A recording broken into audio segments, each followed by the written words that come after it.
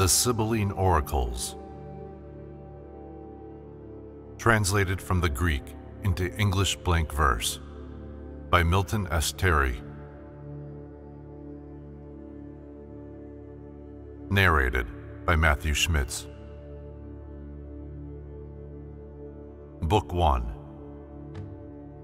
Beginning with the generation first of mortal men, down to the very last, I'll prophesy each thing, what erst has been, and what is now, and what shall yet befall the world through the impiety of men.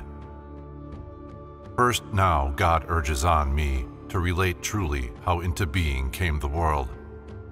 And thou, shrewd mortal, prudently make known, lest ever thou shouldest my commands neglect the King Most High, who brought into existence the whole world, saying, Let there be, and there was.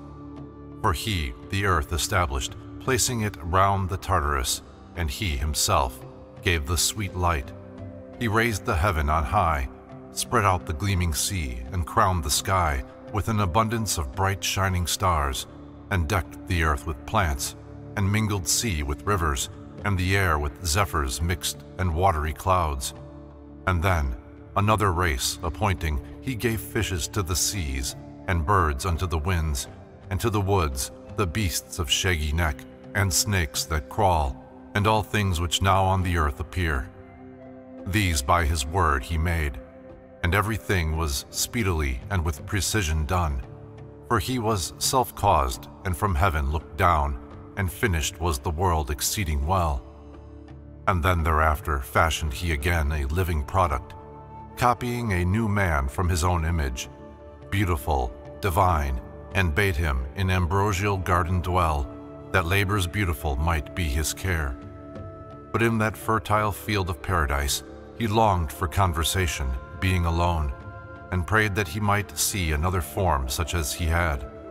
And forthwith, from man's side, taking a bone, God himself made fair Eve, a wedded spouse, and in that paradise gave her to dwell with him. And when he gazed upon her, on a sudden, filled with joy, great admiration held his soul. He saw a pattern so exact, and with wise words, spontaneous flowing, answered, he in turn for God had care for all things. For the mind, they darkened not with passion, nor concealed their nakedness, but with hearts far from evil, even like wild beasts, they walked with limbs exposed. And afterwards, delivering them commands, God showed them not to touch a certain tree. But the dread serpent drew them off by guile, to go away unto the fate of death, and to gain knowledge of both good and evil. But the wife, then first traitress, proved to God. She gave and urged the unknowing man to sin, and he, persuaded by the woman's words, forgot the immortal Maker utterly, and treated plain commandments with neglect. Therefore, instead of good, received they evil according to their deed. And then, the leaves of the sweet fig tree piercing, they made clothes and put them on each other, and concealed the sexual parts, because they were ashamed. But on them the immortal set his wrath, and cast them out of the immortal land.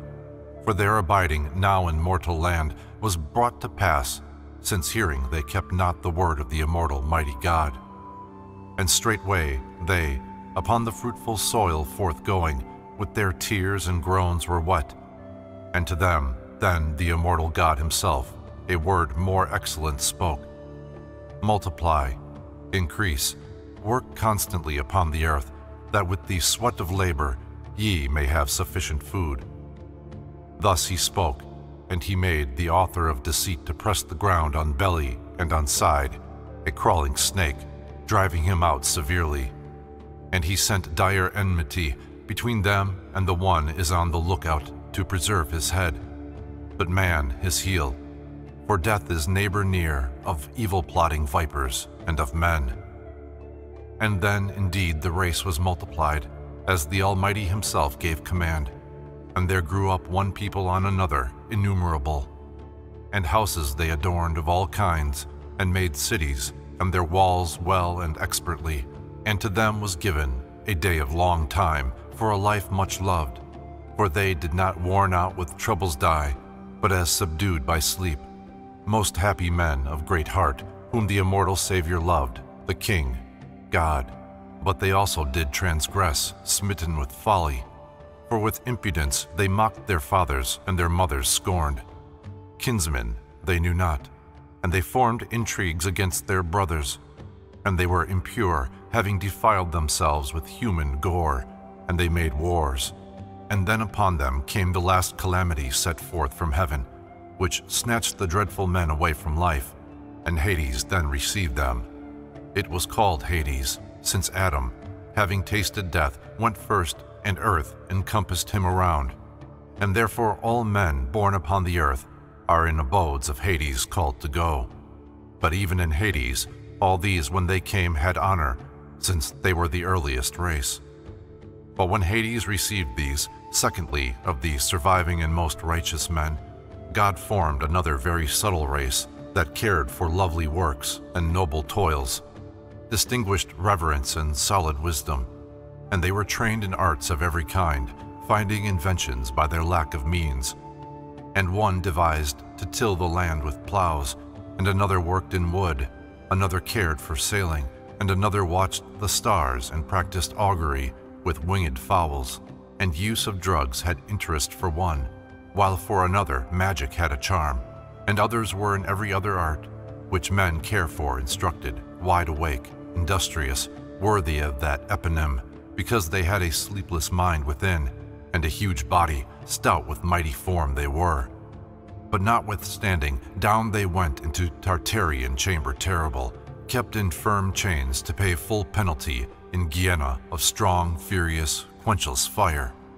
And after these a third strong-minded race appeared, a race of overbearing men, and terrible, who wrought among themselves many an evil.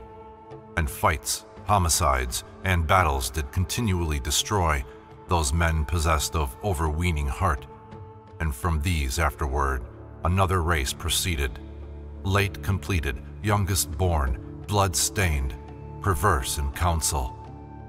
Of men these were in the fourth race, much the blood they spilled, nor feared they God, nor had regard for men, for maddening wrath and sore impiety were set upon them, and wars, homicides, and battles, sent some into Erebus, since they were overweening impious men.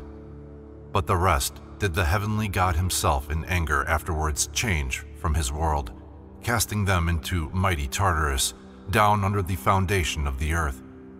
And later, yet another race, much worse, of men he made, to whom no good thereafter the immortal formed, since they wrought many evils.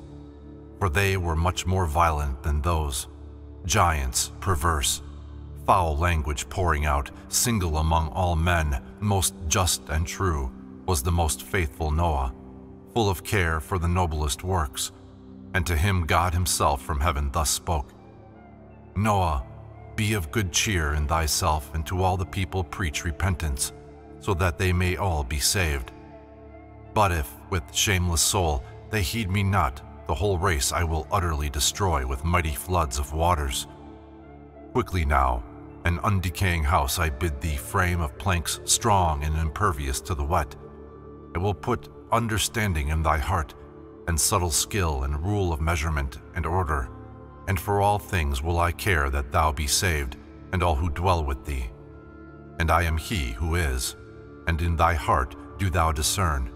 I clothe me with the heaven, and cast the sea around me, and for me earth is a footstool, and the air is poured around my body, and on every side around me runs the chorus of the stars. Nine letters have I, of four syllables I am. Discern me.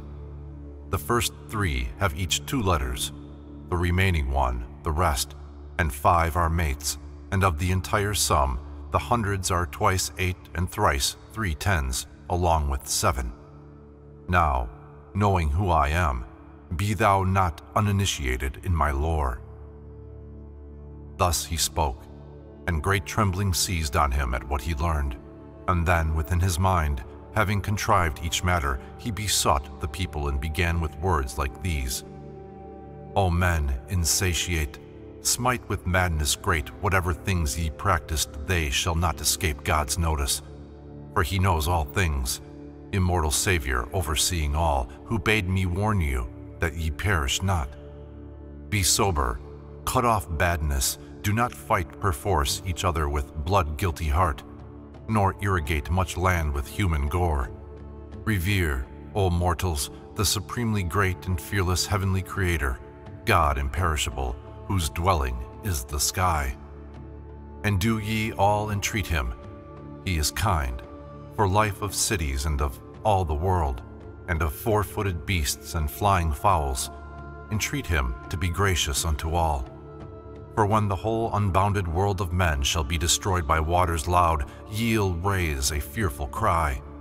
And suddenly for you the air shall be disordered, and from heaven the fury of the mighty God shall come upon you. And it certainly shall be that the immortal Saviour against men will send wrath if ye do not placate God, and from this time repent. And nothing more fretful and evil lawlessly shall ye one to another do, but let there be a guarding of oneself by holy life. But when they heard him, each turned up his nose, calling him mad, a frenzy-smitten man. And then again did Noah sound his strain.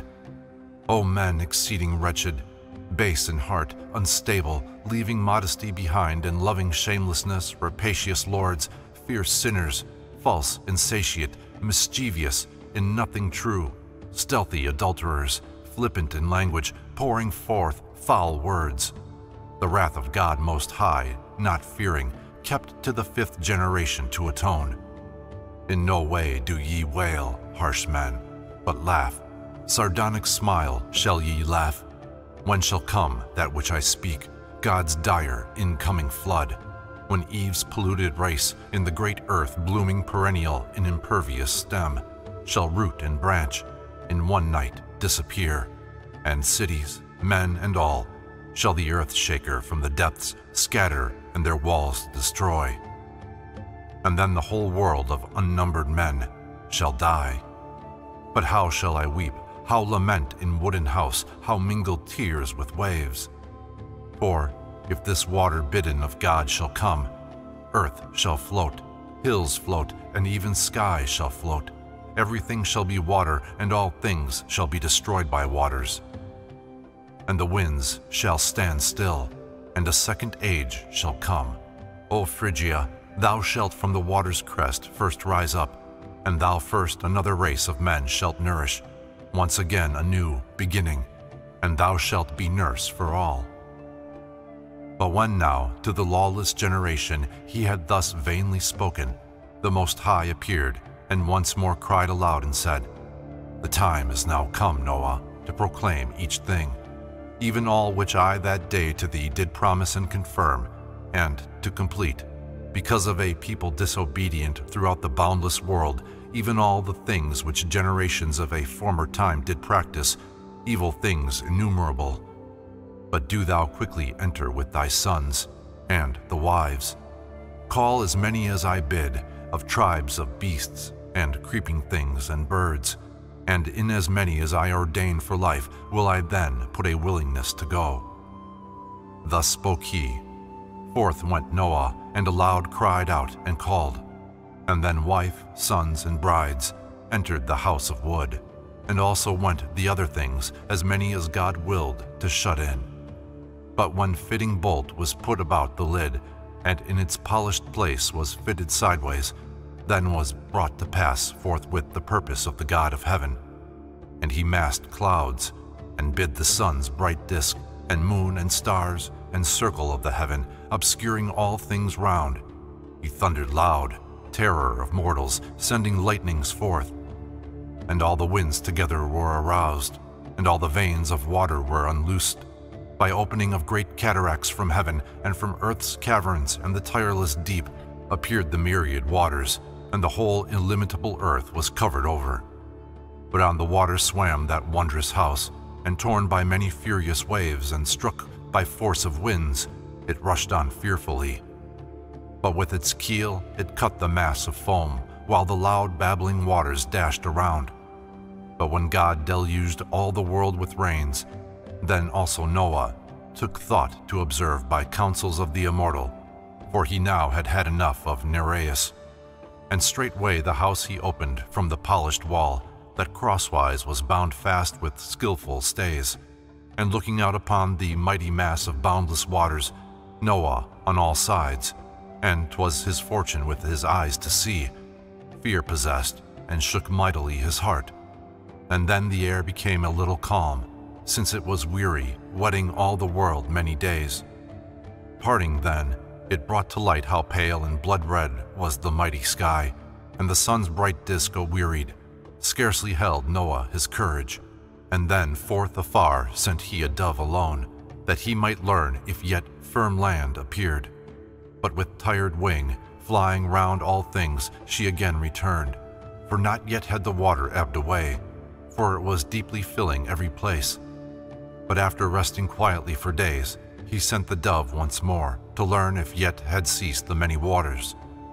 And she flew and flew on, and went over the earth, and resting her body lightly on the humid ground, again to Noah back she came and bore an olive branch of tidings, a great sign. Courage now filled them all, and great delight, because they hoped to look upon the land. But then thereafter yet another bird of black wing sent he forth as hastily, which, trusting to its wings, flew willingly, and coming to the land continued there. And Noah knew the land was nearer now, but when on dashing waves and the craft divine had here and there over ocean's billows swum, it made fast upon the narrow strand. There is in Phrygia, on the dark mainland, a steep, tall mountain, Ararat its name, because upon it all were to be saved from death, and there was great desire of heart. Thence streams of the great river Marsyas spring. There on a lofty peak the ark abode when the waters ceased. And then again from heaven the voice divine of the great God this word proclaimed. O Noah, guarded, faithful, just, come boldly forth with thy sons and thy wife, and the three brides, and fill ye all the earth, increasing, multiplying, rendering justice to one another through all generations, until to judgment every race of men shall come, for judgment shall be unto all. Thus spoke the voice divine. Then from his couch Noah encouraged, hastened on the land, and with him went his sons and wife and brides, and creeping things and birds and quadrupeds, and all things else went from the wooden house into one place. And then went Noah forth as eighth, most just of men, when on the waters he had made full twice twenty days and one, because of counsels of the mighty God. Then a new stock of life again arose, golden first, which indeed was sixth and best, from the time when the first formed man appeared, heavenly its name, because all things to God shall be a care. O first race of sixth age, O mighty joy which I thereafter shared, when I escaped sheer ruin by the waves much tossed, with husband and with brothers-in-law, stepfather and stepmother, and with wives of husbands' brothers suffering terribly, fitting things, now will I sing. There shall be on the fig tree a many-colored flower, and afterward the royal power and sway shall Kronos have.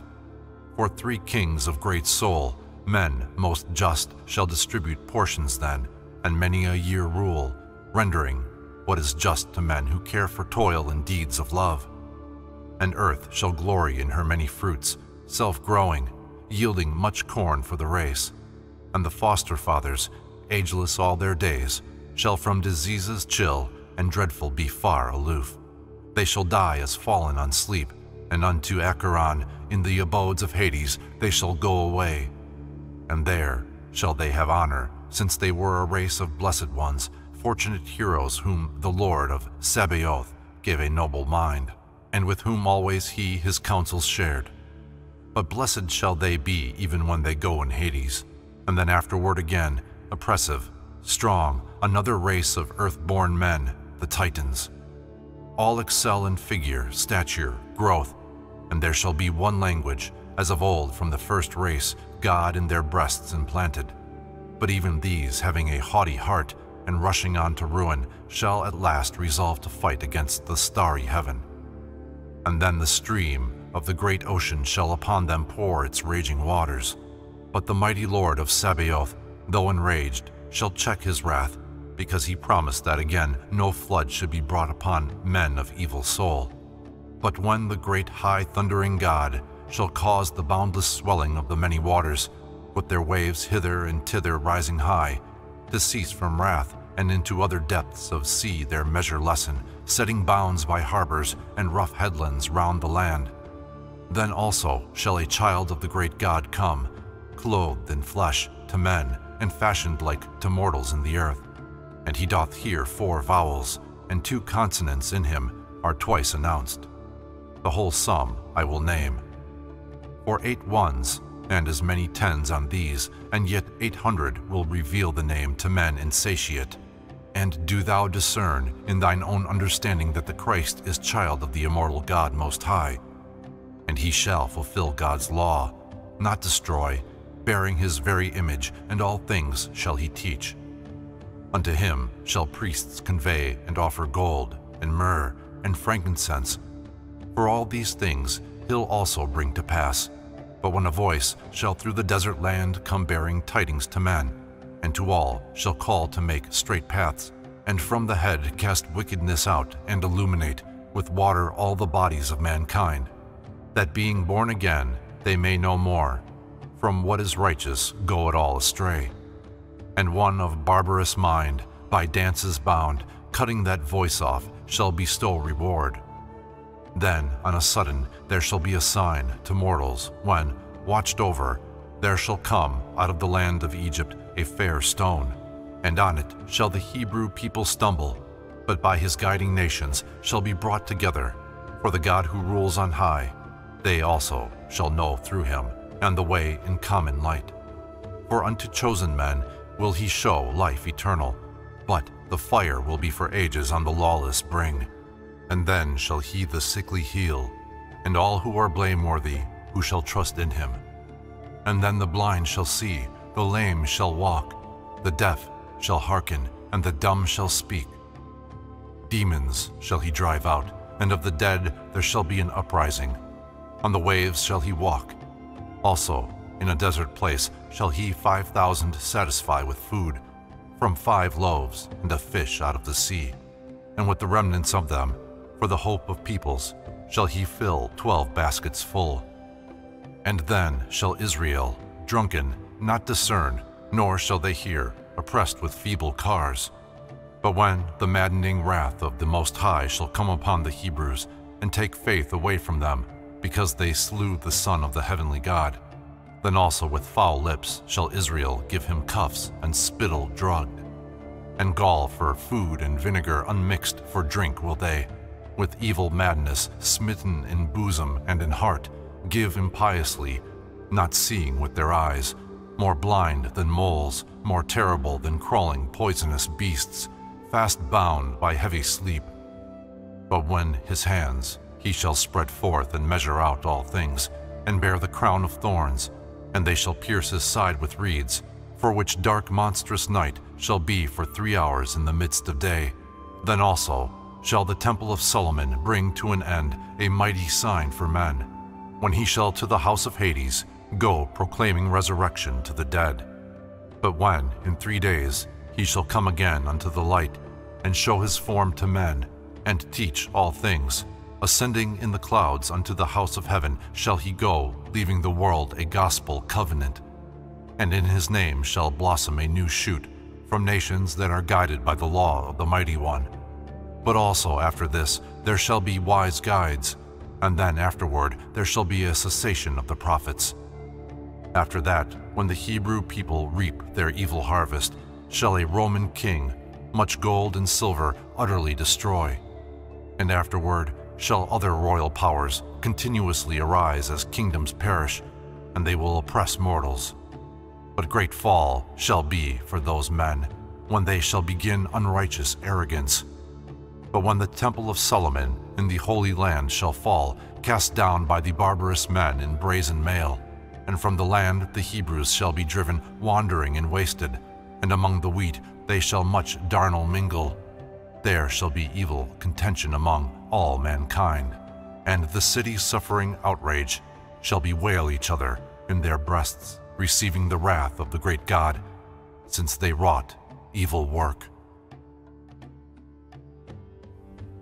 Book 2 Now while I much entreated God restrained my wise song, also in my breast again he put the charming voice of words divine. In my whole body terror-stricken these I follow, for I know not that I speak, but God impels me to proclaim each thing.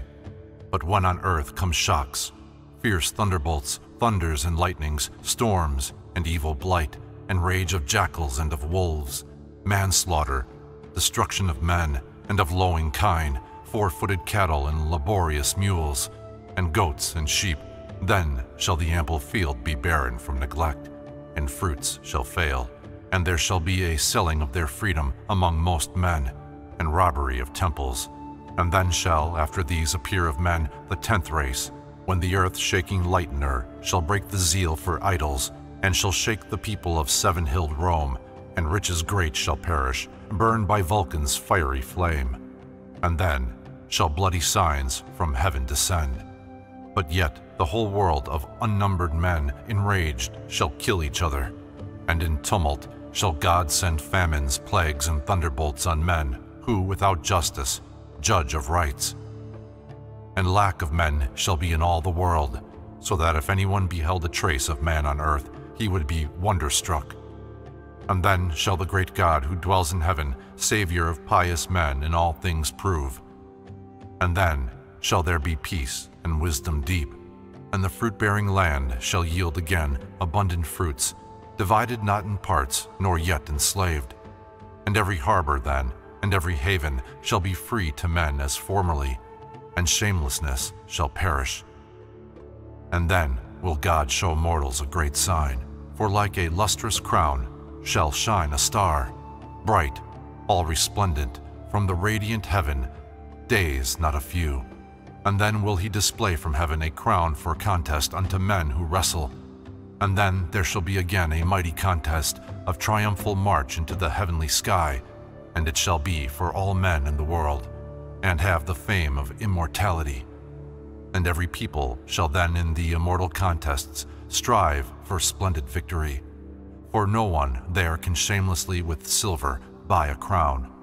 For unto them will the pure Christ adjudge that which is due, and crown the ones approved, and give his martyrs an immortal prize who carry on the contest unto death. And unto chaste men, who run their race well, will he the incorruptible reward of the prize give, and to all men allot that which is due, and also to strange nations that live a holy life and know one God, and those who have regard for marriages and keep themselves far from adulteries, to give them rich gifts, eternal hope he'll give. For every human soul is God's free gift, and 'tis not right men stain it with vile deeds.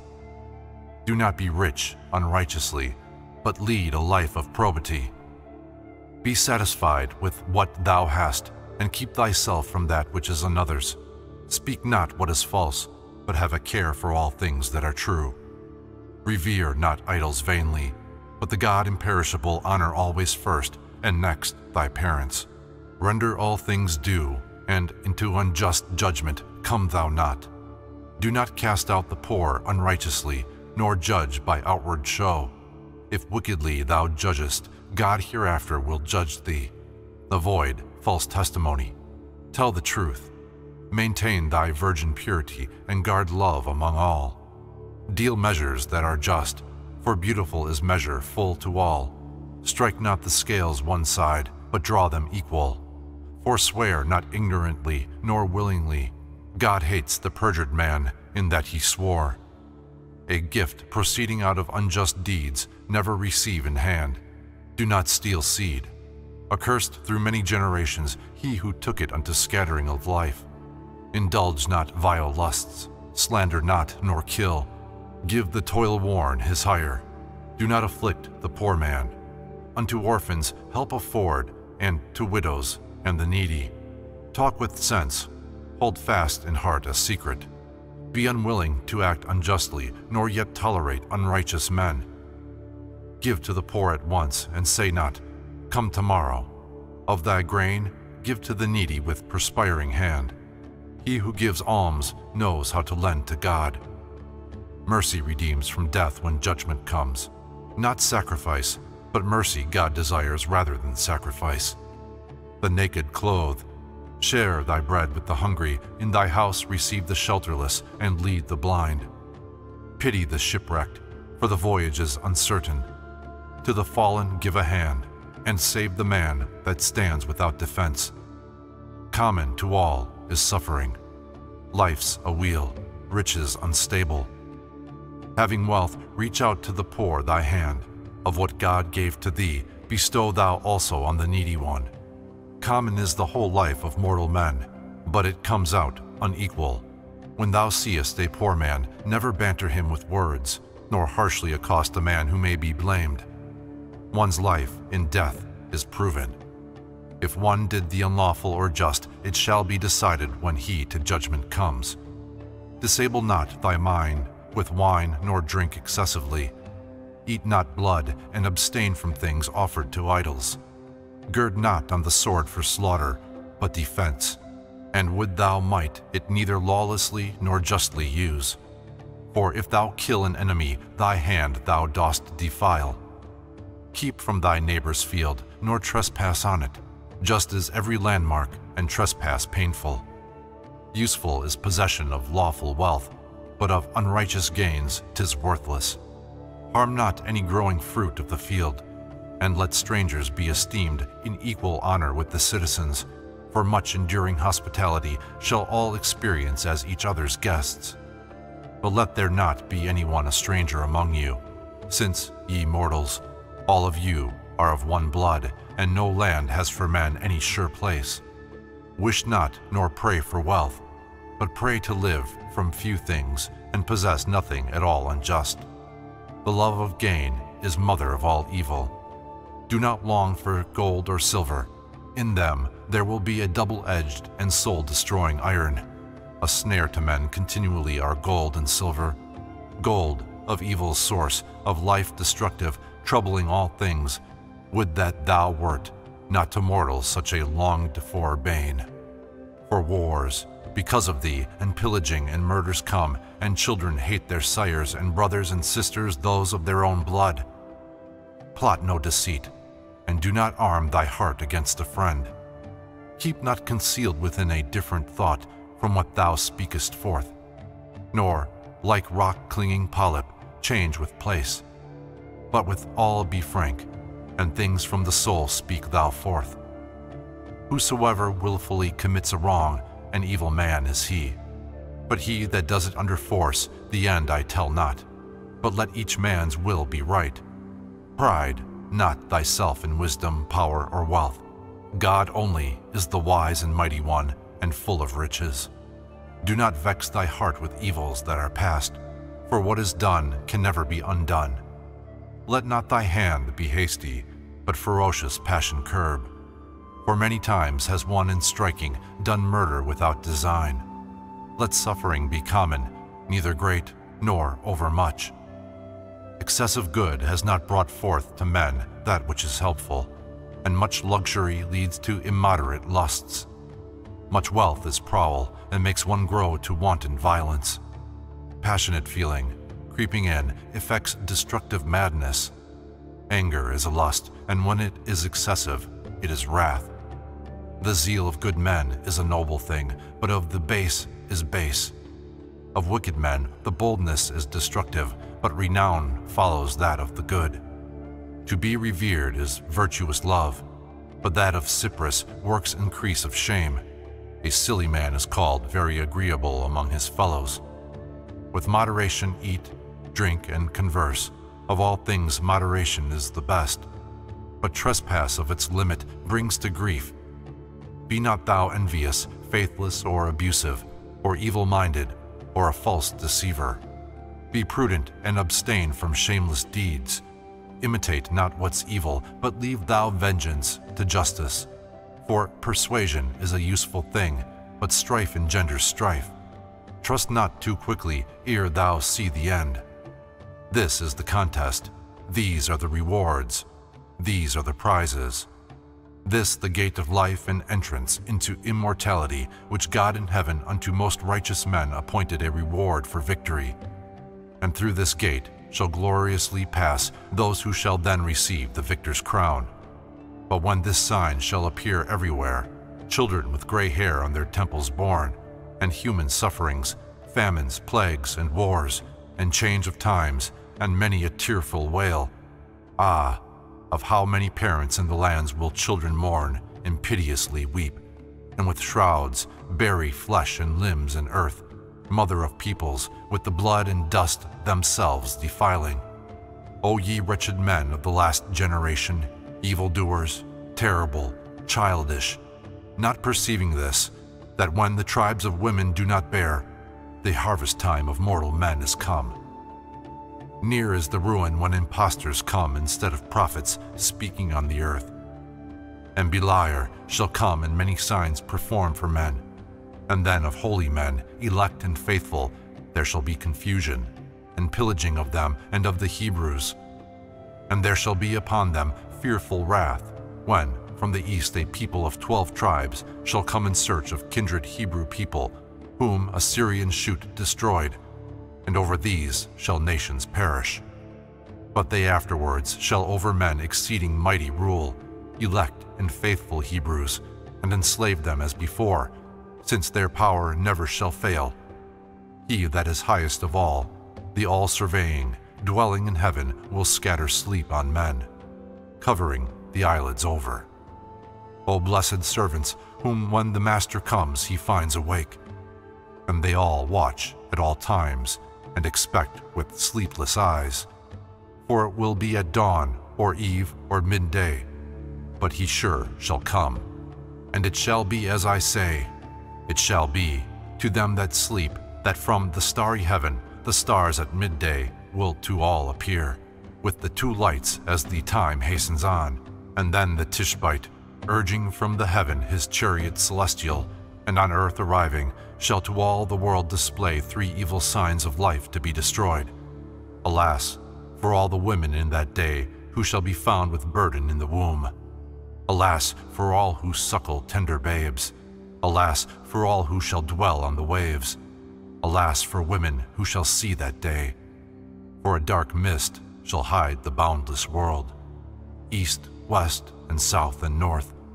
And then shall flow a mighty stream of burning fire from heaven, and every place consume earth, ocean vast, and gleaming sea, and lakes and rivers, springs, and cruel Hades, and the heavenly sky. And heavenly lights shall break up into one, and into outward form all desolate. For stars from heaven shall fall into all seas, and all the souls of men shall gnash their teeth, burned both by sulphur, stream, and force of fire, in ravenous soil, and ashes hide all things. And then of the world all the elements shall be bereft air, earth, sea, light, sky, days, nights.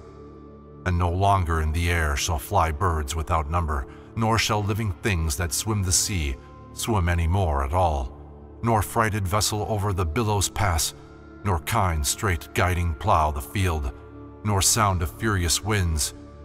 But he shall fuse all things together, and shall pick out what is pure.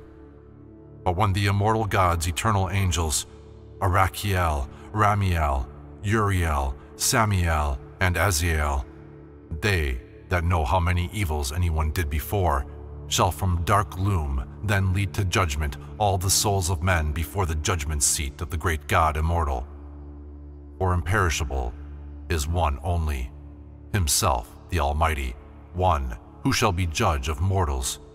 And to them that dwell beneath will then the Heavenly One give souls and spirit and voice, and also bones fitted with joints unto all kinds of flesh, and both the flesh and sinews, veins and skin about the body, and hair as before.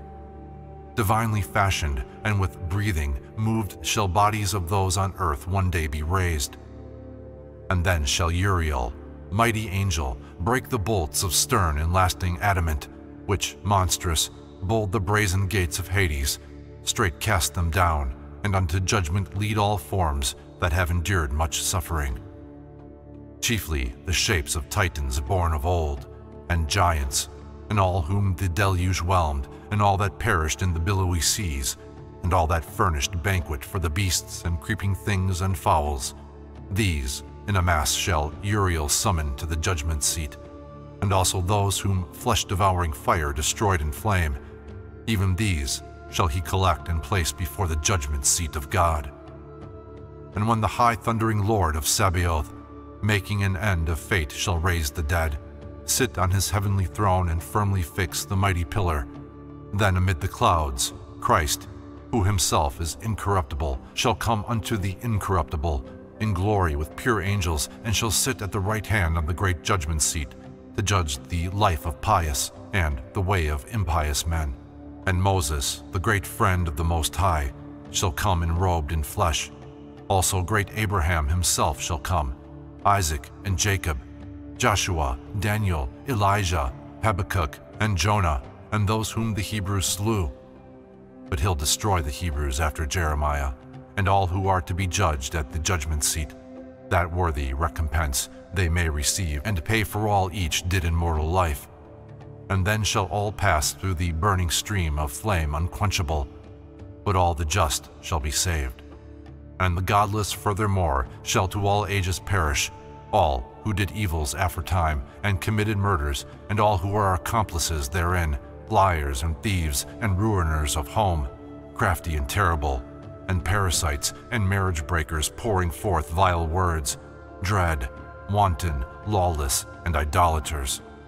And all who left the great immortal God became blasphemers, did the pious harm, destroying faith and killing righteous men, and all with a shamelessness deceitful and double-faced rush in as presbyters and reverend ministers who knowingly give unjust judgments, yielding to false words, more hurtful than the leopards and the wolves, and more vile and ill that are grossly proud and usurers, who gains on gains amass, and damage orphans and widows in each thing, and all that give to widows and to orphans the fruit of unjust deeds, and all that cast reproach in giving from their own hard toils, and all that left their parents in old age, not paying them at all, nor offering to parents filial duty, and all who were disobedient and against their sires spoke a harsh word.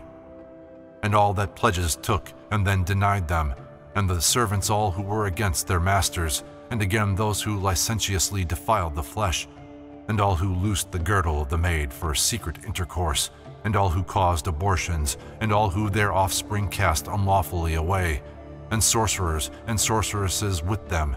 And these wrath of the heavenly and immortal God shall drive against a pillar, where shall all around in a circle flow a restless stream of fire. And deathless angels of the immortal God, whoever is, shall bind with lasting bonds in chains of flaming fire, and from above punish them all by scourge most terribly. And in Gehenna, in the gloom of night, shall they be cast neath many horrid beasts of Tartarus, where darkness is immense. But when there shall be many punishments enforced on all who had an evil heart, yet afterward shall there a fiery wheel from a great river circle them around, because they had a care for wicked deeds. And then one here, another there, shall sires, young children, mothers, nursing babes, in tears, wail their most piteous fate. No fill of tears shall be for them, nor piteous voice be heard of them that moan, one here, another there, but long worn under dark, dank Tartarus, aloud shall they cry. And they shall repay in cursed places thrice as much as all the evil work they did, burned with much fire. And all of them, consumed by raging thirst and hunger, shall in anguish gnash their teeth and call death beautiful, and death shall flee away from them. For neither death nor night shall ever give them rest, and many things in vain will they ask of the God that rules on high. And then will he his face turn openly away from them, for he to erring men gave, in seven ages for repentance, signs by the hands of a virgin undefiled. But the others, all to whom right and fair works and piety and thoughts most just were dear, shall angels, bearing through the burning stream, lead unto light and life exempt from care, where comes the immortal way of the great God and fountains three, of honey, wine, and milk, an equal land for all, divided not by walls or fences, more abundant fruits, spontaneous, shall then bear, and the course of life be common and wealth unapportioned. For there no longer will be poor nor rich, tyrant nor slave, nor any great nor small, nor kings nor leaders, all alike in common. No more at all will one say, Night has come, nor morrow comes, nor yesterday has been. Nor shall there many days of anxious care, nor spring nor winter, nor the summer heat, nor autumn be, nor marriage, nor yet death, nor sales, nor purchases, nor set of sun, nor rising. For a long day will God make, and to the pious will the Almighty God, imperishable, grant another thing, when they shall ask the imperishable God, that he will suffer men from raging fire and endless gnawing anguish to be saved. And this will he do. For hereafter he will pluck them from the restless flame, elsewhere remove them, and for his own people's sake send them to other and eternal life with the immortals in Elysian field, where move far-stretching billows of the lake of ever-flowing Acheron profound. Ah, miserable woman that I am, what shall I be in that day? For I sinned, being busy foolishly about all things, caring for neither marriage bond nor reason. But even in my wealthy husband's house I shut the needy out, and formerly I knowingly performed unlawful things. But, Saviour, though I shameless things performed, do thou from my tormentors rescue me, a shameless woman. And I pray thee now, Make me to rest a little from my song, holy giver of manna, king of the great realm. Book 3 O thou high thundering blessed heavenly one, who hast set in their place the cherubim, I, who have uttered what is all too true, entreat thee, let me have a little rest, for my heart has grown weary from within but why again leaps my heart and my soul, with a whip smitten from within constrained, to utter forth its message unto all? But yet again will I proclaim all things, which God commands me to proclaim to men. O men, that in your image have a form fashioned of God, why do ye vainly stray, and walk not in the straight way, always mindful of the immortal Maker? God is one, sovereign, ineffable, dwelling in heaven, the self-existent and invisible, himself alone beholding everything. Him sculptor's hand made not, nor is his form shown by man's art from gold or ivory. But he, eternal Lord, proclaims himself as one who is, and was erst, and shall be again hereafter. For who, being mortal, can see God with his eyes? Or who shall bear to hear the only name of heaven's great God, the ruler of the world? He by his word created all things, even heaven and sea, and tireless sun, and full moon and bright stars, and mighty mother Tethys, springs and rivers, imperishable fire, and days and nights. This is the God who formed four-letter Adam, the first one formed, and filling with his name east, west, and south, and north. The same is he who fixed the pattern of the human form, and made wild beasts and creeping things and fowls. Ye do not worship neither fear ye God, but vainly go astray and bow the knee to serpents, and make offerings to cats and idols and stone images of men, and sit before the doors of godless temples. Ye guard him, who is God, who keeps all things, and marry with the wickedness of stones. Forget the judgment of the immortal Savior who made the heaven and earth. Alas, a race that has delight in blood, deceitful, vile, ungodly, of false, double-tongued, immoral men, adulterous, idolatrous, designing fraud, and evil madness raving in their hearts, for themselves plundering, having shameless soul. For no one who has riches will impart to another, but dire wickedness shall be among all mortals, and for sake of gain will many widows not at all keep faith, but secretly love others, and the bond of life those who have husbands do not keep. But when Rome shall over Egypt also rule, governing always, then shall there appear the greatest kingdom of the immortal King over men. And a holy Lord shall come to hold the scepter over every land unto all ages of fast hastening time. And then shall come inexorable wrath on Latin men. Three shall by piteous fate endamage Rome, and perish shall all men with their own houses, when from heaven shall flow a fiery cataract. Ah, wretched me! When shall that day, and when shall judgment come of the immortal God, the mighty King? But just now, O ye cities, ye are built, and all adorned with temples and race grounds, markets, and images of wood, of gold, of silver, and of stone, that ye may come unto the bitter day. For it shall come, when there shall pass among all men a stench of brimstone. Yet each thing will I declare in all the cities where men suffer ills. From these Sebastenes Beliar shall come hereafter, and the height of hills shall he establish, and shall make the sea stand still, and the great fiery sun, and the bright moon. And he shall raise the dead, and many signs work before men. But nothing shall be brought by him unto completion but deceit, and many mortals shall be led astray. Hebrews, both true and choice, and lawless men, besides who never gave ear to God's word. But when the threatenings of the mighty God shall draw near, and a flaming power shall come by billow to the earth, it shall consume both Beliar and all the haughty men who put their trust in him. And thereupon shall the whole world be governed by the hands of a woman, and obedient everywhere. Then when a widow shall over all the world gain the rule, and cast in the mighty sea both gold and silver, also brass and iron of short-lived men into the deep shall cast, then all the elements shall be bereft of order, when the God of who dwells on high shall roll the heaven, even as a scroll is rolled. And to the mighty earth and sea shall fall the entire multiform sky, and there shall flow a tireless cataract of raging fire, and it shall burn the land, and burn the sea, and heavenly sky, and night and day, and melt creation itself together, and pick out what is pure. No more laughing spheres of light, nor night, nor dawn, nor many days of care, nor spring, nor winter, nor the summertime, nor autumn. And then of the mighty God the judgment midway in a mighty age shall come, when all these things shall come to pass.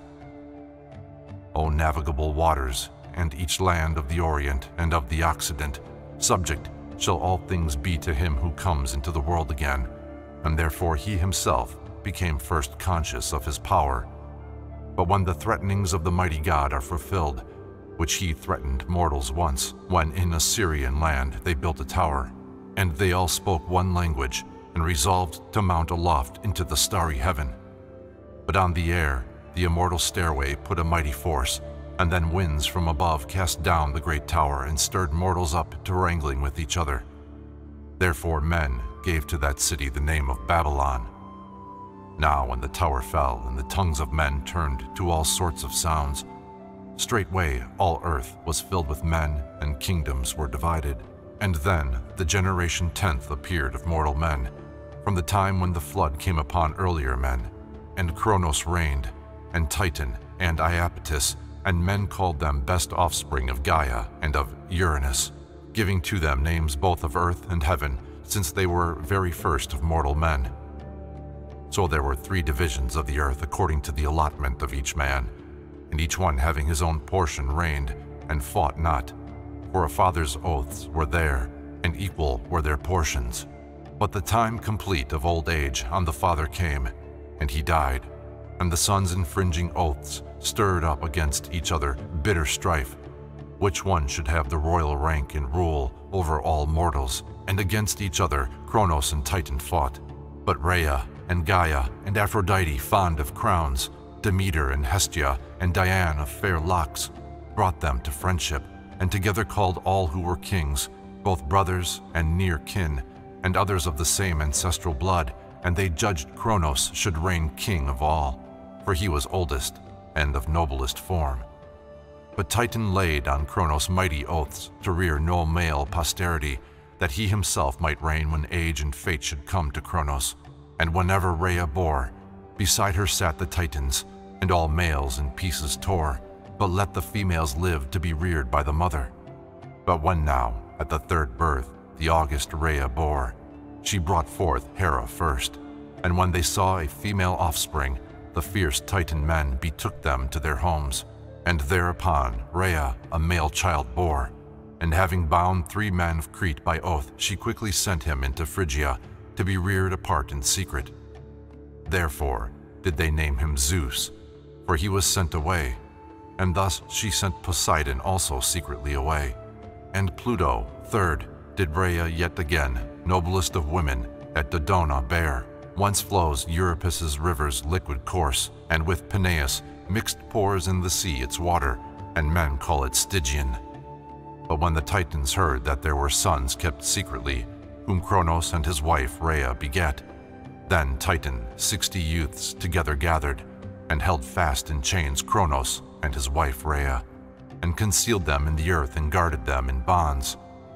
And then the sons of powerful Cronos heard, and a great war and uproar they roused. And this is the beginning of dire war among all mortals, for it is indeed with mortals the prime origin of war.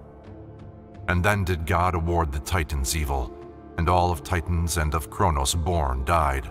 But then, as time rolled around, there rose the Egyptian kingdom, then that of the Persians, and of the Medes, and Ethiopians, and of Assyria and Babylon, and then that of the Macedonians, Egypt yet again, then that of Rome. And then a message of the mighty God was set within my breast, and it bade me proclaim through all earth, and in royal hearts, plant things which are to be. And to my mind, this God imparted first, bow many kingdoms have been together gathered of mankind.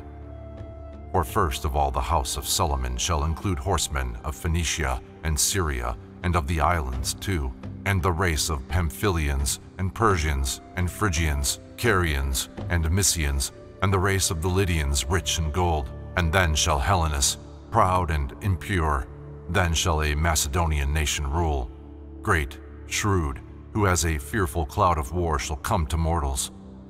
But the God of heaven shall utterly destroy them from the depth. And then shall be another kingdom, white and many-headed, from the western sea, which shall rule much land and shake many men. And to all kings bring terror afterwards, and out of many cities shall destroy much gold and silver. But in the vast earth there will again be gold, and silver too, and ornament, and they will oppress mortals. And to those men shall great disaster be, when they begin unrighteous arrogance, and forthwith in them there shall be a force of wickedness. Male will consort with male, and children they will place in dens of shame. And in those days there shall be among men a great affliction, and it shall disturb all things, and break all things, and fill all things with evils by a shameful covetousness, and by ill-gotten wealth in many lands, but most of all in Macedonia. And it shall stir up hatred, and all guile shall be with them, even to the seventh kingdom, of which a king of Egypt shall be king, who shall be a descendant from the Greeks. And then the nation of the mighty God shall be again strong, and they shall be guides of life to all men. But why did God place this also in my mind to tell? What first, and what next, and what evil last shall be on all men? Which of these shall take the lead? First, on the Titans will God visit evil, for they shall pay to mighty Cronos' sons the penal satisfaction, since they bound both Cronos and the mother dearly loved. Again shall there be tyrants for the Greeks, and fierce kings overweening and impure, adulterous and altogether bad. And for men shall be no more rest from war, and the dread Phrygians shall perish all, and unto Troy shall evil come that day, and to the Persians and Assyrians evil shall straightway come, and to all Egypt and Libya and the Ethiopians, and to the Carians and Pamphylians, evil to pass from one place to another, and to all mortals. Why now, one by one, do I speak forth?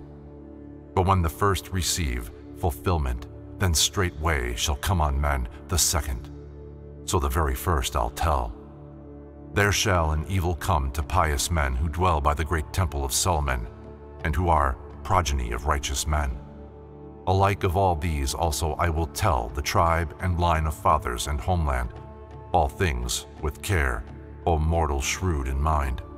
There is a city on the earth, Ur of the Chaldees, once there is a race of men most righteous, to whom both goodwill and noble deeds have ever been a care. For they have no concern about the course of the sun's revolution, nor the moons, nor wondrous things beneath the earth, nor depth of joy-imparting sea Oceanus, nor signs of sneezing, nor the wings of birds, nor soothsayers, nor wizards, nor enchanters, nor tricks of dull words of ventriloquists, Neither do they astrologize with skill of the Chaldeans, nor astronomize. Oh, for these are all deceptive, in so far as foolish men go seeking day by day, training their souls unto no useful work. And then did they teach miserable men deceptions. Whence to mortals on the earth come many evils leading them astray from good ways and just deeds. But they have care for righteousness and virtue, and not greed which breeds unnumbered ills to mortal men, war and unending famine. But with them, just measure, both in fields and cities, holds. Nor steal they from each other in the night, nor drive off herds of cattle, sheep, and goats, nor neighbor remove landmarks of a neighbor, nor any man of great wealth grieve the one less favored, nor to widows cause distress, but rather aids them, ever helping them, with wheat and wine and oil, and always does the rich man in the country send a share at the time of the harvests unto them that have not, but are needy, thus fulfilling the saying of the mighty God, a hymn in legal setting, for the heavenly one finished the earth a common good for all. Now when the people of twelve tribes depart from Egypt, and with leaders sent of God nightly pursue their way by a pillar of fire, and during all the day by one of cloud, for them then God a leader will appoint, a great man, Moses, whom a princess found beside a marsh, and carried off and reared and called her son. And at the time he came as leader for the people whom God led from Egypt unto the steel Sinai mount. His own law God delivered them from heaven, writing on two flat stones all righteous things which he enjoined to do. And if perchance one give no heed, he must unto the law make satisfaction either at men's hands or if men's notice he escape, he shall, by ample satisfaction, be destroyed. For the heavenly finished earth a common good for all, and in all hearts as best gift thought, to them alone the bounteous field yields fruit, a hundredfold from one, and thus completes God's measure. But to them shall also come misfortune, nor do they escape from plague. And even thou, forsaking thy fair shrine, shalt flee away when it becomes thy lot to leave the Holy Land. And thou shalt be carried to the Assyrians, and shalt see young children and wives serving hostile men. And every means of life and wealth shall perish, and every land shall be filled up with thee, and every sea, and every one shall be offended with thy customs, and thy land shall all be desert.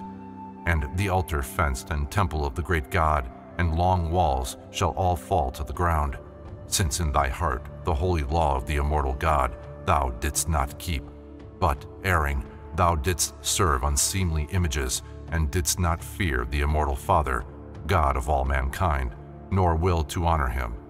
But images of mortals thou didst honor, therefore now of time, seven decades, shall thy fruitful land and the wonders of thy temple all be waste. But there remains for thee a goodly end and greatest glory, as the immortal God granted thee.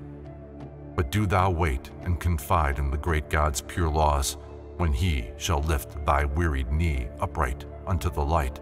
And then will God from heaven send a king to judge each man in blood and light of fire. There is a royal tribe, the race of which shall be unfailing, and as times revolve, this race shall bear rule and begin to build God's temple anew. And all the Persian kings shall aid with bronze and gold and well-wrought iron, for God himself will give the holy dream by night, and then the temple shall again be as it was before. Now when my soul had rest from inspired song, and I prayed the great Father for a rest from constraint, even in my heart again was set a message of the mighty God, and he bade me proclaim through all the earth and plant in royal minds things yet to be. And in my mind God put this first to say, how many lamentable sufferings the immortal purposed upon Babylon, because she his great temple had destroyed. Alas, alas for thee, O Babylon, and for the offspring of the Assyrian men. Through all the earth the rush of sinful men shall sometime come, and shout of mortal men, and stroke of the great God, who inspires songs, shall ruin every land. For high in the air to thee, O Babylon, shall it come from above, and out of heaven from holy ones to thee shall it come down, and the soul in thy children shall the Eternal utterly destroy. And then shalt thou be as thou wast before, as one not born. And then shalt thou be filled again with blood, as thou thyself before didst shed that of good, just and holy men, whose blood yet cries out to the lofty heaven. To thee, O Egypt, shall a great blow come, and dreadful, to thy homes which thou didst hope might never fall on thee. For through thy midst a sword shall pass, and scattering and death and famine shall prevail unto of kings the seventh generation, and then cease. Alas for thee, O land of Gog and Magog, in the midst of the rivers of Ethiopia. What pouring out of blood shalt thou receive, and house of judgment among men be called, and thy land of much dew shall drink black blood. Alas for thee, O Libya, and alas both sea and land. O daughters of the west, so shall ye come unto a bitter day, and ye shall come pursued by grievous strife, dreadful and grievous. There shall be again a dreadful judgment, and ye all shall come by force unto destruction. For ye tore in pieces the great house of the immortal, and with iron teeth ye chewed it dreadfully. Therefore shalt thou then look upon thy land, full of the dead, some of them fallen by war and by the demon of all violence famine and plague, and some by barbarous foes. And all thy land shall be a wilderness, and desolations shall thy cities be. And in the west there shall a star shine forth, which they will call a comet, sign to men of the sword, and of famine, and of death, and murder of great leaders and chief men. And yet again there shall be among men greatest signs, for deep eddying Tanais shall leave Maeotis's lake, and there shall be down the deep stream a fruitful furrow's track, and the vast flow shall hold a neck of land. And there are hollow chasms and yawning pits, and many cities, men and all, shall fall. In Asia, Iasus, Sebron, Pandonia, Colophon, Ephesus, Nicaea, Antioch, Syagra, Sinope, Smyrna, Marina, most happy Gaza, Hierapolis, Astypalaea, and in Europe, Tanagra, Clitor, Basilis, Meropia, Antigone, Magnessa, Mycene, Oiantheia. Know then that the destructive race of Egypt is near destruction, and the past year then is better for the Alexandrians. As much of tribute as Rome did receive of Asia, even thrice as many goods shall Asia back again from Rome receive, and her destructive outrage pay her back, as many as from Asia ever served a house of the Italians, twenty times as many Italians shall in Asia serve in poverty, and numerous debts incur. O Virgin, soft rich child of Latin Rome, oft at thy much remembered marriage feasts drunken with wine, now shalt thou be a slave, and wedded in no honorable way. And oft shall mistress shear thy pretty hair, and wreaking satisfaction cast thee down from heaven to earth, and from the earth again raise thee to heaven. For mortals of low rank and of unrighteous life are held fast bound. And of avenging Smyrna overthrown there shall be no thought, but by evil plans and wickedness of them that have command shall Samos be sand, Delos shall be dull, and Rome a room. But the decrees of God shall all of them be perfectly fulfilled.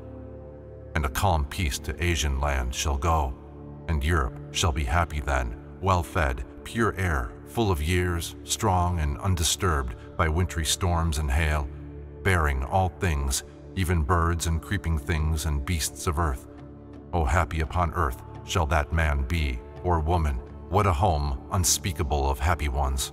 For from the starry heaven shall all good order come upon mankind, and justice, and the prudent unity which of all things is excellent for men, and kindness, confidence, and love of guests.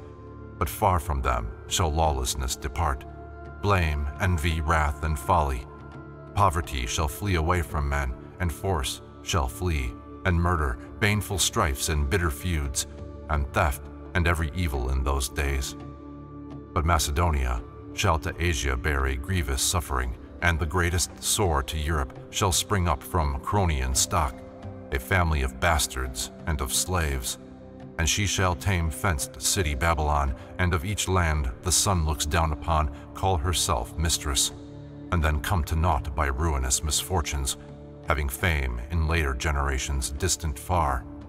And sometime into Asia's prosperous land shall come a man unheard of, shoulder-clad with purple robe, fierce, unjust, fiery. And this man who wields the thunderbolt roused forwards, and all Asia shall sustain an evil yoke, and her soil wet with rain shall drink much murder. But even so shall Hades destroy the unknown king, and that man's offspring shall forthwith perish by the race of those whose offspring he himself would fain destroy, producing one root which the bane of men shall cut from ten horns, and plant by their side another plant. A father, purple-clad, shall cut a warlike father off, and Ares, baneful and hostile, by a grandson's hand shall himself perish. And then shall the horn planted beside them forthwith bear the rule. And unto life-sustaining Phrygia straightway shall there a certain token be, when Rhea's blood-stained race, and the great earth blooming perennial in impervious roots, shall, root and branch, in one night disappear with the city, men and all, of the earth shaker Poseidon, which place they shall sometime call Dorylaeum, of dark ancient Phrygia much bewailed. Therefore shall that time be called Earthshaker. Dens of earth shall he break up, and walls demolish. And not signs of good, but a beginning of evil shall be made. The baneful violence of general war ye will have, sons of Aeneas, dative blood of Ilus from the soil. But afterwards, a spoil shalt thou become for greedy men. O Ilium, I pity thee, for there shall bloom in Sparta an Erinys very fair, ever famed, noblest scion, and shall leave on Asia and Europe a wide spreading wave. But to thee most of all she'll bear and cause wailings and toils and groans. But there shall be undying fame with those who are to come, and there shall be an aged mortal then, false writer and of doubtful native land, and in his eyes the light shall fade away. Large mind and verses measured with great skill shall he have, and be blended with two names, shall call himself a Chian, and shall write of Ilium, not truthfully indeed, but skillfully. For of my verse and meters he will be master. For he first my books will open with his hands, but he himself will much embellish helmed chiefs of war, Hector of Priam, and Achilles, son of Peleus, and the others who have care for warlike deeds. And also by their side will he make gods stand, empty-headed men, false writing every way. And it shall be glory the rather, widely spread for them to die at Ilium. But he himself shall also works of recompense receive. Also to Lycia shall a Locrian race cause many evils. And thee, Chalcedon, holding by lot a strait of narrow sea, shall an Aetolian youth sometime despoil. Cyzicus, also thy vast wealth the sea shall break off, and Byzantium of Ares, thou sometime shalt by Asia be laid waste. And also groans and blood immeasurable shalt thou receive, and Cragus, lofty mount of Lycia, from thy peaks by yawning chasms of opened rock shall babbling water flow, until even Patara's oracles shall cease. O Cyzicus, that dwellest by Propontis the wine producing, round thee Rhyndacus shall crash the crested billow. And thou, Rhodes, daughter of day, shalt long be unenslaved, and great shall be thy happiness hereafter, and on the sea thy power shall be supreme. But afterwards, a spoil shalt thou become for greedy men, and put upon thy neck by beauty and by wealth a fearful yoke. A Lydian earthquake shall again despoil the power of Persia, and most horribly shall the people of Europe and Asia suffer pain. and Sidon's hurtful king, with battle din dreadful, shall work a mournful overthrow to the seafaring Samians. On the soil shall slain men's dark blood babble to the sea, and wives together with the noble brides shall their outrageous insolence lament, some for their bridegrooms, some for fallen sons. O sign of Cyprus, may an earthquake waste thy phalanxes away, and many souls with one accord shall Hades bold and charge. And Tralles near Ephesus, and walls well made, and very precious wealth of men shall be dissolved by earthquake, and the land shall burst out with hot water, and the earth shall swallow down those who are by the fire, and stench of brimstone heavily oppressed. And Samos shall in time build royal houses. But to thee, Italy, no foreign war shall come, but lamentable tribal blood, not easily exhausted, much renowned, shall make thee, impudent one, desolate. And thou thyself besides hot ashes stretched, as thou in thine own heart didst not foresee, shalt slay thyself. And thou shalt not of men be mother, but a nurse of beasts of prey. But one from Italy shall come a man, a spoiler. Then, Laodicea, thou, beautiful city of the Carians, by Lycus's wondrous water, falling prone, shalt weep in silence for thy boastful sire. Thracian Crobizi shall rise up on Haemus. Chatter of teeth to the Campanians comes because of wasting famine. Corsica weeps her old father, and Sardinia shall by great storms of winter and the strokes of a holy god sink down in ocean depths. Great wonder of to the sea. Alas, Alas, how many virgin maids will Hades wed, and of as many youths will the deep take without funeral rites? Alas, alas, the helpless little ones and the vast riches swimming in the sea. O happy land of Mysians, suddenly a royal race shall be formed. Truly now, not for a long time shall Chalcedon be, and there shall be a very bitter grief to the Galatians, and to Tenedos shall there a last but greatest evil come and Sicyon with strong yells, and Corinth thou shalt boast over all, but flute shall sound like strain. Now, when my soul had rest from inspired song, even again within my heart was set a message of the mighty God, and he commanded me to prophesy on earth. Woe, woe to the race of Phoenician men and women and all cities by the sea, not one of you shall in the common light abide before the shining of the sun, nor of life shall there any longer be number and tribe, because of unjust speech and lawless life impure which they lived, opening a mouth impure and fearful words, deceitful and unrighteous forth, and stood against the God, the King, and opened loathsome month deceitfully, therefore may he subdue them terribly by strokes over all the earth, and bitter fate shall God send on them burning from the ground cities, and of the cities the foundations. Woe, woe to thee, O Crete! To thee shall come a very painful stroke, and terribly shall the Eternal sack thee. And again shall every land behold thee, black with smoke. Fire never shall leave thee, but thou shalt be burned.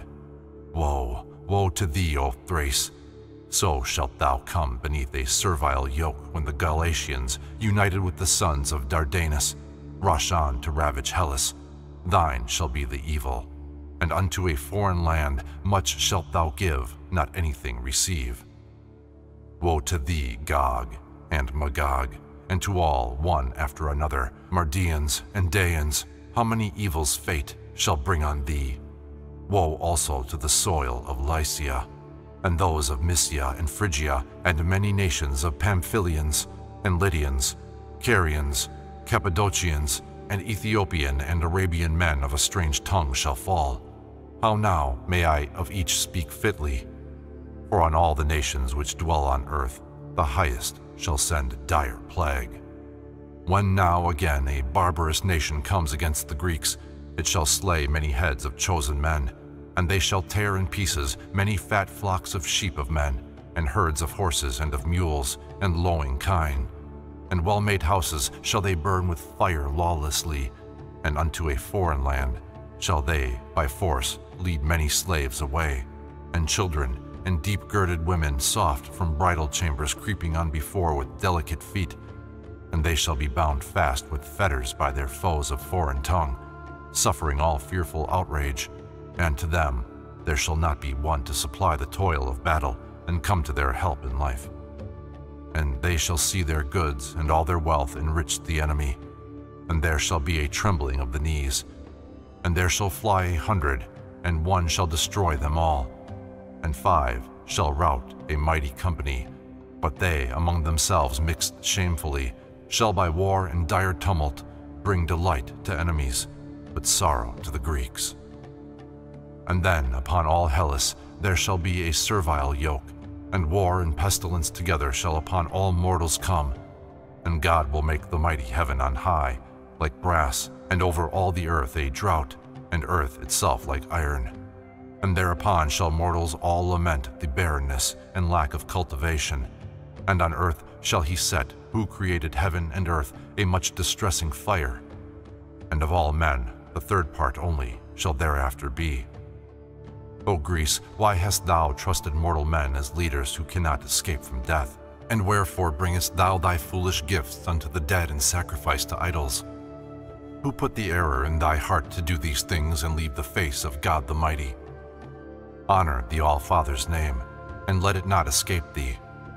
It is now a thousand years, yea, and five hundred more since haughty kings ruled over the Greeks, who first to mortal men introduced evils, setting up for worship images many of gods that are dead, because of which ye were taught foolish thoughts. But when the anger of the mighty God shall come upon you, then ye'll recognize the face of God the Mighty, and all souls of men, with mighty groaning, lifting up their hands to the broad heaven, shall begin to call the great King, Helper, and to seek the rescuer from great wrath who is to be. But come and learn this, and store in your hearts what troubles in the rolling years shall come, and what as whole burnt offering Hellas brought of cows and bellowing bulls unto the temple of the great God, she from ill-sounding war and fear and pestilence shall flee away and from the servile yoke escape again. But until that time there shall be a race of godless men, even when that fated day shall reach its end. For offering to God ye should not make till all things come to pass, which God alone shall purpose not in vain, to be all fulfilled and strong force shall urge. And there shall be again a holy race of godly men, keeping to the counsels and mind of the Most High, shall honor much the great God's temple with drink offerings, burnt offerings, and holy hecatombs, with sacrifices of fat bulls, choice rams, firstlings of sheep, and the fat thighs of lambs, sacredly offering whole burnt offerings on the great altar. And in righteousness, having obtained the law of the Most High, Blessed shall they dwell in cities and rich fields. And prophets shall be set on high for them by the immortal, bringing great delight unto all mortals. For to them alone the mighty God his gracious counsel gave, and faith and noblest thought within their hearts. They have not by vain things been led astray, nor pay they honor to the works of men made of gold, brass, silver, and ivory, nor statues of dead gods, of wood and stone, besmeared clay, figures of the painter's art, and all that empty-minded mortals will. But they lift up their pure arms unto heaven, rise from the couch at daybreak, always hands with water cleanse, and honor only him who is immortal and whoever rules, and then their parents. And above all men do they respect the lawful marriage bed, and they have not base intercourse with boys, as do Phoenicians, Latins, and Egyptians, and spacious Greece, and nations many more of Persians and Galatians, and all Asia transgressing the immortal God's pure law which they were under. Therefore, on all men will the immortal put bane, famine, pains, groans, war, and pestilence, and mournful woes, because they would not honor piously the immortal sire of all men, but revered and worshipped idols made with hands, which things mortals themselves will cast down, and for shame conceal in clefts of rocks, when a young king, the seventh of Egypt, shall rule his own land, reckoned from the dominion of the Greeks, which countless Macedonian men shall rule.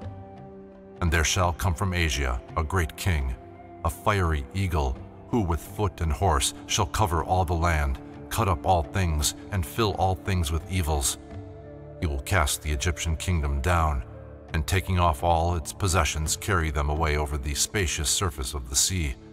And then shall they before the mighty God, the King immortal, bend the fair white knee on the much nourishing earth, and all the works made with hands shall fall by a flame of fire.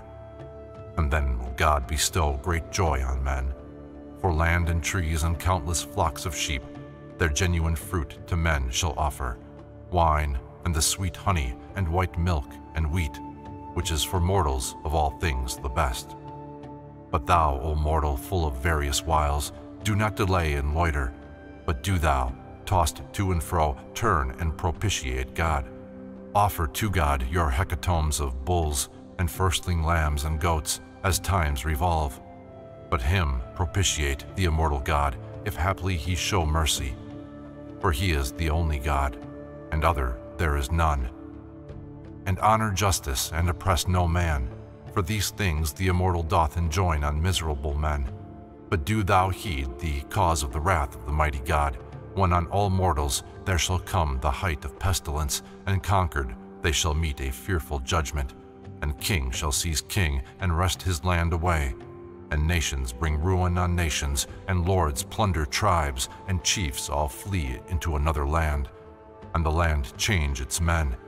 The foreign rule ravage all Hellas, and drain the rich land of its wealth, and to strife among themselves because of gold and silver they shall come. The love of gain and evil shepherdess will be for cities in a foreign land, and they shall all be without burial, and vultures and wild beasts of earth shall spoil their flesh. And when these things are brought to pass, vast earth shall waste the relics of the dead, and all unsown shall it be, and unplowed, proclaiming sad the filth of men defiled many lengths of time in the revolving years, and shields and javelins and all sorts of arms. Nor shall the forest wood be cut for fire. And then shall God send from the east a king, who shall make all earth cease from evil war, killing some, others binding with strong oaths. And he will not by his own counsels do all these things, but obey the good decrees of God the Almighty. And with goodly wealth with gold and silver and purple ornament, the temple of the mighty God again shall be weighed down, and the full-bearing earth and the sea shall be filled full of good things. And kings against each other shall begin to hold ill will, in heart abetting evils. Envy is not a good to wretched men. But again, kings of nations on this land shall rush in masses, bringing on themselves destruction. For they'll purpose to despoil the great God's temple and the noblest men. What time they reach the land, polluted kings shall set round the city, each his throne, and have his people that obey not God. And then shall God speak with a mighty voice to all rude people of an empty mind, and judgment from the mighty God shall come upon them, and they shall all be destroyed by his immortal arm. And fiery swords shall fall front heaven on earth, and great bright lights shall come down flaming in the midst of men. And in those days shall earth, all mother, reel by his immortal arm, and shoals of fish in the deep sea, and all wild beasts of earth, and countless tribes of winged fowl, and all the souls of men, and every sea, shall tremble before the face of the Immortal One, and there shall be dismay. High mountain peaks and monstrous hills shall be asunder break, and to all shall dark Erebus appear. And misty gorges in the lofty hills shall be full of the dead, and rocks shall stream with blood, and every torrent fill the plain. And well-built walls of evil-minded men shall all fall to the earth, since they knew not the law nor judgment of the mighty God, but with a senseless soul all hurried on against the temple, and raised up their spears. And God shall judge all by war, and by sword, and by fire, and by overwhelming storm. And brimstone there shall be from heaven, and stones, and great and grievous hail. And death shall come upon the quadrupeds. And then shall they know God, the immortal, who performs these things. And wailing, and upon the boundless earth shall be at once a shout of perishing men, and all the unholy shall be bathed in blood. And earth herself shall also drink the blood of the perishing, and beasts be gorged with flesh. And all these things the great eternal God himself bade me proclaim. And that shall not be unaccomplished or be unfulfilled. Whatever only in my heart he put, for truthful is God's Spirit in the world. But children of the mighty God shall all again around the temple live in peace, rejoicing in those things which he shall give, who is Creator, righteous Judge, and King. For he himself, great, present far and wide, shall be a shelter, as on all sides round a wall of flaming fire, and they shall be in cities and in country without war. For not the hand of evil war, but rather the immortal shall himself be their defender, and the hand of the Holy One. And then shall all the islands and the cities tell how much the immortal God loves those men. For all things help them in conflict and deliver them heaven and divinely fashioned sun and moon. And in those days shall earth, all mother, reel. Sweet word shall they send from their mouths in hymns. Come falling on the earth, let us all pray, the immortal King and great eternal God. To the temple let its procession go, since he alone is Lord, and let us all meditate on the law of God Most High, which is most righteous of all laws on earth. And from the path of the immortal we have wandered, and with senseless soul we honor works made by hand, and wooden images of dead men. These things souls of faithful melt shall cry out, Come, having at the house of God fallen on our faces, let us with our hymns make joy to God the Father at our homes, supplied through all our land with arms of foes, seven lengths of time in the revolving years, even shields and helmets and all sorts of arms, and a great store of bows and arrows barbed. For forest wood shall not be cut for, but wretched Hellas. Stop thy arrogance and be wise, and entreat the Immortal One magnanimous, and be upon thy guard. Send now against this city yet again the people inconsiderate, who are come out of the holy land of the Mighty One. Do not move, Camarina, for 'tis better she be unmoved, a leopard from the lair, do thou not let an evil meet with thee. But keep off, do not hold within thy breast an arrogant and overbearing soul, ready for mighty contest. And serve God the mighty, that thou mayest share those things. And when that fated day shall reach its end, and judgment of the immortal God shall come to mortals, judgment great and power shall come upon men. For all Mother Earth shall yield to mortals best fruit boundless, wheat, wine, oil, also from heaven a delightful drink of honey and trees shall give their fruit, and fatted sheep and cattle there shall be, young lambs and kids of goats. Earth shall break forth with sweet springs of white milk, and of good things the cities shall be full and fat the fields. Nor sword nor uproar shall be on the earth, no more shall earth groan heavily and quake. Nor shall war longer be on earth, nor drought, nor famine, nor the fruit-destroying hail. But great peace shall be upon all the earth, and king to king be friend until the end of the age. And over all earth common law will the immortal in the starry heaven perfect for men, touching whatever things have been by miserable mortals done. For he alone is God, there is no other.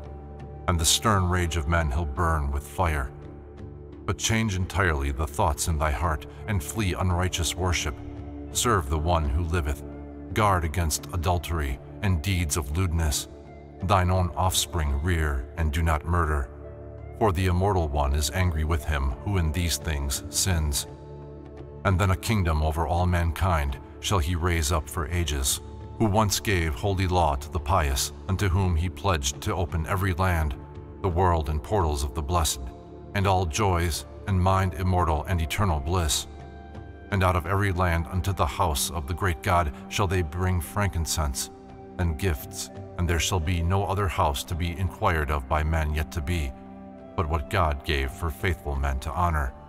For mortal temple of the mighty God shall call it, and all pathways of the plain, and rough hills, and high mountains, and wild waves of the deep shall be easy in those days for crossing and for sailing. For all, Peace on the land of the good shall come, and sword shall prophets of the mighty God remove.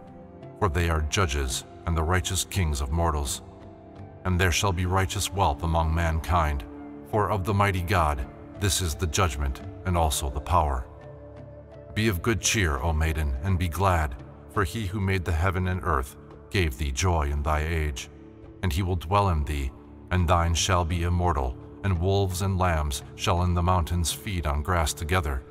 And with kids shall leopards graze, and bears shall lodge among the pasturing calves, and the carnivorous lion shall eat chaff at the manger like the cow, and little children in bonds shall lead them. For he will make beasts helpless on earth. With babes shall fall asleep serpents along with asps, and do no harm. For over them shall be the hand of God. Now tell I thee a sign of exceeding clear, that thou mayest know when the end of all things on earth shall be. When in the starry heaven swords shall by night point straight toward west and east, straightway shalt there be also from the heaven a cloud of dust borne forth to all the earth. And the sun's brightness in the midst of heaven shall be eclipsed, and the moon's beams appear and come again on earth. By drops of blood distilling from the rocks a sign shalt be. And in the cloud shalt ye behold a war of foot and horse, like the chase of wild beasts in the dense fog. This end of all things God shalt consummate, whose dwelling is in heaven, but all must sacrifice to the great King. These things I show to thee, I who madly left the long walls of Assyrian Babylon for Hellas, to proclaim to all the wrath of God, fire sent, and that I might to mortals prophesy of mysteries divine. And men shalt say in Hellas that I am of foreign land, of Erythrae born, shameless. Others say that I am a Sibyl, born of mother Circe and father Nostos, raving mad and false. But at that time when all things come to pass, ye shall remember me, and no one more shall call me mad, the great God's prophetess. For he showed me what happened formerly to my ancestors, what things were the first those God made known to me, and in my mind did God put all things to be afterwards, that I might prophesy of things to come and things that were, and tell them unto men. For when the world was deluged with a flood of waters, and one man of good repute alone was left, and in a wooden house sailed over the waters with the beasts and birds, in order that the world might be refilled, I was his son's bride, and was of his race, to whom the first things happened, and the last were all made known. And thus from mine own mouth let all these truthful things remain declared. Book 4 People of boastful Asia and of Europe, hear how much, all too true, I am about, through a month many toned, from my great hall to prophecy. No oracle am I of lying Phoebus, whom vain men called God, and further falsified by calling seer, but of the mighty God, whom hands of men formed not like speechless idols carved of stone.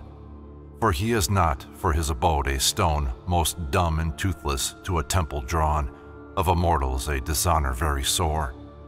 For he may not be seen from earth, nor measured by mortal eyes, nor formed by mortal hand. He, looking down at once on all, is seen, himself by no one. His are murky night, and day and sun and stars and moon and seas with fish, and land and rivers, and the month of springs perennial, creatures meant for life, and rains at once producing fruit of field, and tree and vine and oil. This God, a whip, struck through my heart within to make me tell truly to men what things now have befallen, and how much shall befall them yet again from the first generation to the eleventh. For he himself by bringing them to pass will prove all things. But do thou in all things, O people, to the Sibyl give all ear, who pours from hallowed mouth a truthful voice. Blessed of men shall they be on the earth, as many as shall love the mighty God, offering him praise before they drink and eat, trusting in piety. When they behold temples and altars, figures of dumb stones, stone images and statues made with hands, polluted with the blood of living things and sacrifices of four-footed beasts. They will reject them all, and they will look to the great glory of one God and not commit presumptuous murder, nor dispose of stolen gain, which things most horrid are, nor shameful longing for another's bed have they, nor vile and hateful lust of males. Their manner, piety, and character shall other men that love a shameless life not ever imitate. But, mocking them with jest and joke like babes in senselessness, they'll falsely charge to them as many deeds blameful and wicked as they do themselves. For slow is the whole race of humankind to believe. But when judgment of the world and mortals comes, which God himself shall bring judging at once the impious and the pious, then indeed shall he send the ungodly back to lower darkness, and then they shall know how much impiety they wrought. But the pious shall still remain upon the fruitful land, God giving to them breath and life and grace. But these things, all in the tenth generation, shall come to pass. And now what things shall be from the first generation, those I'll tell.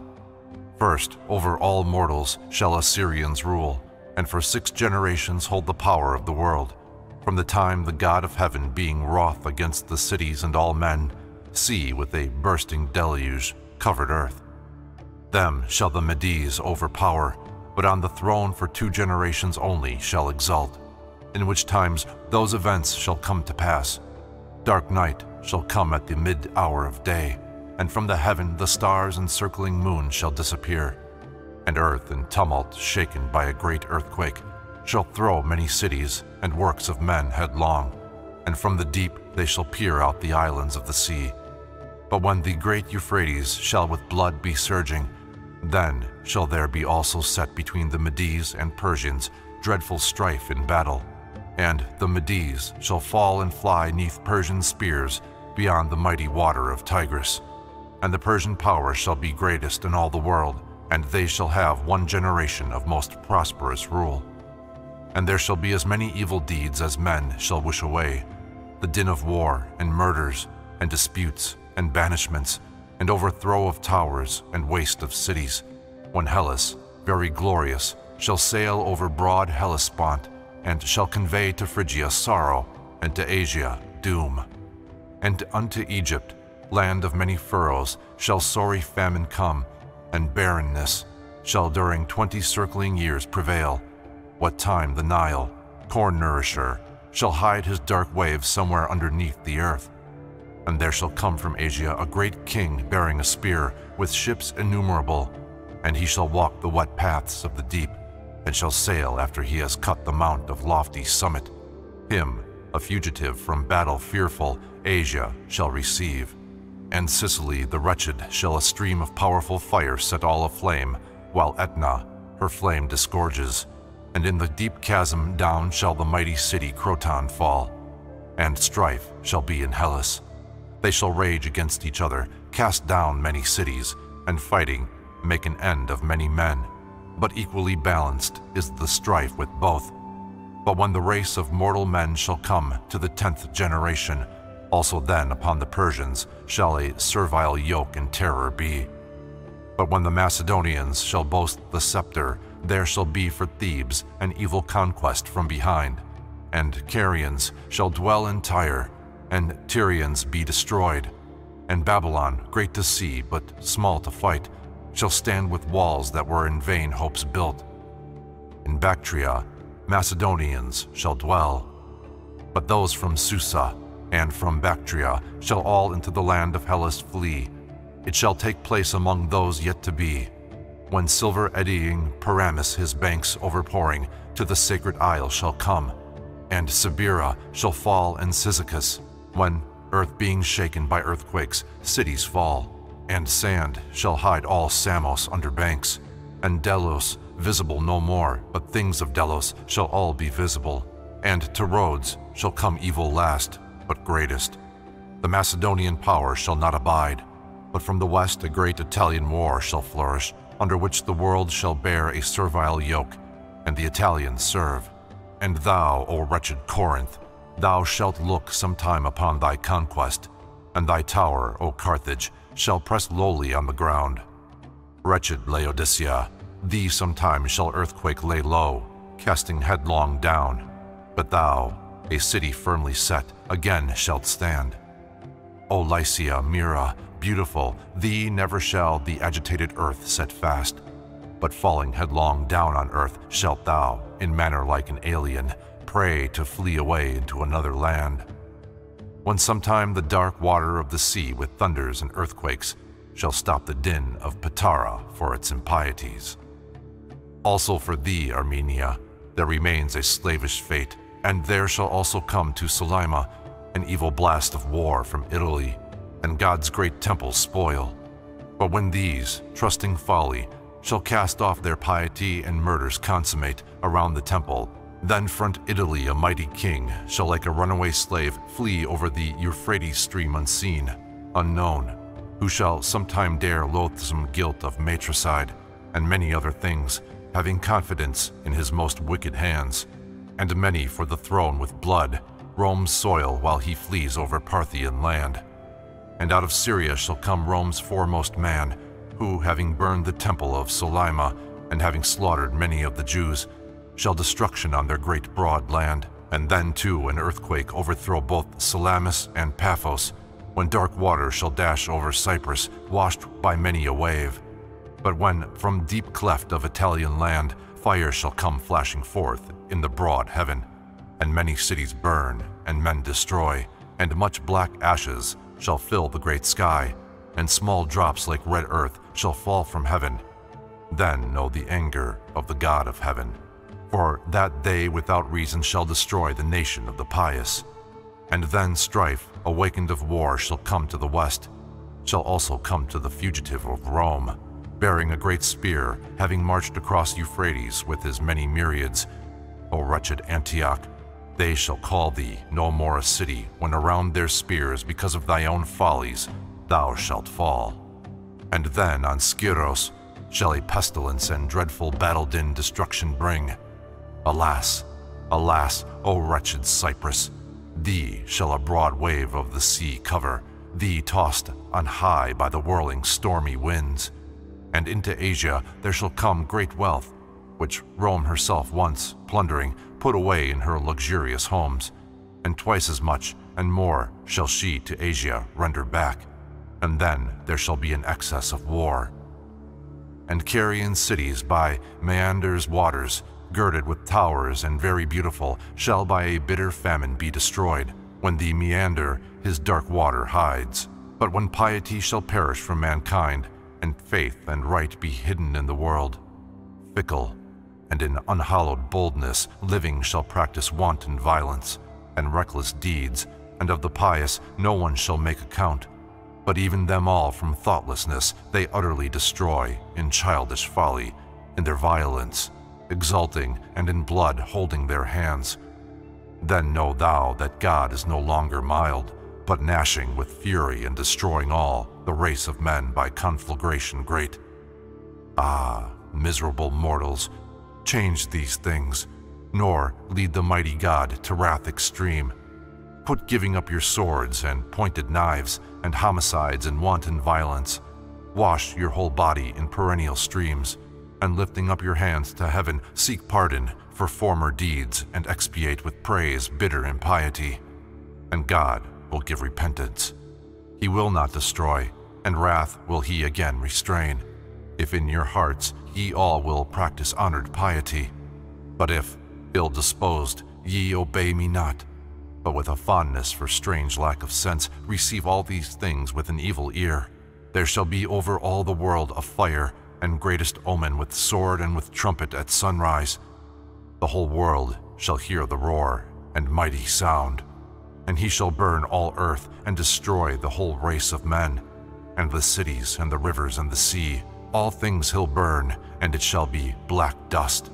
But when now all things shall have been reduced to dust and ashes, and God shall have calmed the fire unspeakable which he lit up, the bones and ashes of men God himself again will fashion, and he will again raise mortals up, even as they were before. And then shall be the judgment, at which God himself as judge shall judge the world again, and all who sin with impious hearts, even them shall he again hide under mounds of earth, dark Tartarus and Stygian Gehenna. But all who shall be pious shall again live on the earth, and shall inherit there the great immortal gods, unwasting bliss, God-giving spirit life, and joy to them, the pious, and they all shall see themselves beholding the sun's sweet and cheering light. O happy on the earth shall be that man. Book 5 But come now, hear of me the mournful time of sons of Latium. And first of all, after the kings of Egypt were destroyed, and the like earth had downwards borne them all, and after Pelas's townsmen, under whom the whole east and the rich west were cast down, whom Babylon dishonored and stretched out for Philip, a dead body. Not of Zeus of Ammon, not true things were prophesied. And after that one of the race and blood of King Assaracus, who came from Troy, even he who cleft the violence of fire, and after many lords, and after men to Ares dear, and after the young babes, the children of the beast that feeds on sheep. The very first Lord shall be, who shall sum twice ten with the first letter of his name, in wars exceeding powerful shall be. And he shall have the initial sign of ten. And in like manner, after him to reign is one who has the alphabet's first letter. Before him, Thrace and Sicily shall crouch. Then Memphis, Memphis cast headlong to earth by reason of the cowardice of rulers, and of a woman unenslaved who falls upon the wave. And laws will he ordain for peoples, and put all things under him. But after a long time shall he transmit his power unto another, who shall have three hundred for his first initial sign, and of a river the beloved name. And the Persians he shall rule, and Babylon, and then shall he smite Medians with his spear. Then shall one rule who has the initial sign of the number three, and then shall be a lord, who shall for first initial have twice ten, and he shall come to ocean's utmost water, and by Ausonia cleave the refluent tide. And one whose mark is fifty shall be lord. A dreadful serpent breathing grievous war, who sometimes stretching forth his hands shall make an end of his own race, and stir all things, acting the athlete, driving chariots, putting to death and daring countless things. And he shall cleave the mountain of two seas, and sprinkle it with gore. But out of sight shall also vanish the destructive man. Then, making himself equal unto God, shall he return, but God will prove him naught. And after him shall three kings be destroyed by one another. Then a great destroyer of pious men shall come, whom seven times ten shall point out clearly. But from him a son, whom the first letter of three hundred proves, shall take the power. And after him shall be a ruler of the initial sign of four, a life destroyer. Then a reverend man of the number fifty.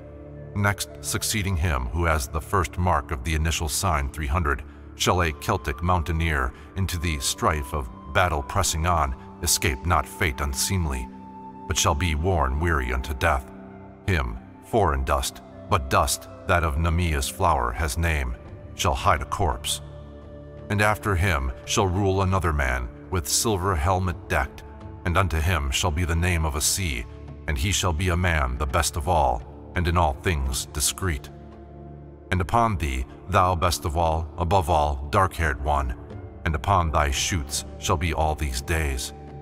After him three shall rule, but the third one shall at a late time hold the royal power. Worn out am I, thrice miserable one, sister of Isis, to lay up in heart an evil message and an inspired song of oracles. First, Maenades shall dart around thy much lamented temple's steps, and thou shalt be in evil hands that day when the Nile sometime shall fill the whole land of Egypt, even to sixteen cubits deep. It shall wash all the land, and water it for mortals, and the pleasure of the land shall be still, and the glory of her face. Memphis, thou shalt over Egypt wail, for of old ruling mightily the land, thou shalt become poor, so that out of heaven the thunderer shall himself with great voice cry, O mighty Memphis, who didst boast of old over craven mortals greatly, thou shalt wail full of pain and all hapless, so that thou thyself shalt the eternal God perceive immortal in the clouds.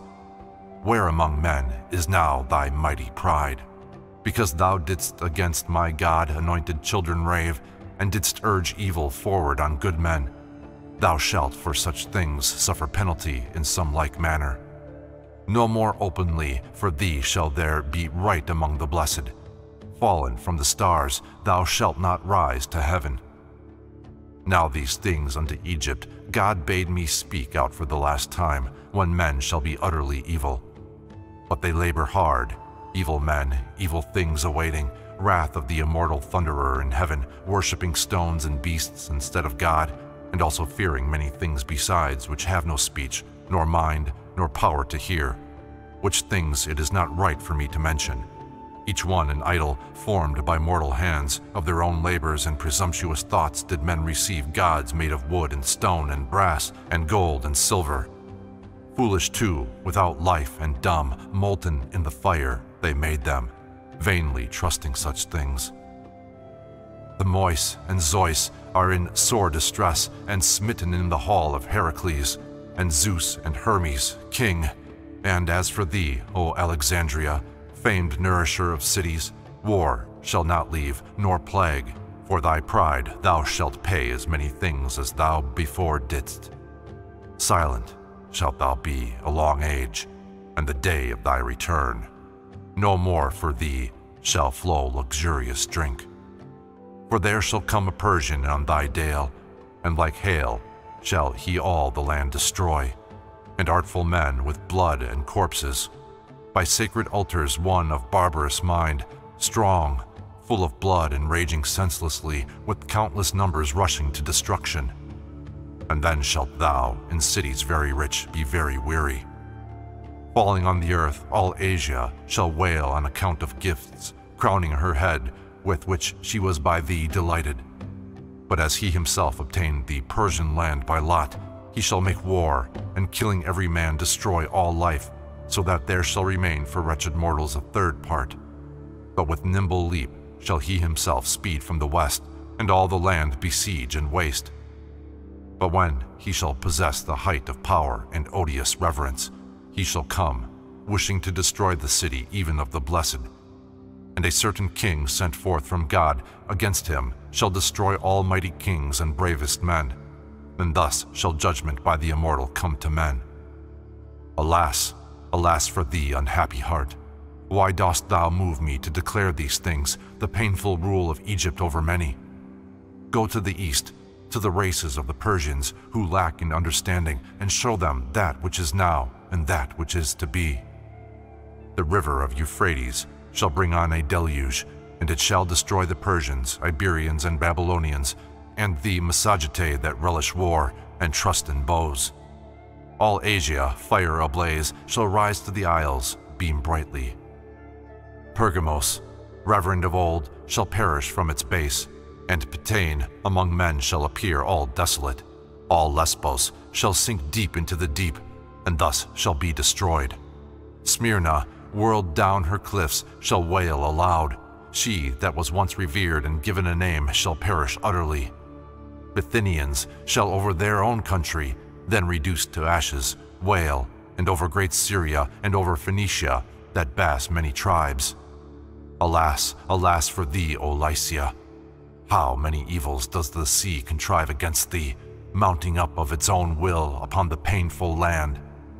And it shall dash with evil earthquake, and with bitter streams on the rough Lycian land that once breathed perfume. And there shall be for Phrygia fearful wrath because of sorrow for which Rhea came, mother of Zeus, and there continued long. The sea shall overthrow the centaur race and barbarous nation, and beneath the earth shall tear away the Lapathian land. The river of deep eddies and deep flow, Peneus, shall destroy Thessalian land, snatching men from the earth. Eridanus, pretending once to bear the forms of beasts, Hellas, thrice wretched, shall the poets weep, when one from Italy shall smite the neck of the Isthmus, mighty king of mighty Rome, a man made equal to God, whom, they say, Zeus himself and the august Hera bore, he courting by his voice all musical applause for his sweet songs, shall put to death with his own wretched mother many men. From Babylon shall flee the fearful Lord, and shameless whom all mortals and best men abhor. For he slew many and laid hands upon the womb. Against his wives he sinned, and of men stained with blood he had been formed. And he shall come to monarchs of the Medes and Persians, first whom he loved, and to whom he brought renown, while with those wicked men he lurked against the nation not desired, and on the temple made by God he seized, and citizens and people going in, of whom I justly sang the praise. he burned. For when this man appeared, the whole creation was shaken, and kings perished, and yet power remained among them, and they quite destroyed the mighty city and the righteous people. But when the fourth year a great star shall shine, which alone shall the whole earth overpower because of honor, which was first assigned to Lord Poseidon, then a great star shall come from heaven into the dreadful sea and burn the vast deep, and Babylon itself, and the land of Italy, because of which there perished many holy, faithful men among the Hebrews and a people true. Thou shalt be among evil mortals made to suffer evils, but thou shalt remain all desolate, whole ages by thyself, hating thy soil. For thou didst have desire for sorcery, adulteries were with thee, and lawless carnal intercourse with boys. Thou evil city, womanish, unjust, ill-fated above all. Alas, alas, thou city of the Latin land, unclean in all things. Maenad, having joy in snakes, over thy banks a widow shalt thou sit, and the river Tiber shall lament for thee. His consort thee, who hast a blood-stained heart and impious soul. Didst thou not understand what God can do, and what he doth devise? But thou saidst, I am alone, and me no one shall sack.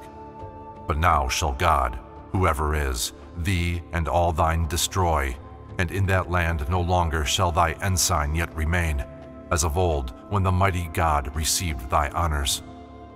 Stay, O lawless one, alone, and mixed with burning fire inhabit thou in Hades the Tartarian lawless land. And now again, O Egypt, I bewail thy blind delusion. Memphis, first in toils, thou shalt be filled up with the dead. In thee the pyramids shall speak a ruthless sound. O Python, who is justly called of old the double city, be for ages silent, so that thou mayest cease from wickedness. Reckless in evils, treasury of toils, much wailing, Maenad, suffering, dire ills, much weeping, thou a widow shalt remain through all time.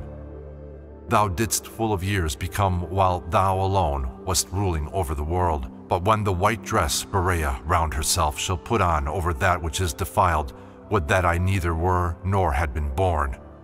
O Thebes, where is thy great strength? A fierce man shall slay the people, but thou, wretched one, grasping thy dusky dress, shalt wail alone and thou shalt make atonement for all things which thou aforetime with a shameless soul didst perpetrate. They also shall behold a mourning on account of lawless deeds. And a mighty man of the Ethiopians shall overthrow Syene. By their might shall swarthy Indians occupy Teuchira. Pentapolis, a man of mighty strength, shall burn thee whole. All tearful Libya, who shall explain thy follies? And Cyrene of mortals who shall pitiably weep for thee. Thou shalt not even till the time of thy destruction cease thy hateful wail. Among the Britons and among the Gauls, rich in gold, ocean shall be roaring loud, filled with much blood, for evil things did they unto God's children, when a king of the Sidonians, a Phoenician, led a mighty Gallic host from Syria. And he shall slaughter thee, thyself, Ravenna and unto slaughter shall he lead the way. O Indians and great-hearted Ethiops, together fear, for when these the course of Capricorn and Taurus in the twins shall wind about the middle of the heaven, Virgo then rising, and about his front fastening a belt, the sun shall lead all heaven. There shall be moving downwards to the earth, a mighty conflagration high in air, and a new nature in the warlike stars, so that the whole land of the Ethiops shall perish in the midst of fire and groans. And weep thou, Corinth, the destruction sad which is ill thee. For when, with pliant threads, the fates, three sisters, spinning shall aloft lead him who flees by guile against the voice of the isthmus, until all shall look at him who once cut out the rock with ductile brass, he also shall destroy and smite thy land, as it hath been appointed. For to him God gave strength to accomplish that which could no earlier of all the kings together. And first with sickle cleaving off the roots from three heads, he shall give food in excess to others, so that kings unclean shall eat the flesh of parents. For unto all men, slaughter, and terrors are laid up in store because of the great city, and just people saved through all time, whom providence held high. O thou unstable one, and ill-advised, by evil fate surrounded, for mankind both a beginning and great end of toil, of suffering creation, and of part restored again, thou leader insolent of evils, and for men a great curse, who of mortals wished for thee? Who has not been embittered from within? Cast down ill, thee a king his honored life lost. Evilly hast thou disposed all things and washed away all that is fair, and by thee have changed the world's fair folds. In strife with us, perhaps, thou hast brought forward these unstable things. And how dost thou say, I will thee persuade, and, if in anything thou blame me, speak. There was once among men the sun's bright light, the prophet's common ray being spread abroad. Speech dripping honey, fair drink for all men, appeared and grew, and day arose in all. Because of this, thou narrow-minded one, leader of greatest evils, both the sword and grief shall come in that day. For mankind, both a beginning and great end of toil, of suffering creation, and of part restored again. Hear, O thou curse of men, the bitter oracle intolerable. But when the Persian land shall keep away from war and plague and groaning, in that day a race divine of blessed heavenly Jews shall offer prayer, who shall dwell round about God's city in mid portions of the land, and even as far as Joppa, building round a great wall, they shall carry it aloft unto the gloomy clouds. No more shall trumpet sound battle din, nor by a foe's mad hands shall they be cut off, but they shall set up their trophies for an age of evil men. And one shall come again from heaven, a man preeminent, whose hands on fruitful tree, by far the noblest of the Hebrews stretched, who at one time did make the sun stand still when he spoke with fair word and holy lips, no longer vex thy soul within thy breast by reason of the sword, rich child of God, flower longed for by him only, goodly light and noble branch, a scion much beloved, pleasant Judea, city beautiful inspired by hymns. No more shall unclean foot of Greeks keep revel round about thy land, who held within their breast a lawless mind. But thee shall glorious children honor much, and be expert in songs and holy tongues, with sacrifices of all kinds and prayers honored of God. All who endure the toils of small affliction and the just shall have more that is altogether beautiful. But the wicked who to heaven sent lawless speech shall cease their speaking one against another, and hide themselves until the world be changed. And there shall be a rain of gleaming fire from the clouds, and no more shall mortals reap the fair corn from the earth, and all things unsown and unplowed, until mortal men shall know the Lord of all things, the immortal God always existing, and no more revere mortal things, neither dogs nor vultures' nests, and what things Egypt taught to magnify with dumb months and dull lips, but all these things the holy land of the only pious men shall bring forth, from the honey-dripping rock a stream, and from a spring ambrosial milk shall flow for all the just. For in one God, one Father, who alone is glorious, having great piety and faith they hoped. But why does the wise mind grant me these things? And now thee, wretched Asia, Piteously I mourn, and the race of Ionians and Carians and Lydians rich in gold. Alas, alas for thee, O Sardis, and alas for Tralles, much beloved. Alas, alas, Laodicea, city beautiful. Thus shalt thou be by earthquakes overthrown and ruined, and be also changed to dust. And to Asia gloomy, Artemis's temple fixed at Ephesus, by chasms and earthquakes come headlong down, sometime into the dreadful sea, is storms overwhelm ships, and upturned Ephesus shall wail aloud, lament beside her banks, and for her temple search, which is no more. And then incensed shall God the imperishable, who dwells on high, hurl thunderbolts from heaven down on the head of him that is impure, and in the place of winter there shall be in that day summer, and to mortal men shall then be great woe, for the Thunderer shall utterly destroy all shameless men, and with his thunders and with lightning flames and blazing thunderbolts, men of ill will, and thus shall he destroy the impious ones, so that there shall remain upon the earth dead bodies more in number than the sand.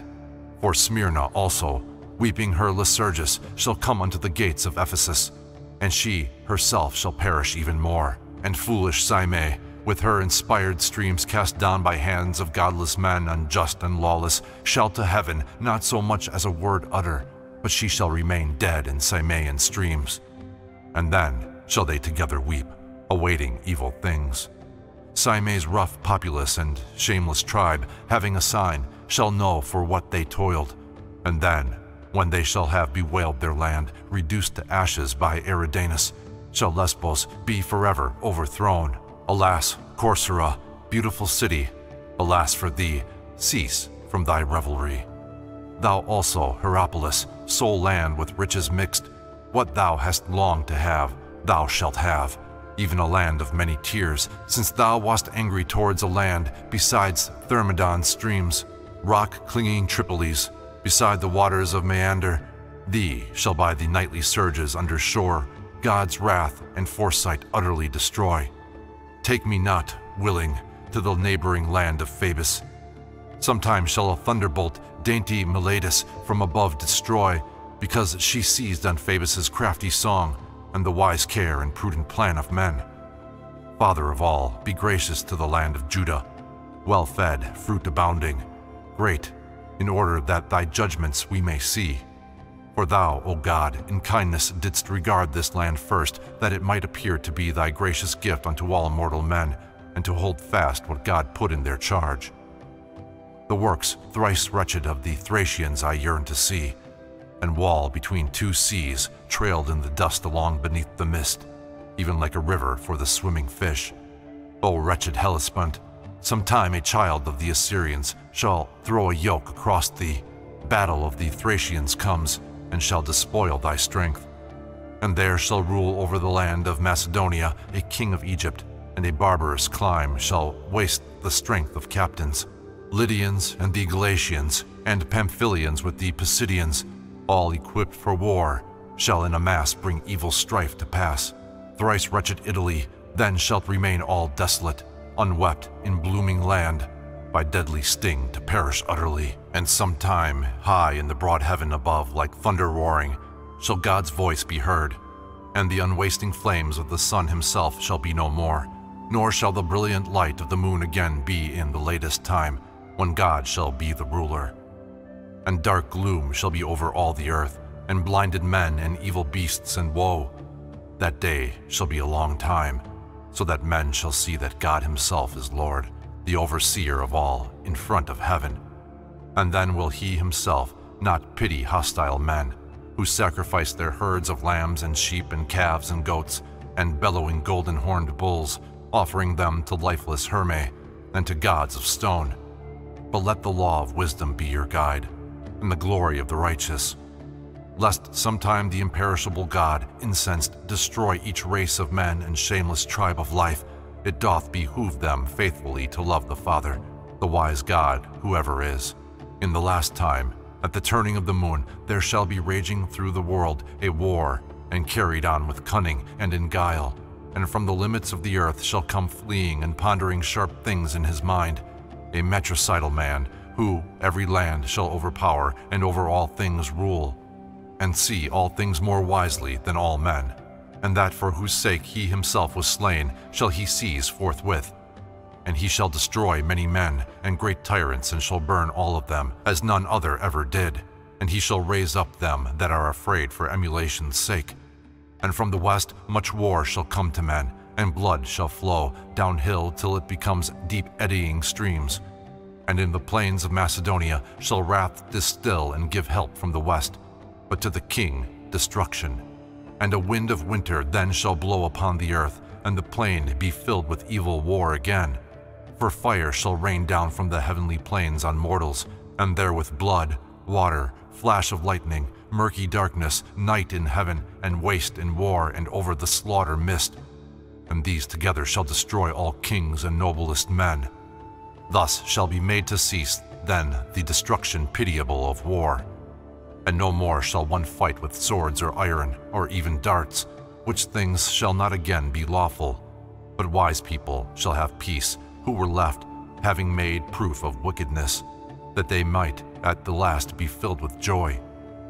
Ye matricides, leave off your impudence and evil working boldness, who of old provided lawlessly lewd couch with boys, and placed as harlots maidens pure before in brothels by assault and punishment, and by much laboring indecency. For in thee mother with her child did hold unlawful intercourse, and daughter was with her own father wedded as a bride. And in thee kings have their ill-fated mouth polluted, and in thee have wicked men found couch with cattle. Be in silence hushed, thou wicked city, all bewailed, possessed of revelry. For by thee virgin maids shall care no longer for the fire divine of sacred wood that fondly nourisheth. Before thee was a much loved house of old, extinguished, when I saw the second house cast headlong down and overwhelmed with fire by an unholy hand house ever flourishing, God's watchful temple, brought forth of his saints, and being always indestructible by the soul hoped for and the body itself. For not without the rites of burial shall one praise God out of the unseen earth, nor did wise workman make a stone by them, nor had he fear of gold, cheat of the world and of souls, but the mighty Father, God, of all things God inspired, did he revere with holy offerings and fair hecatombs. But now an unseen and unholy king with multitude great and with men renowned rose into power and cast his dwelling down and let it go unbuilt. But he himself, when he set foot on the immortal land, destroyed the ground. And such a sign no more was wrought upon men, so that it appeared that others the great city should destroy. For there came from the heavenly plains a man, one blessed, with a scepter in his hand, which God gave him, and he ruled all things well, and unto all the good did he restore the riches which the earlier men had seized. And many cities with much fire he took from their foundations, and he set on fire the towns of mortals who before did evil, and he did make that city, which God loved, more radiant than stars and sun and moon, and he set order, and a holy house incarnate made, pure, very fair, and formed in many stades, a great and boundless tower touching the clouds themselves, and seen by all, so that all holy and righteous men might see the glory of the eternal God, a sight that has been longed for. Rising sun and setting day hymned forth the praise of God. For there are then no longer fearful things for wretched mortals, nor adulteries and lawless love of boys, nor homicide, nor tumult, but a righteous strife in all. It is the last time of the saints when God accomplisheth these things High Thunderer, founder of temple most magnificent. Alas, alas for thee, O Babylon, for golden throne and golden sandal famed, kingdom of many years and of the world sole ruler, who was great in olden time and city of all cities, thou no more shalt lie in golden mountains and by streams of the Euphrates. Thou shalt be laid low by rout of earthquake. But the Parthians dire caused thee to stiffer all things, Hold thou fast thy unknown speech, impure Chaldean race. Ask not nor be concerned how thou shalt lead the Persians, or how thou shalt rule the Medes.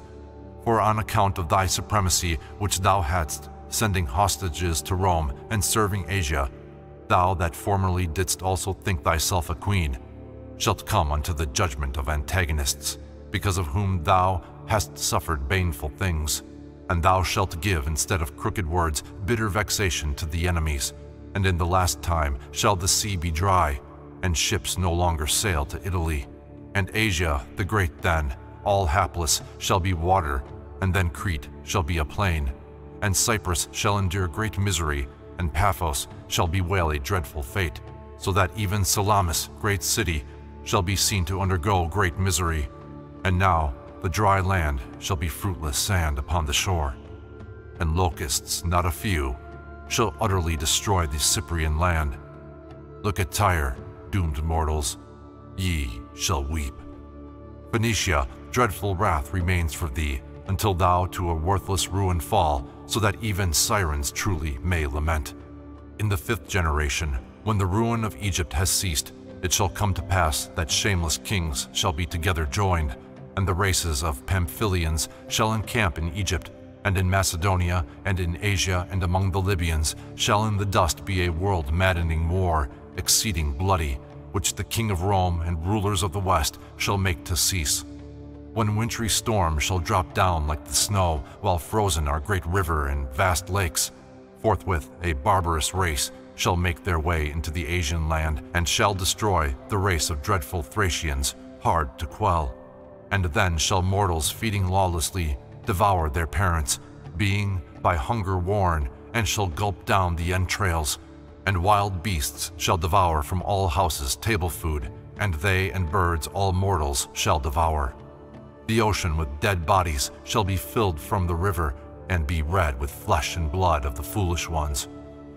Then thus a feebleness shall be on earth, so that of men the number may be seen and the measure of the women, and the dire race shall wail for myriad things at last when the sun sets to rise no more, but to remain submerged in ocean's waves. For it beheld the wickedness unclean of many mortals, and a moonless night shall be a fame around the mighty heaven, and no small mist shall hide the world's ravines a second time. Then afterwards God's light shall guide the good men who sang praise to God. Isis, thrice wretched goddess, thou alone shalt on the waters of the Nile remain, a Maenad out of order on the sands of Acheron, and no longer shall remain remembrance of thee over all the earth.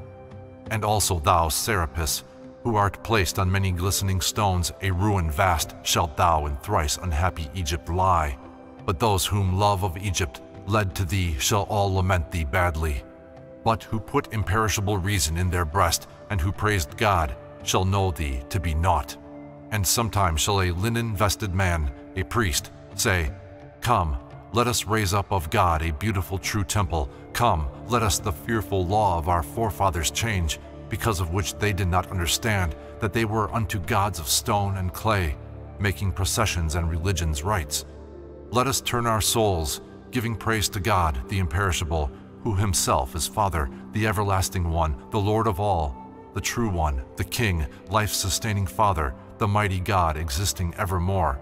And then shall there a great pure temple be in Egypt, and the people made by God shall into their sacrifices bring, and to them God shall give life incorrupt. But when the Ethiopians, forsaking the shameless tribes of the Triballians, shall cultivate their Egypt, they will then begin their baseness, that the later things may all occur. For they shall overthrow the mighty temple of the Egyptian land, and God shall rain down on the earth dire wrath among them, so that all the wicked ones, and all without sense, perish. And no more shall there be any sparing in that land, because they did not keep that which God gave. I saw the threatening of the shining sun among the stars, and in the lightning flash the dire wrath of the moon. The stars travailed with battle, and God gave them up to light for long fire flames rebelled against the sun. Lucifer, treading upon Leo's back, began the fight, and the moon's double horn changed its shape. Capricorn smote Taurus's neck, and Taurus took away from Capricorn returning day. Orion would no more abide his yoke. The lot of Gemini did Virgo change in Aries. No more shone the Pleiades. Draco disavowed his zone. Down into Leo's girdle Pisces went. Cancer remained not, for he feared Orion. Scorpio, down on dire Leo, backwards moved. And from the sun's flame, Sirius slipped away. And the strength of the mighty Shining One, Aquarius, kindled. Uranus himself was roused until he shook the warring ones, and being incensed, he hurled them down on earth. Then swiftly smitten down upon the baths of ocean, they set all the earth on fire, and the high heaven remained without a star. Book 6 The great son of the immortal famed in song, I from the heart proclaim, to whom a throne, to be held fast, the most Father gave heir. He was brought forth.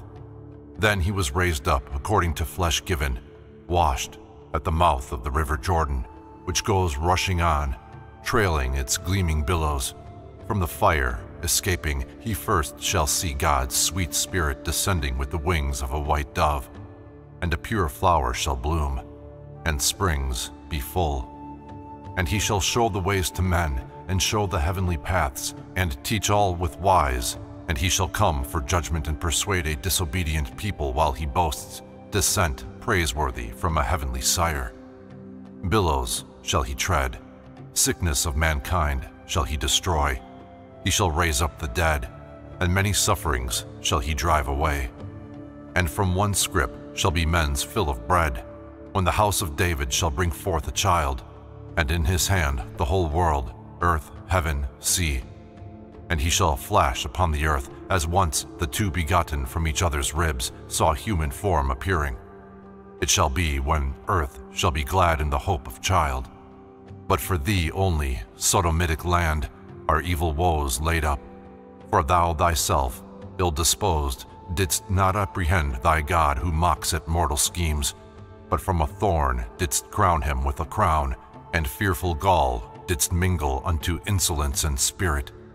This shall bring evil woes about for thee. O the wood, O so blessed upon which God was outstretched, the earth shall not have thee, but thou shalt look upon a heavenly house, when thou, O God, shalt flash thine eye of fire. Book 7 O Rhodes, thou art unhappy, for first thee, thee will I mourn, and thou shalt be the first of cities, and first shalt thou be destroyed, bereft of men, but of the means of life not wholly destitute. And thou shalt sail, Delos, and be unstable on the water. Cyprus, a billow of thy gleaming sea, shall sometime thee destroy. Thee, Sicily, the fire that burns within thee shall consume. Nor heed God's terrible and foreign water. Noah, sole fugitive from all men came. Earth shall float, hills float, and even sky shall float. Everything shall be water, and all things shall be destroyed by waters. And the winds shall stand still, and the second age shall be. O Phrygia, first shalt thou flame from the crest of the water, and first in impiety thou shalt deny God himself, courting favor with false gods, which shall utterly destroy thee, wretched one, while many years roll round. The hapless Ethiopians under pain, suffering things lamentable, shall by swords be smitten whilst they crouch upon the ground. Rich Egypt, never caring for her corn, which Nilus by his seven swimming streams intoxicates, shall in intestine strife destroy, and thence men unexpectedly shall drive out Apis, not the god for men. Alas, alas, Laodicea, thou, not ever seeing God, shalt lie, bold one, and over thee shall dash a wave of Lysis. He himself who is born the mighty God, who shall work many signs, shall through heaven hang an axle in the midst, and place for men a mighty terror to be seen on high, measuring a column with a mighty fire, whose drops shall slay the races of mankind that have dared evils. But a common Lord there shall at some time be, and then shall men propitiate God, but shall not make an end of fruitless sorrows. And through David's house shall all things come to pass, for God himself gave him the power and put it in his hand. Under his feet shall sleep his messengers, and some shall kindle fires, and some shall make rivers appear, and some shall rescue towns, and some shall send forth winds. But furthermore, a grievous life shall come upon many men, entering their souls and changing human hearts.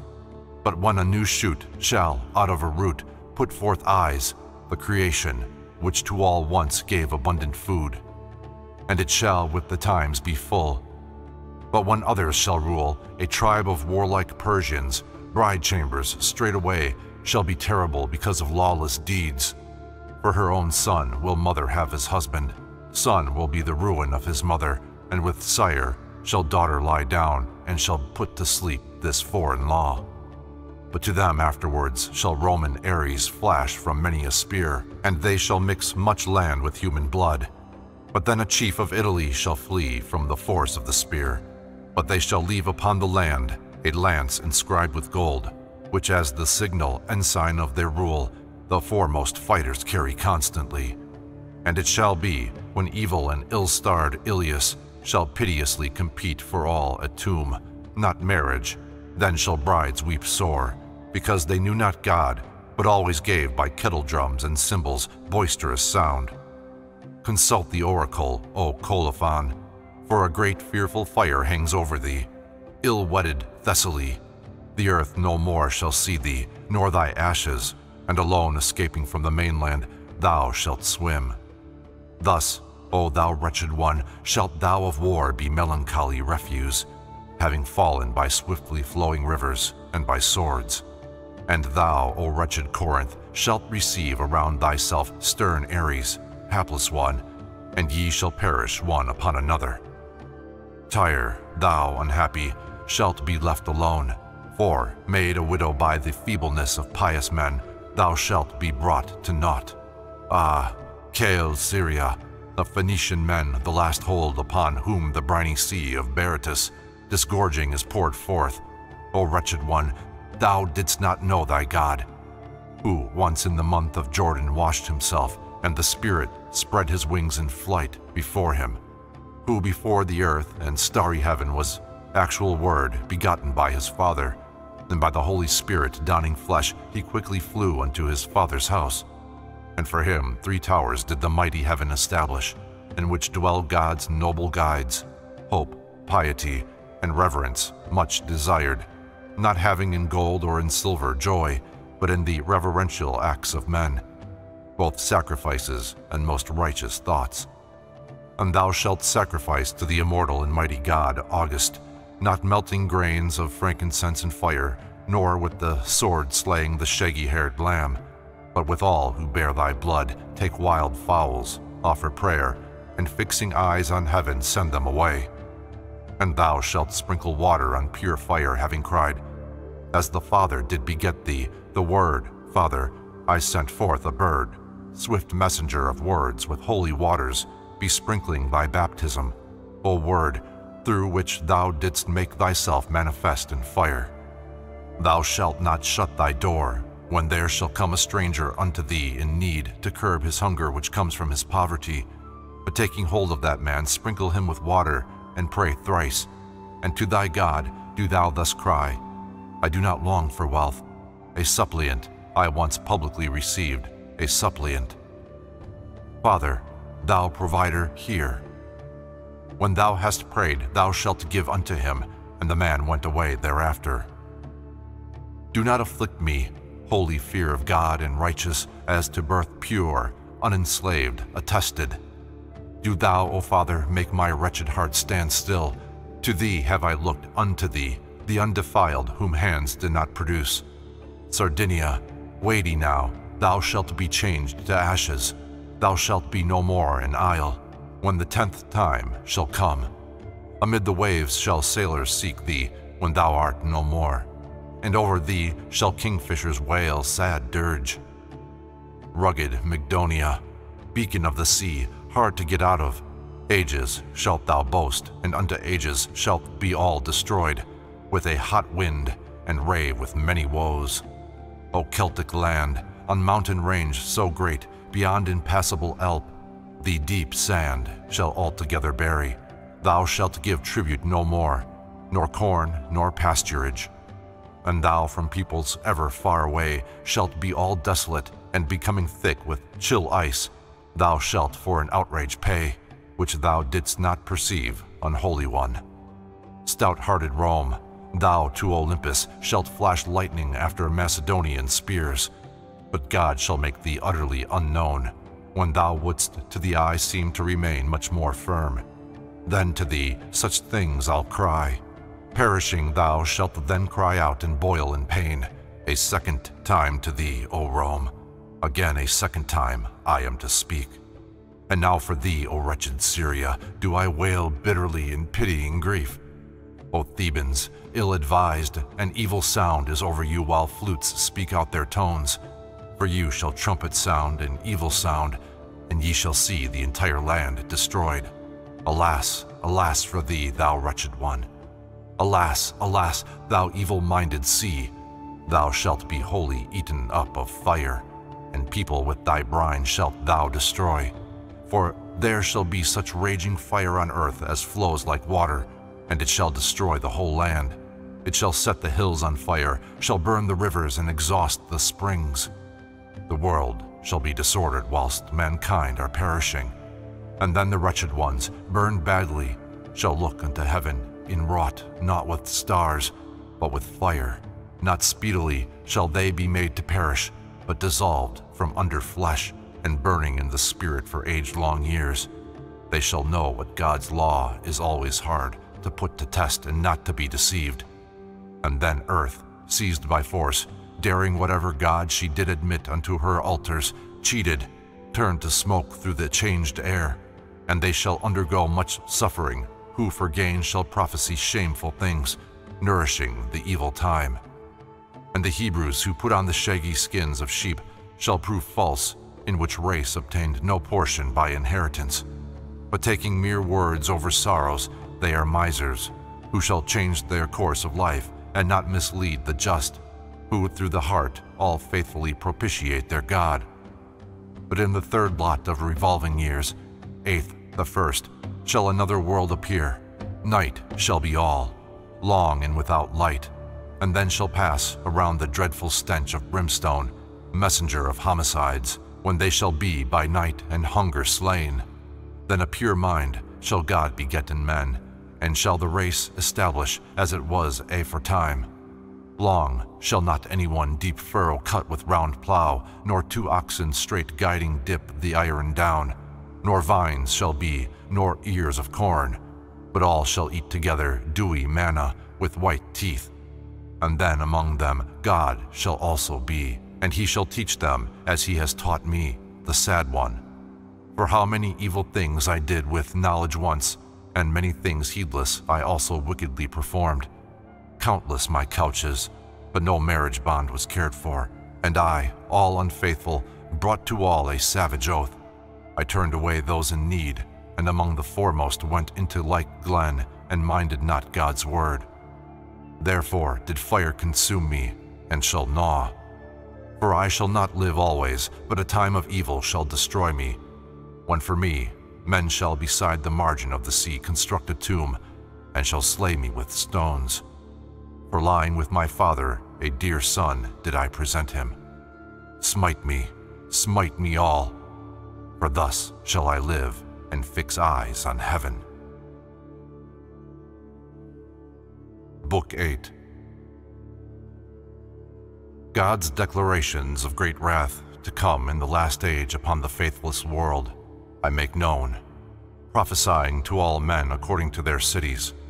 From the time when the great tower fell, and the tongues of men were parted into many languages of mortals, first was Egypt's royal power established, that of Persians and of Medes, and also of the Ethiopians, and of Assyria and Babylon.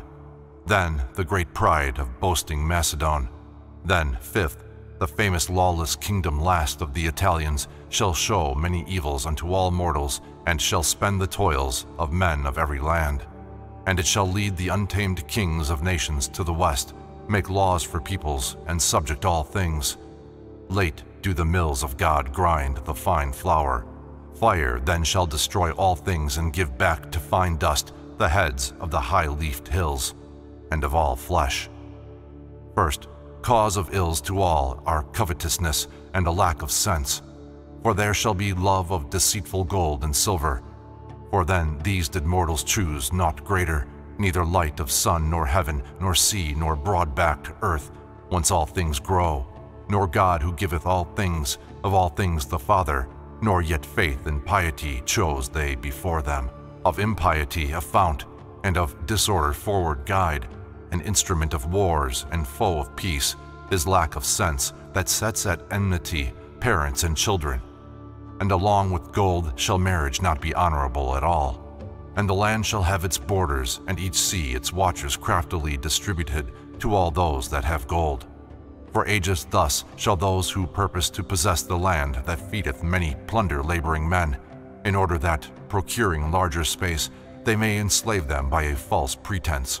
And if the huge earth from the starry heaven held not her throne far off, there had not been for men an equal light, but, bought with gold, it had belonged to rich men, and God must for poor men have prepared another world.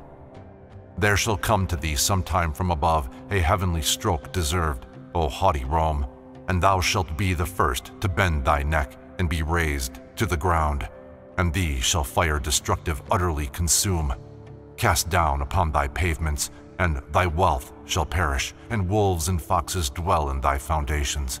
And then shalt thou be wholly desolate, as if not born. Where thy palladium then? What god shall save thee, whether wrought of gold or stone or brass? Or then, where thy decrees of senate? Where shall be the race of Rhea, of Cronus, or of Zeus, and of all those whom thou didst worship? Demons without life, images of the worn-out dead, whose tombs Crete, the ill-starred, shall hold a cause of pride, and honor the unconscious dead with thrones.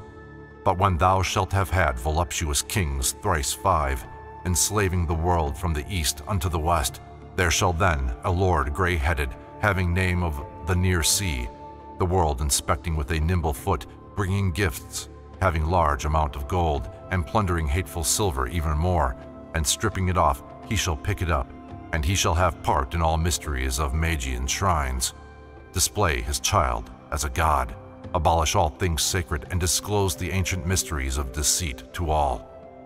Sad, then, the time when he himself, sad one, shall perish.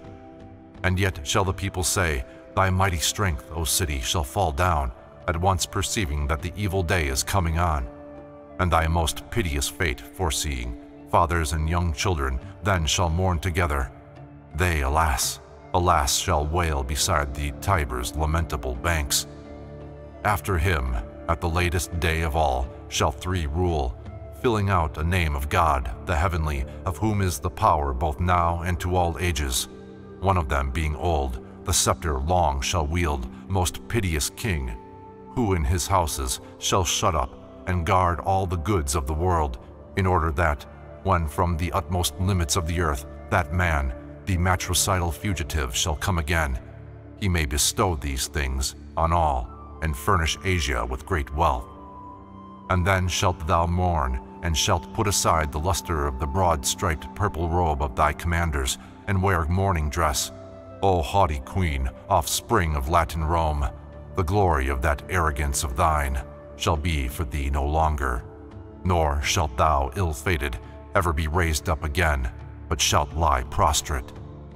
For the glory also of eagle-bearing legions shall fall low. Where then thy power? What allied land shall be subjected by thy follies lawlessly? For then in all earth shall confusion be of mortals, when the Almighty shall himself to the tribunal come to judge the souls of the living and the dead and all the world. And parents shall not be to children dear, nor children to their parents, on account of their impiety and their distress unlooked for. Thine thenceforth shall gnashing be, and scattering and conquest, and when the fall of cities comes and yawnings of the earth. When a dragon, charged with fire in both his eyes, and with full belly shall come on the waves, and shall afflict thy children, and there be famine and war of kinsmen, near at hand is the end of the world and the last day and judgment of the immortal God for them that are approved and chosen. And there shall against the Romans first of all be wrath implacable, and there come a time of drinking blood and wretched course of life. Alas, alas for thee, thou reckless land, great barbarous nation! Thou didst not perceive whence naked and unworthy thou didst come to the sun's light, that to that place again naked thou mightest withdraw and afterwards come unto judgment, as unjustly judging, with hands gigantic coming from on high alone through all the world thou shalt abide under the earth. By naphtha and asphalt and brimstone and much fire thou utterly shalt disappear and shalt be burning dust for ages. And each one who sees shall hear from Hades a great mournful bellowing and gnashing of teeth, and thee noisily beating with thine own hands thy godless breast. For altogether there is equal night. For rich and poor, and naked from the earth, naked again to earth, they haste away and cease from life when they complete their time. No slave is there, nor any land, nor tyrant, nor king, nor leader having much conceit, nor speaker learned in law, nor magistrate judging for money, nor do they pour out the blood of sacrifices and libations upon the altars. There sounds not a drum nor cymbal, nor perforated flute that has a power to madden mind itself, nor sound of pipe that, being the likeness of a crooked snake, nor trumpet, harsh-toned messenger of wars, nor those made drunken in the lawless feasts of revelry, nor in the choral dance, nor sound of harp, nor harmful instrument, nor strife, nor anger manifold, nor sword is with the dead. But an eternity, common to all, is keeper of the key of the great prison before God's judgment seat, with images of gold and silver and stone. Ye are ready, that unto the bitter day ye may come to see your first punishment, O Rome, and gnashing of teeth. And no more shall Syrian or Greek lay down his neck beneath thy servile yoke, nor foreigner, nor other nation, Plundered thou shalt be, and made to suffer what thou didst exact. And in fear, wailing thou shalt give, until thou pay back all things, and thou for the world shalt be a triumph and reproach of all. Then shall the sixth race of the Latin kings and life at last and scepters leave behind from the same race another king shall reign, who shall rule every land and scepters wield. And having full power, and by the decrees of God Most Mighty shall his children rule, and of unshaken children is his race. For thus it is decreed while time moves round, when there shall be of Egypt thrice five kings. Thereafter, when the limit of the time of the phoenix shall come round, there shall a race of peoples come to plunder, tribes confused, enemy of the Hebrews. Then shall Ares go plundering Ares, and he shall himself destroy the haughty threatening of the Romans for Rome's power perished then while in its bloom. An ancient queen with cities dwelling round, no longer shall the land of fertile Rome prevail. When out of Asia one shall come to rule with Ares, and when he has wrought all these things, to the city afterwards shall he come. And three times three hundred and eight and forty shalt thou make complete when, taking thee by force, an ill-starred fate shall come upon thee and complete thy name.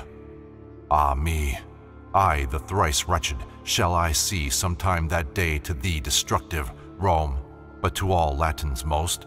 It honors him with counsels who goes up on Trojan car, with hidden children from the Asian land, having a fiery soul. But when he shall cut through the isthmus, looking wistfully, moving against all, passing over the sea, then shall dark blood pursue the mighty beast and a dog chase the lion which destroys the shepherds. And then shall they take away his scepter, and to Hades he shall pass. And unto Rhodes shall come an evil last but greatest. There shall also be for Thebes an evil conquest afterwards, and Egypt shall perish by the wickedness of rulers. And he who, being mortal, even so escaped headlong destruction afterwards, thrice blessed was, even four times happy man and Rome shall be a room, and Delos dull, and Samos sand. Later again thereafter there shall come an evil to the Persians for their pride, and all their insolence shall come to naught. And then a holy land of all the earth, having raised up the dead, shall wield the scepter unto all ages. Thrice then unto Rome will the Most High bring pitiable fate, and unto all men, and by their own works they'll perish. But they would not be persuaded, which would have been much more to be desired. But when forthwith there shall increase for ill an evil day of famine and of plague and of intolerable battle din, even then again the former daring lord shall, having called the senate, counsel take, how he shall utterly destroy. Dry land shall bloom together with the leaves appearing, and the heavenly firmament shall bring to light upon the solid rock rainstorm and flame, and much wind on the land, and over all the earth a multitude of poisonous sowings. But with shameful soul shall they again act, fearing not the wrath of God or men, forsaking modesty, longing for, and greedy tyrants and violent sinners, false, insatiate, workers of evil, and in nothing true, destroyers of faith, on foul speech, in false words. They shall have no fill of wealth, but shamelessly they will strip off still more. Under the rule of tyrants they shall perish. The stars shall all fall forwards in the sea, all one by one. Yet shall men see in heaven a brilliant comet, sign of much distress about to come, of war and battle strife. Let me not live when the gay woman reigns. But then, when heavenly grace shall reign within, and when the holy child shall crush with bonds the mischievous destroyer of all men, opening the depth to view, and suddenly the wooden house shall cover mortals round. But when the generation tenth shall be within the house of Hades, afterwards the mighty sway of one of female sex, and God himself shall increase many evils when she with royal honor has been crowned, and altogether then an impious age. The sun obscurely looking shines by night, the stars shall lead the sky, and with much storm a hurricane shall desolate the earth. And there shall be a rising of the dead. The running of the lame shall be most swift, the deaf shall hear, the blind shall see, and those that talk not shall talk, and to all shall life and wealth be common. And the land alike for all, divided not by walls or fences, shall bear more abundant fruits, and fountains of sweet wine and of white milk and honey it shall give and judgment of the immortal God, great King. But when God shall change times, winter producing summer, then shall be oracles all fulfilled. But when the world has perished, Jesus Christ, Son of God, Savior, cross, and the earth shall perspire, and there shall be the sign of judgment. And from the heaven shall come the King, who for ages is to be, present to judge all flesh and the whole world.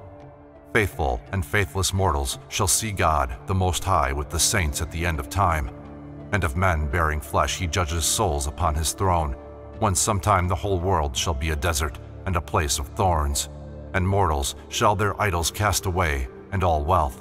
And the searching fire shall burn earth, heaven, and sea, and it shall burn the gates of Hades' prison.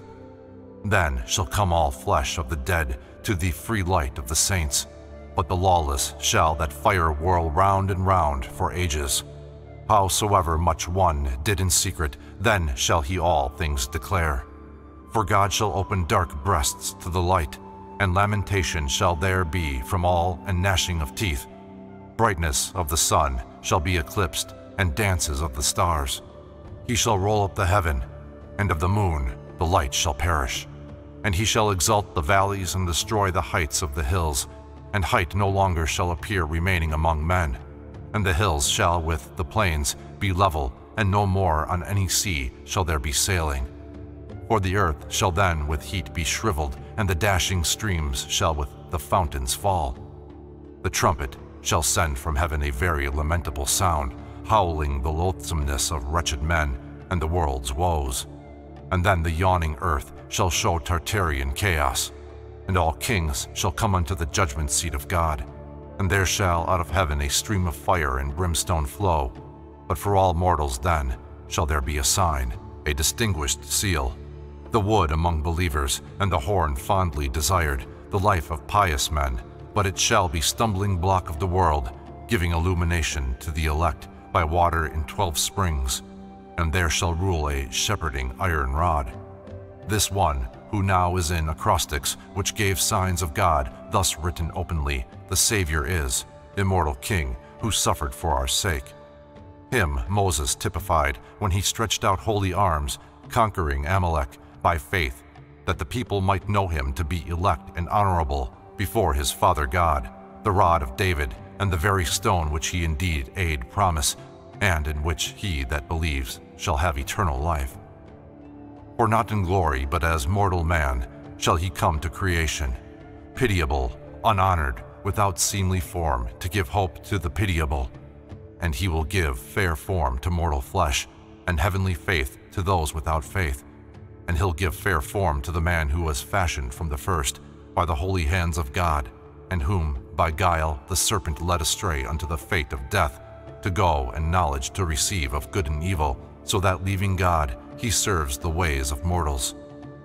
For at first, receiving him as fellow counselor from the beginning, the Almighty said, Let both of us, O Son, make mortal tribes, stamping them with the impress of our image, I now by my hands, and thou by the word in after time shalt for our form provide, that we may jointly cause it to arise.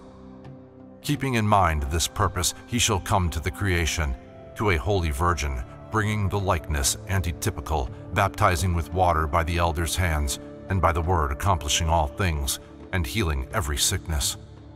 By his word the winds shall he make cease, and with his foot shall calm the raging sea, walking thereon in peaceful faith. And from five loaves of bread and a fish of the sea live thousand men shall he fill in the desert, and then taking all the remaining fragments for the hope of peoples shall he fill twelve baskets full. And the souls of the blessed he shall call, and love the pitiable, who, being mocked, beaten, and whipped, shall evil do for good, desiring poverty. He who perceives all things, and sees all things, and hears all things, shall search the heart and bear it to conviction. For of all things is he himself the ear, and mind, and sight, and word that maketh forms, to whom all things submit, and he preserves them that are dead, and every sickness heals. Into the hands of lawless men, at last, and faithless, he shall come, and they will give to God rude buffetings with impure hands and poisonous spittle with polluted mouths, and he to whips will openly give then his holy back for he unto the world a holy virgin shall himself commit. And silent he will be when buffeted, lest anyone should know whose son he is, or whence he came, that he may talk to the dead. And he shall also wear a crown of thorns, for of thorns is the crown and ornament elect, eternal. They shall pierce his side with a reed, that they may fulfill their law. For of reeds, shaken by another spirit, or nourished inclinations of the soul, of anger and revenge. But when these things shall be accomplished, of the which I spoke, then unto him shall every law be loosed, which from the first by the decrees of men was given because of disobedient people. He'll spread his hands and measure all the world. But gall for food and vinegar to drink they gave him. This inhospitable board they'll show him. But the curtain of the temple shall be asunder rent, and in midday there shall be for three hours dark, monstrous night. For it was no more pointed out again how to serve secret temple and the law, which had been covered with the world's displays, when the Eternal came himself on earth. And into Hades shall he come announcing hope unto all the saints, the end of ages, and the last day, and having fallen asleep, the third day he shall end the lot of death.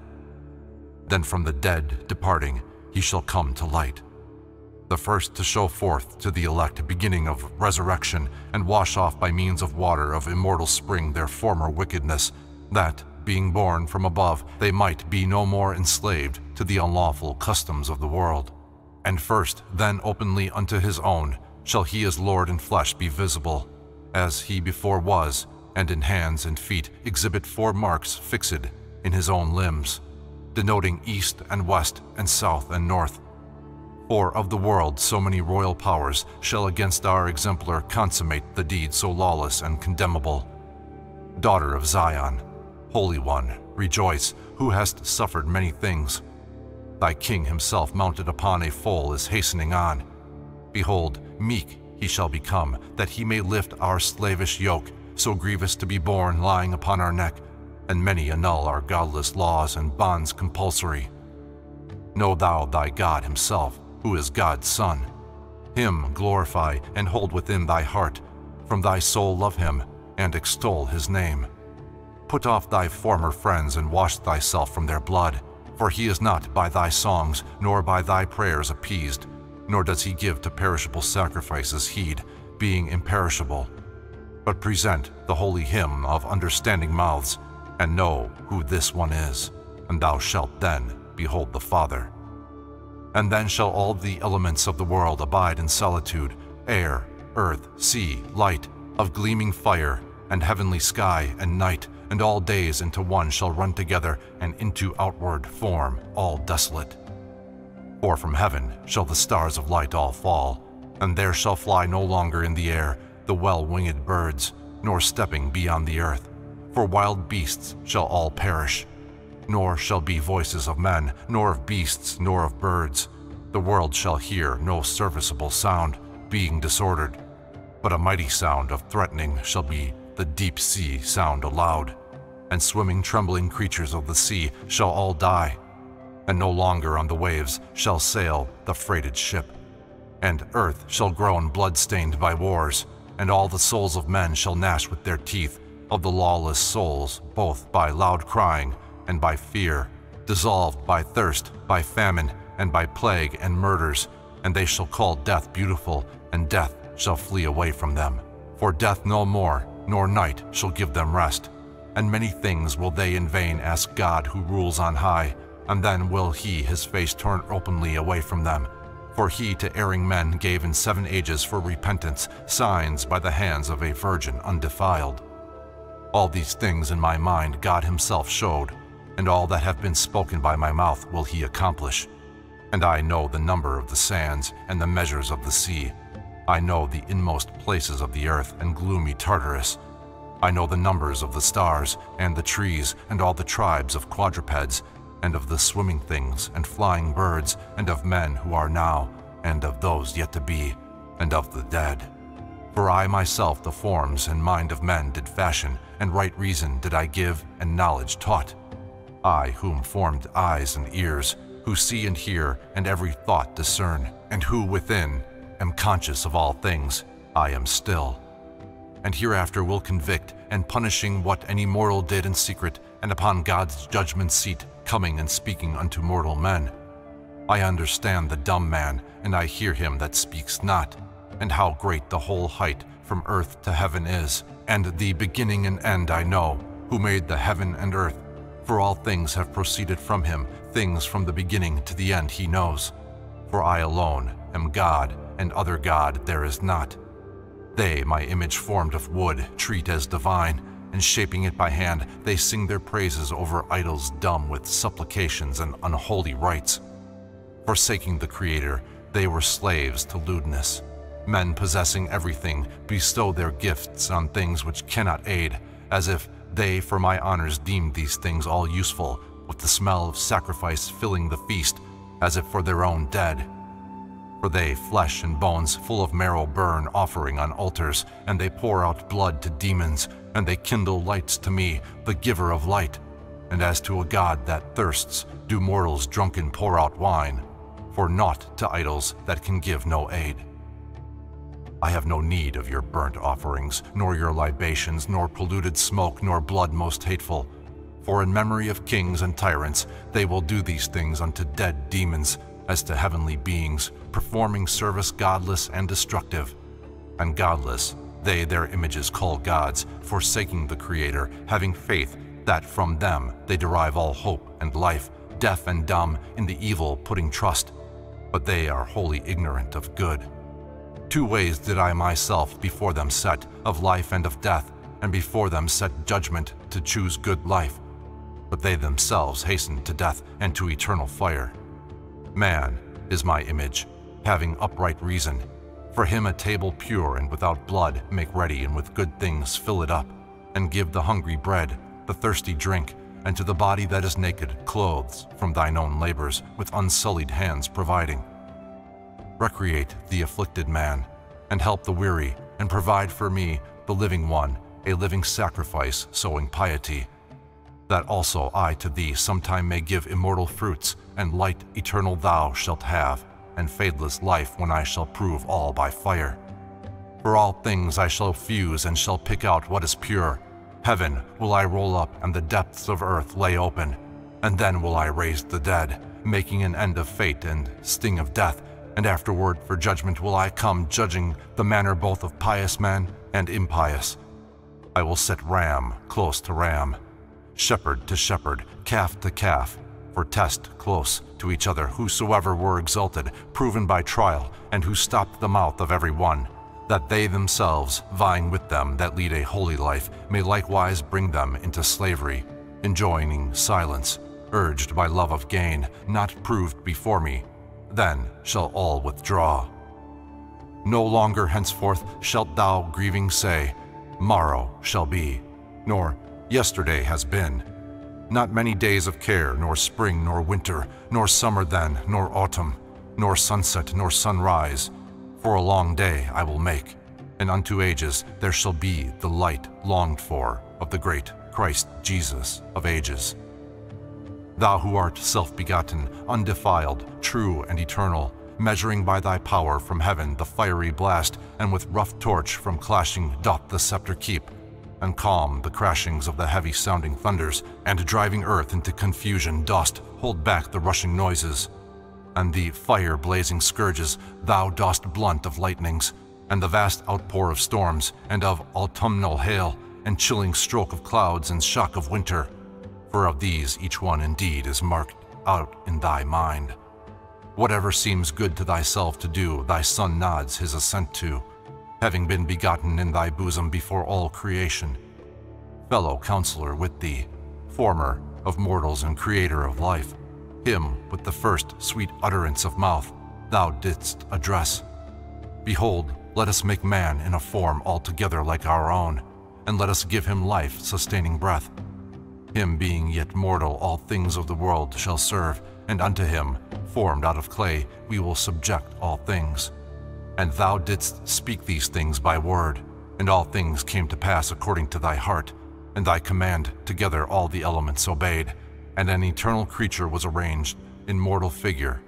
Also heaven, air, fire, and earth and water of the sea, sun, moon, chorus of stars, hills, both night and day, sleeping and waking up, spirit and passion, soul and understanding, art, might and strength, and the wild tribes of living things, both swimming things and fowls, and of those walking, and amphibia, and those that creep, and those of double nature, for acting in accord with his own will under thy leading, he arranged all things. But in the latest times the earth he passed, and coming late from the Virgin Mary's womb, a new light rose, and going forth from heaven, put on a mortal form. And bearing his own news, he next addressed the maiden with his voice O Virgin, in thy bosom undefiled, receive thou God. Thus speaking, he inbreathed God's grace on the sweet maiden, and straightway alarm and wonder seized her as she heard, and she stood trembling, and her mind was wild with flutter of excitement, while at heart she quivered at the unlooked for things she heard. But she again was gladdened, and her heart was cheered by the voice, and the maiden laughed, and her cheek reddened with a sense of joy, and spellbound was her heart with a sense of shame. And confidence came to her. And the word flew into the womb, and in course of time, having become flesh and endued with life, was made a human form, and came to be a boy distinguished by his virgin birth. For this was a great wonder to mankind, but it was no great wonder unto God, the Father, nor was it to God, the Son. And the glad earth received the newborn babe. The heavenly throne laughed, and the world rejoiced. And the prophetic new appearing star was honored by the wise men. And the babe born was shown in a manger unto them that obeyed God, and keepers of the herds, and goat herds, and to shepherds of the lambs and Bethlehem, called by God the fatherland of the Word, was chosen, and in heart practice lowliness of mind, and cruel deeds hate, and thy neighbor love wholly, even as thyself. And from thy soul love God and do him service. Therefore we sprung from the holy race of the heavenly Christ, are called of common blood, and we restrain and worship recollection of good cheer, and walk the paths of piety and truth not ever are we suffered to approach the inmost sanctuary of the temples, nor pour libations to carved images, nor honor them with prayers, nor with the smells much pleasing of flowers, nor with light of lamps, nor yet with shining votive offerings adorn them, nor with smoke of frankincense that sends forth flame of altars, nor do thou, adding unto the sacrifice of bulls and taking pleasure in defilement, send blood of sheep slaughtering outrage, thus to give ransom for penalty beneath the earth nor by the smoke of flesh-consuming pyre and odors foul pollute the light of heaven, but joyful with pure minds and cheerful soul, with love abounding and with generous hands, with soothing psalms and songs that honor God, we are commanded to sing praise to Thee, the all-imperishable, and without deceit, all Father God of understanding mind. Book 9 O world of men wide scattered, and long walls, the cities huge and nations numberless, throughout the east and west and south and north, divided off by various languages and kingdoms, Other things, the very worst against you, I am now about to speak. For from the time when on the earlier men the flood came, and the Almighty One himself destroyed that race by many waters, then brought he in yet another race of men, untiring, and they, setting themselves up against heaven, built the height unspeakable a tower, and tongues of all were loosed again, and on them hurled came wrath of God Most High, by which the tower unutterably great fell, and against each other they stirred up an evil strife. And then of mortal men was the tenth race, since these things came to pass. And the whole earth was among foreign men, and various languages distributed, whose numbers I will tell, and in acrostics of the initial letter show the name. And first shall Egypt royal power receive, preeminent and just, and then in her shall many counseling men be governors. Moreover, then a fearful man shall rule, close fighter, very strong, and he shall have this letter of the acrostic of his name. Sword shall he stretch out against pious men, and while this one is ruler, there shall be a fearful sign in the Egyptian land, which, gladdening very greatly, shall with corn, souls perishing with famine, then supply. The lawgiver, himself a prisoner, the east and offspring of Assyrian men, shall nourish, and his name, know thou, of the measure of the number ten. But when there shall come from the radiant heaven ten strokes of judgment upon Egypt, then will I again proclaim these things to thee. Memphis, alas, alas for thee, alas, great royal one, the Erythraean Sea shall thy much people utterly destroy. Then when the people of twelve tribes shall leave the fruitful land of ruin by command of the immortal, the Lord God himself will also give a law unto mankind. And over the Hebrews, then a mighty king, magnanimous, shall rule, and have a name derived from sandy Egypt, Theban man of doubtful native land. And Memphis, he, dread serpent, will show outward signs of love, and he will watch over many things and wars. Now the tenth kingdom, being twelve times complete, seven besides, and even unto the tenth hundred, others being altogether left behind, then shall arise the Persian sovereignty, and then an evil shall befall the Jews, famine and pestilence intolerable, they do not make escape from in that day. But when a Persian shall rule, and the son of his son's son shall lay the scepter down, while years roll round to five hours, and to these a hundred more, and thou a hundred nines shall finish, and all things shalt thou repay. And then unto the Persians and the Medes shalt thou be given over as a slave, destroyed with blows by reason of hard fights Straightway to Persians and Assyrians and to all Egypt shall an evil come, and to Libya and the Ethiopians, and to the Carians and Pamphylians, and to all other mortals. And he then shall to the grandsons give the royal power, who again snatching the whole earth away shall plunder races for their many spoils, not having fellow feeling. Mournful dirges shall the sad Persians by the Tigris wail, and Egypt water many a land with tears. And then to thee, O Median land, a man of wealth abundant and of Indian birth, shall many evils do, till thou repay all things which thou, possessed of shameless soul, hast done before. Alas, alas for thee, thou Median nation!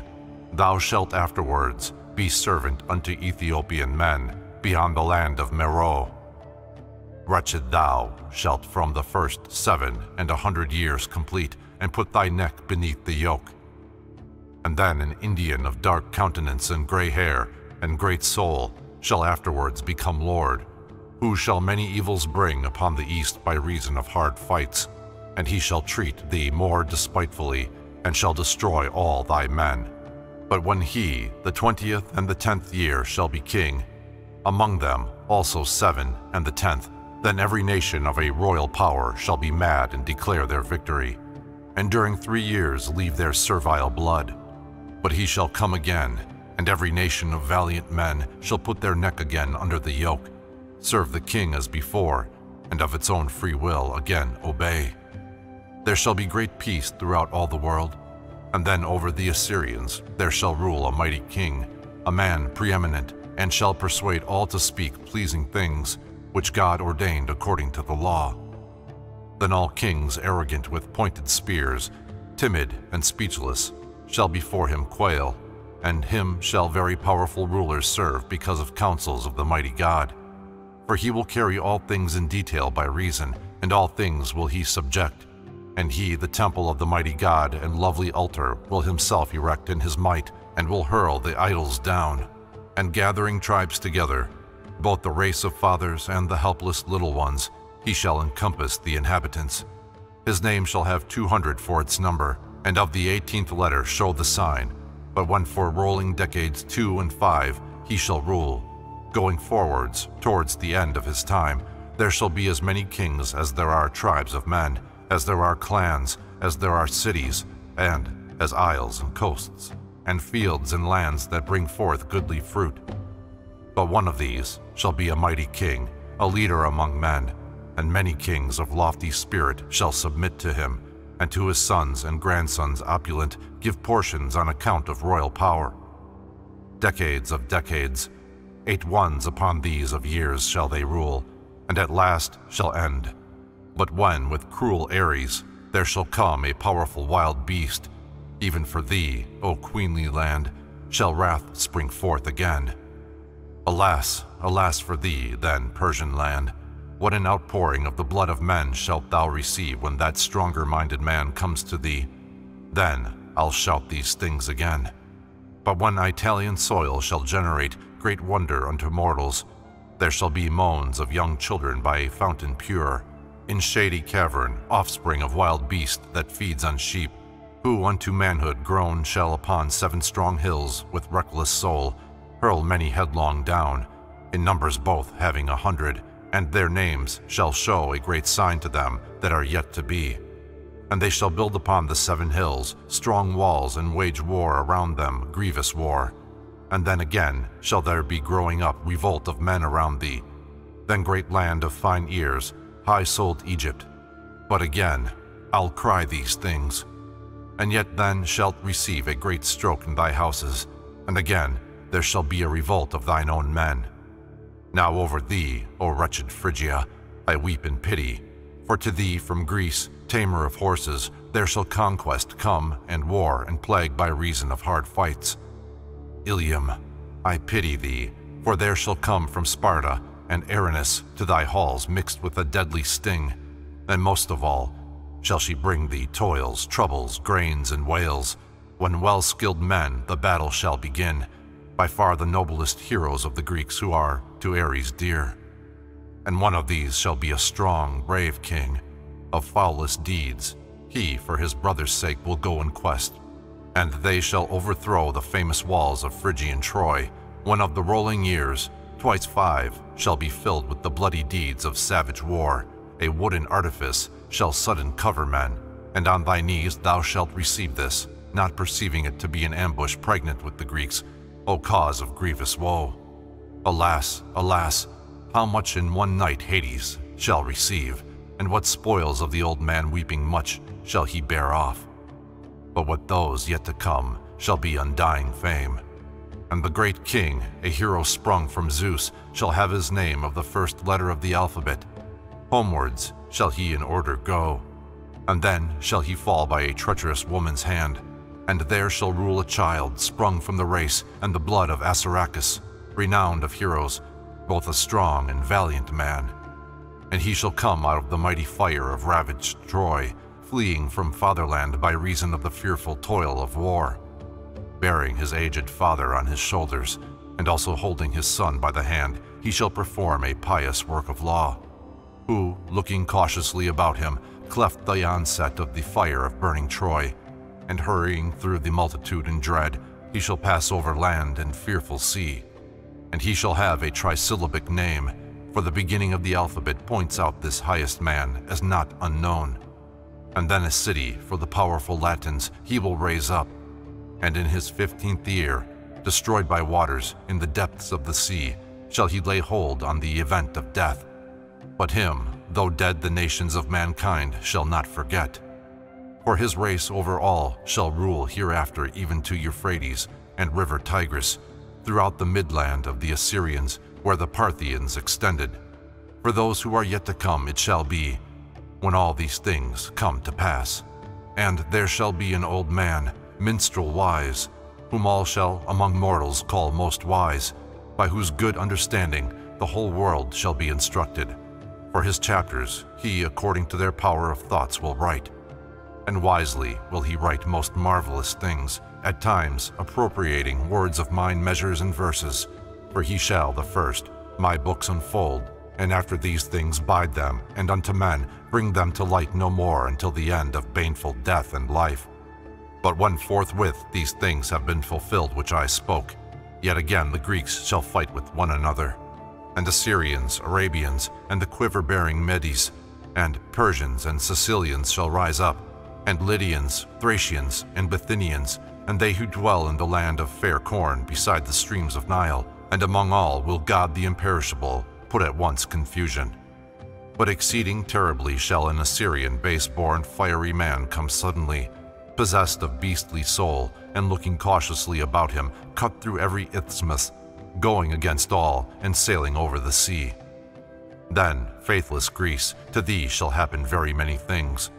Alas, alas for thee, O wretched Greece, how many things thou art obliged to wail. And during seven and eighty rolling years, thou shalt the miserable refuse be, O fearful battle among all the tribes. Then shall a Macedonian man again bring forth for Hellas woe, and shall destroy all Thrace, and toils of Ares on the isles and coasts, and the war-loving Triballi. He shall among the foremost fighters be, and he shall share that name which shows the sign of numbers ten times fifty. And short-lived shall he be, but behind him he shall leave the greatest kingdom on the boundless earth, but by base spearmen he himself shall fall, while thought to live in quiet as none else. And afterwards shall a great-hearted child of this one rule, beginning with his name, the alphabet. But his race shall pass out. Not of Zeus, not of Ammon shall they call this one true son, yet still a bastard son of Kronos as they all imagine him. And cities he of many mortal men shall plunder, and for Europe shall shoot up the greatest sore. And also terribly will he abuse the city Babylon, and every land the sun looks down upon, and he alone shall sail both east and west. Alas, alas for thee, O Babylon, thou shalt serve triumphs, who was called the queen. Down upon Asia Ares comes, he comes surely, and shall thy many children slay. And then shalt thou send forth thy royal man, named by the number four, expert with spear among the mighty warriors, terrible, shooting with bow and arrow. And then famine and war shall hold possession of the midst of the Sicilians and Assyrians, but kings of lofty spirit shall embrace the dreadful state of heart-consuming strife. But do thou, fleeing, leave the former king. Be neither willing to remain nor fear to be unhappy, for on thee shall come a dreadful lion, a flesh-eating beast, wild, strange to justice, wearing on his shoulders a mantle. Flee the thunder-smiting man, and Asia all shall bear an evil yoke, and many a murder shall the wet earth drink. But one a mighty city, prosperous Ares of Pella shall in Egypt found, and it shall be named from him fate and death, by his companions treacherously betrayed, for barbarous murder shall destroy this man, around the tables when he shall have left the Indians and shall come to Babylon. Thereafter other kings, in a few years, devourers of the people, arrogant and faithless, shall rule each by his own tribe, but a great-hearted hero, who shall glean all fenced Europe, from the time each land shall drink the blood of all tribes, shall forthwith abandon life, unloosing his own fate. And other kings there shall be, twice four men of his race, and the same name to them all. And there shall be a bride of Egypt then, commanding, and a noble city great of Macedonian lord, Queen Alexandria, famed nourisher of cities, shining fair, she alone shall be the metropolis. Let Memphis then unbraid them that command, and peace shall be deep throughout all the world. Then shall the land of black soil have more fruits. And then there shall come evil to the Jews, nor shall they in that day make their escape from famine and intolerable plague. But the new world of black soil and fair corn, divine land, shall receive much wandering men. But marshy Egypt's eight kings shall fill up the numbers of two hundred years and three and thirty, yet shall offspring perish not of all of them. But there shall issue forth a female root, a bane of mortal men, betrayer of her kingdom. But they shall, according to their evil deeds, perform their wickedness thereafter, and one here another there shall perish. Son that wears the purple shall cut off his warlike sire, and he himself in turn by his own son, and ere he shall put forth another shoot, he shall cease. But a root shall sprout again thereafter of itself, and there shall be a race beside him growing. For a queen there shall be of the land by Nilus's streams, which comes down through seven mouths into the sea, and her name very lovely shall be that of the number twenty, and she will demand numberless things and gather up all goods of gold and silver, but from her own men shall treachery befall her. Then again for thee, O dusky land, shall there be wars and battles and great slaughter of mankind. When many over fertile Rome shall rule, examples, not at all of happy men, but tyrants, and there shall be of thousands chiefs, and of ten thousands, and the overseers of popular assemblies under law. Then shall the mightiest Caesars bear the rule, ill-fated all their days. And of these last shall for initial have the number ten. Last Caesar, stretching on the earth his limbs, struck by dire Ares, by a hostile man, whom carrying in their hands the youth of Rome shall bury piously, and over him pour out their token for his friendship's sake, rendering a tribute to his memory. But when thou shalt come to an end of time, and hast completed twice three hundred years and twice ten, from the time when he shall rule who is thy founder, child of the wild beast, there shall no longer a dictator be ruling a measured period, but a lord shall become king, man equal to the gods. Then Egypt, know the king that comes to thee, and dreadful Ares of the glittering helm shall surely come. For there shall be for thee, O widowed one, a capture afterwards. For round the walls of thy land there shall be a terrible raging mischief-working wars. But having suffered misery in wars, thou, wretched, shalt thyself flee from above those lately wounded. And then to the couch shalt thou come to the dreadful man himself. The wedlock, sharing one bed, is the end. Alas, alas for thee, ill-wedded bride, thy royal power unto the Roman king shalt thou give, and thou shalt repay all things, which thou aforetime didst with masculine hands. Thou shalt give the whole land by way of dower, as far as Libya and the dark-skinned men to the resistless man. And thou shalt be no more a widow, but thou shalt cohabit with a man-eating lion terrible, a furious warrior and then shalt thou be unhappy and among all men unknown. For thou shalt leave possessed of shameless soul, and thee, the stately, shall the encircling tomb receive, is gone, living within. Adapted at the summits, beautiful, wrought curiously, and a great multitude shall mourn thee, and the dreadful king shall make a piteous lamentation over thee. And then shall Egypt be the toiling slave, who many years against the Indians bears her trophies, and she shall serve shamefully, and with the river, the fruit-bearing Nile, her tears, for haying gathered wealth, and stone of all good things, a nourisher of cities. She shall feed sheep-eating race of fearful men. All, to how many beasts, O very wealthy Egypt, thou shalt be booty and spoil, but giving peoples laws, and formerly delighting in great kings, thou shalt to peoples be a wretched slave on account of that people, whom of old piously living, thou leddest to much woe of toils and wailings, and didst put a plough upon their neck, and irrigate the fields with mortal tears.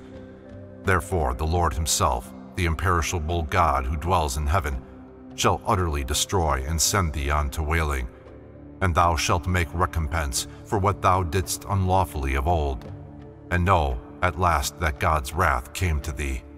But I, to Pytho and to Panopeus, of goodly towers shall go, and then shall all declare that I am a true prophetess, oracle singing, yet a messenger with maddened soul. And when thou shalt come forward to the books, thou shalt not tremble, and all things to come, and things that were, ye shall know from our words. Then none shall call the God-seized prophetess an oracle singer of necessity. But now, Lord, end my very lovely strain, driving off frenzy and real voice inspired and fearful madness, and give charming song. Book 10 But come now, hear of me the mournful time of sons of Latium. And first of all, after the kings of Egypt were destroyed, and the like earth had downwards borne them all, and after Pella's townsmen, under whom the whole east and the rich west were cast down, whom Babylon dishonored and stretched out for Philip a dead body, not of Zeus, of Ammon, not true things were prophesied. And after that one of the race, and blood of King Assaracus, who came from Troy, even he who cleft the violence of fire, and after many lords, and after men to Ares dear, and after the young babes, the children of the beast that feeds on sheep, and after the passing of 600 years and decades too of Rome's dictatorship, the very first lord, from the western sea, shall be of Rome the ruler, very strong and warlike, the initial of whose name begins the letters, and fast binding thee, O thou of goodly fruit, he shall be full of man-destroying Ares. Thou shalt pay the outrage which thou willing didst force on, for he, great soul, shall be the best in wars. Before him, Thrace and Sicily shall crouch, with Memphis, Memphis cast headlong to earth by reason of the wickedness of rulers, and of a woman unenslaved who falls under the spear. And laws will he ordain for peoples and put all things under him. Having great fame, he shall wield scepter long. For no short time shall he last, nor shall ever be other greater scepter-bearing king than this one, over the Romans not one hour, for God did lavish all things upon him, and also in the noble earth he showed great marvelous seasons, and with them showed signs. But when a radiant star, all like the sun, shall shine forth out of heaven in the middays, then shall the secret word of the Most High come clothed in flesh like mortals. But with him the might of Rome and of the illustrious Latins shall increase, but the mighty king himself shall under his appointed lot expire, transmitting to another royal power. But after him a man, a warrior strong, wearing the purple mantle on his shoulders, shall bear rule, and with this initial be numbered 300, and he shall destroy the Medes and arrow-hurling Parthians, and he himself by his power shall subvert the high gate city. And again shall come evil to Egypt and the Assyrians, and to the Colchi and Heniaci, and to those by the waters of the Rhine, the Germans dwelling over the sandy shores. And he himself shall ravage afterwards the high gate city near Eridanus, which is devising evils. And then he shall forthwith fall down, struck by gleaming iron, and afterwards shall rule another man, weaving guile, and the initial of his name will show the number three, and he much gold shall gather. And with him there shall not be satiety of wealth, but plundering more recklessly, he'll put all things in the earth. But peace shall come, and Ares shall desist from wars, and he shall make known many things in divination of the greatest things, inquiring for the sake of means of life. Yet there shall be on him the greatest sign. From heaven down on the king while perishing, there shall flow many little drops of blood, and many lawless things will he perform, and put around the neck of Romans pain, trusting in divination. And the heads of the assembly he will also slay, and famine shall seize Cappadocians and Thracians, Macedonians and Italians, and Egypt shall alone feed numerous tribes. And the king himself, beguiling secretly, shall craftily destroy the virgin maid. But her the citizens in tearful grief shall bury, and against the king they all, holding wrath, shall abuse him craftily. While strong Rome blossoms, the strong man shall perish. And again there shall rule another lord of the number of twice ten, and then shall come unto the Sauromatians, and to Thrace, and to the Triballi, famed for hurling darts, wars, and sad cares. And Roman Ares shall tear all in pieces. And a fearful sign shall there be, when this man shall rule the land of the Italians and Pannonians, and there shall be at the mid-hour of day dark night around them, and then from the heaven a shower of stones. And thereupon the Lord and vigorous judge of the Italians shall go in Hades' halls by his own fate. Again, another fearful man shall come, and dreadful, numbering fifty, and from all the cities many noblest citizens, born to wealth, he shall utterly destroy. A dreadful serpent breathing grievous war, who sometimes stretching forth his hands shall make an end of his own race and stir all things, acting the athlete, driving chariots, putting to death and daring countless things. And he shall cleave the mountain of two seas and sprinkle it with gore. And out of sight shall also vanish the destructive man. Then making himself equal unto God shall he return, but God will prove him naught. And while he rules, there shall be peace profound, and not the fears of men. And from the ocean flowing and cleaving by Ausonia shall come untrodden water, and around looking with anxious care. He will appoint his very many contests for the people, and he himself, an actor, will contend with voice and cithara, and sing a song along with harp string. Later he will flee and leave the royal power, and perishing illy will he repay the harm he wrought. After him three shall rule, and two of them shall have the number seventy by their names.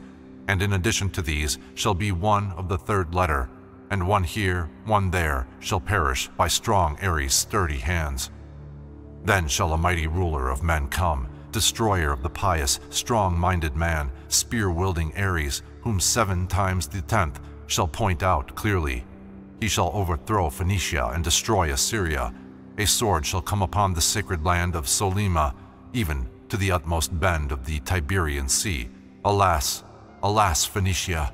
Oh, how much shalt thou endure, grief-laden with thy trophies tightly bound, and every nation shall upon thee tread.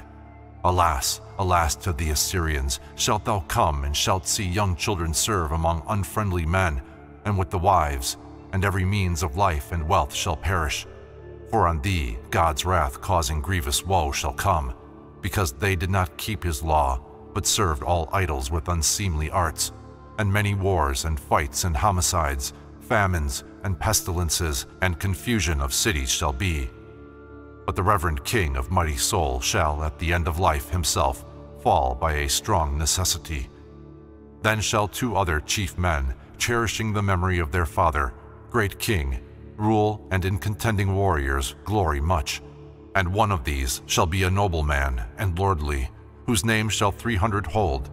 Yet he shall also fall by treachery, not in the warring companies stretched out, but struck in Rome's plain by the two-edged brass. And after him a powerful warlike man of the letter four shall rule the mighty realm, whom all men on the boundless earth shall love. And then shall there be over all the world a rest from war.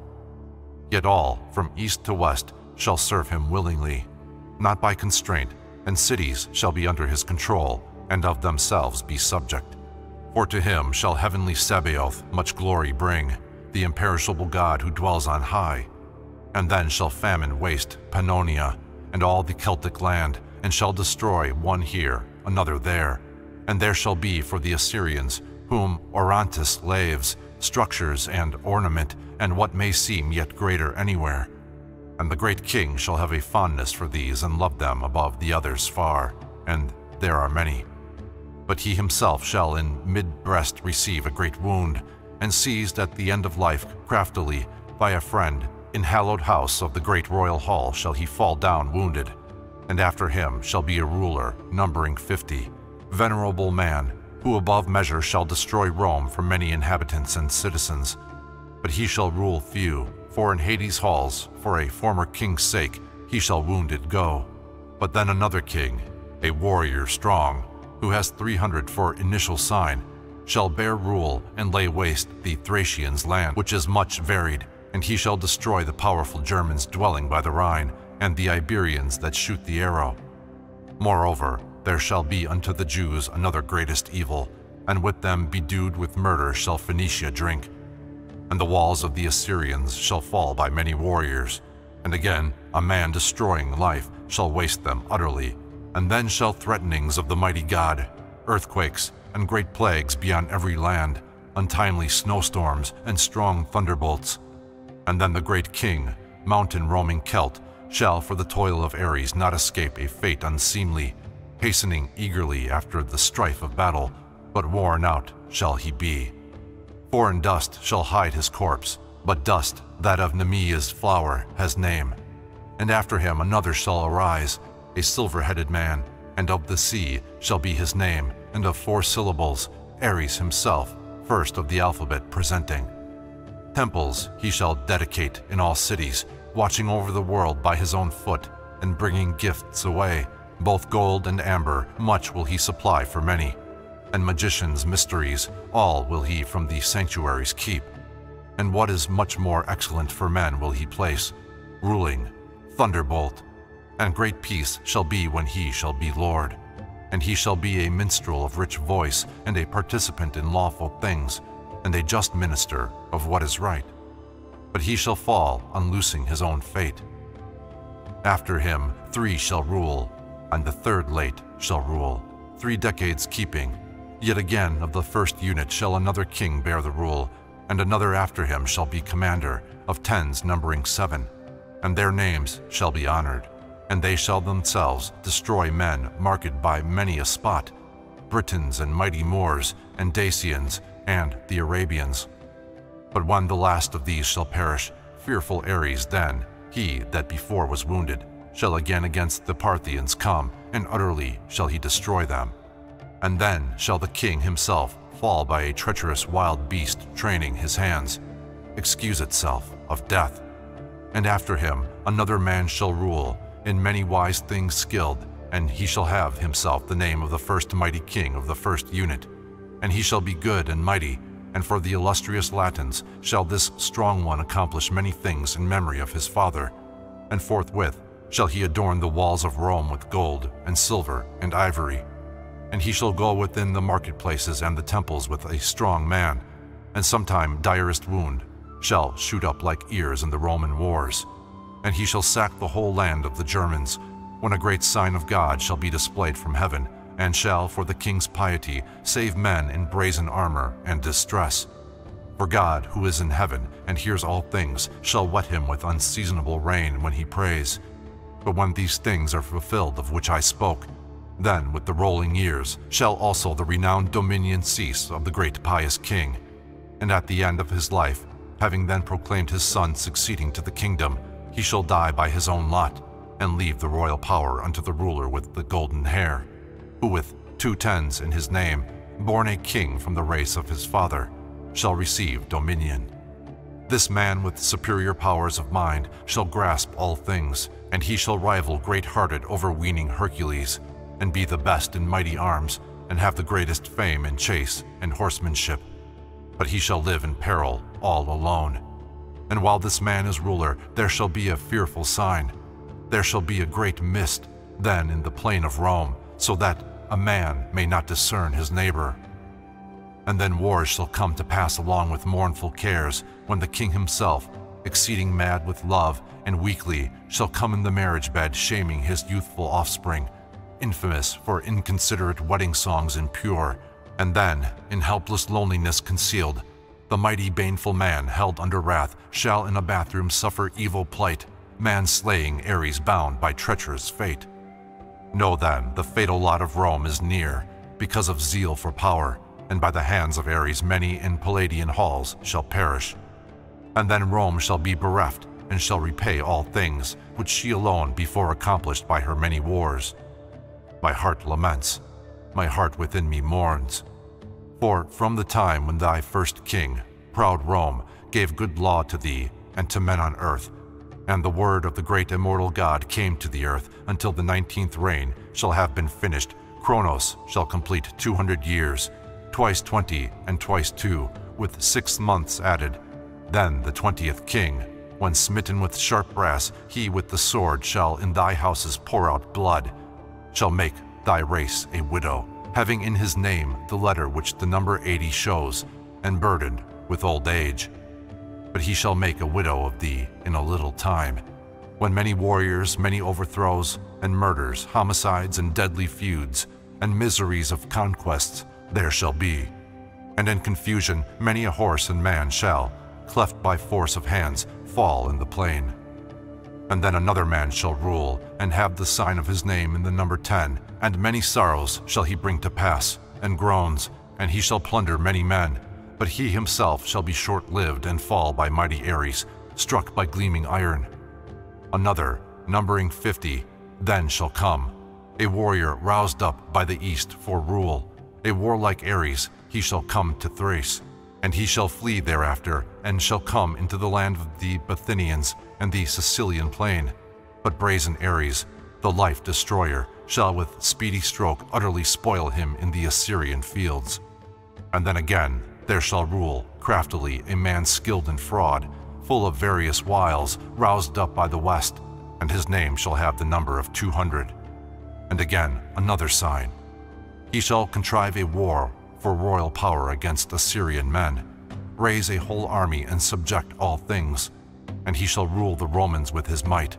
But there is much contrivance in his heart, impulse of baleful Ares, serpent dire, and violent in war, who shall destroy all high-born men upon the earth, and slay the noble for their wealth, and, robber-like, stripping all earth while men are perishing. He shall go to the east, and all deceit shall be to him. Then shall a youthful Caesar with him reign, having the name of a puissant lord of Macedon, by the first letter known. Bringing in broils around him, he shall flee the hard deception of the coming king in the bosom of the army. But the one who rules by his barbaric usages, a temple guard, shall perish suddenly slain by strong Ares with the gleaming iron. Him, even dead, shall people tear in pieces. And then the kings of Persia shall rise up, and Roman Ares, Roman lord. And Phrygia shall with earthquakes groan again, wretched. Alas, alas, Laodicea, alas, alas, sad Hierapolis, for you first once the yawning earth received of Rome, immense Os.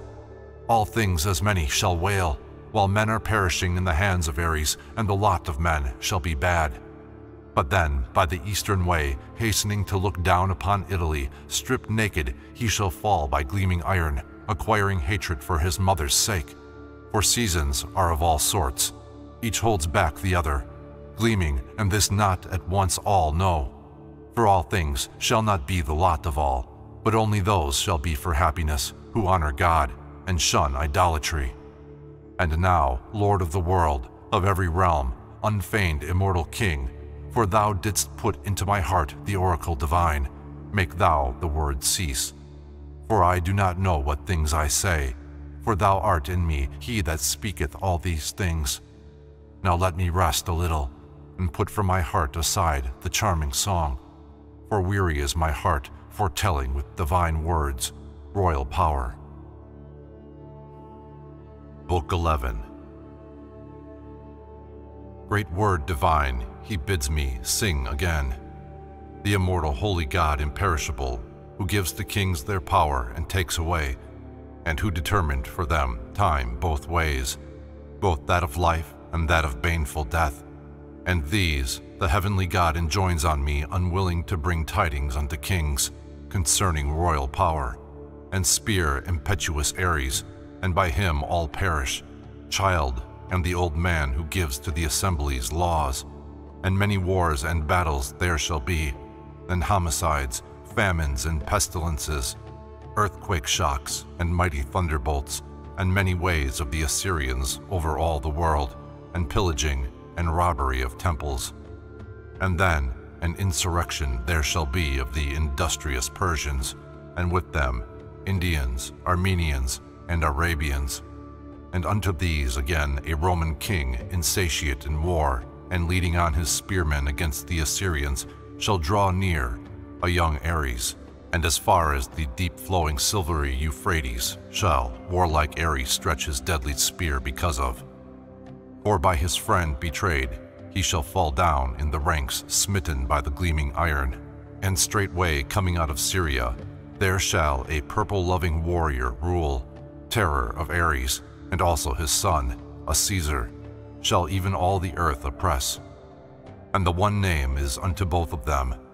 On first and twentieth there are to be placed five hundred, but when these in wars shall rule, and laws shall be enacted, there shall be a little rest from war, not for long time. But when a wolf shall to a flock of sheep pledge solemn oaths against the white-toothed dogs, then, having misled, he will tear in pieces the woolly sheep and cast his oaths aside. And then shall there be an unlawful strife of haughty kings and wars, and Syrians shall perish terribly, and Indians, and the Armenians and Arabians, the Persians and the Babylonians shall one another by hard fights destroy.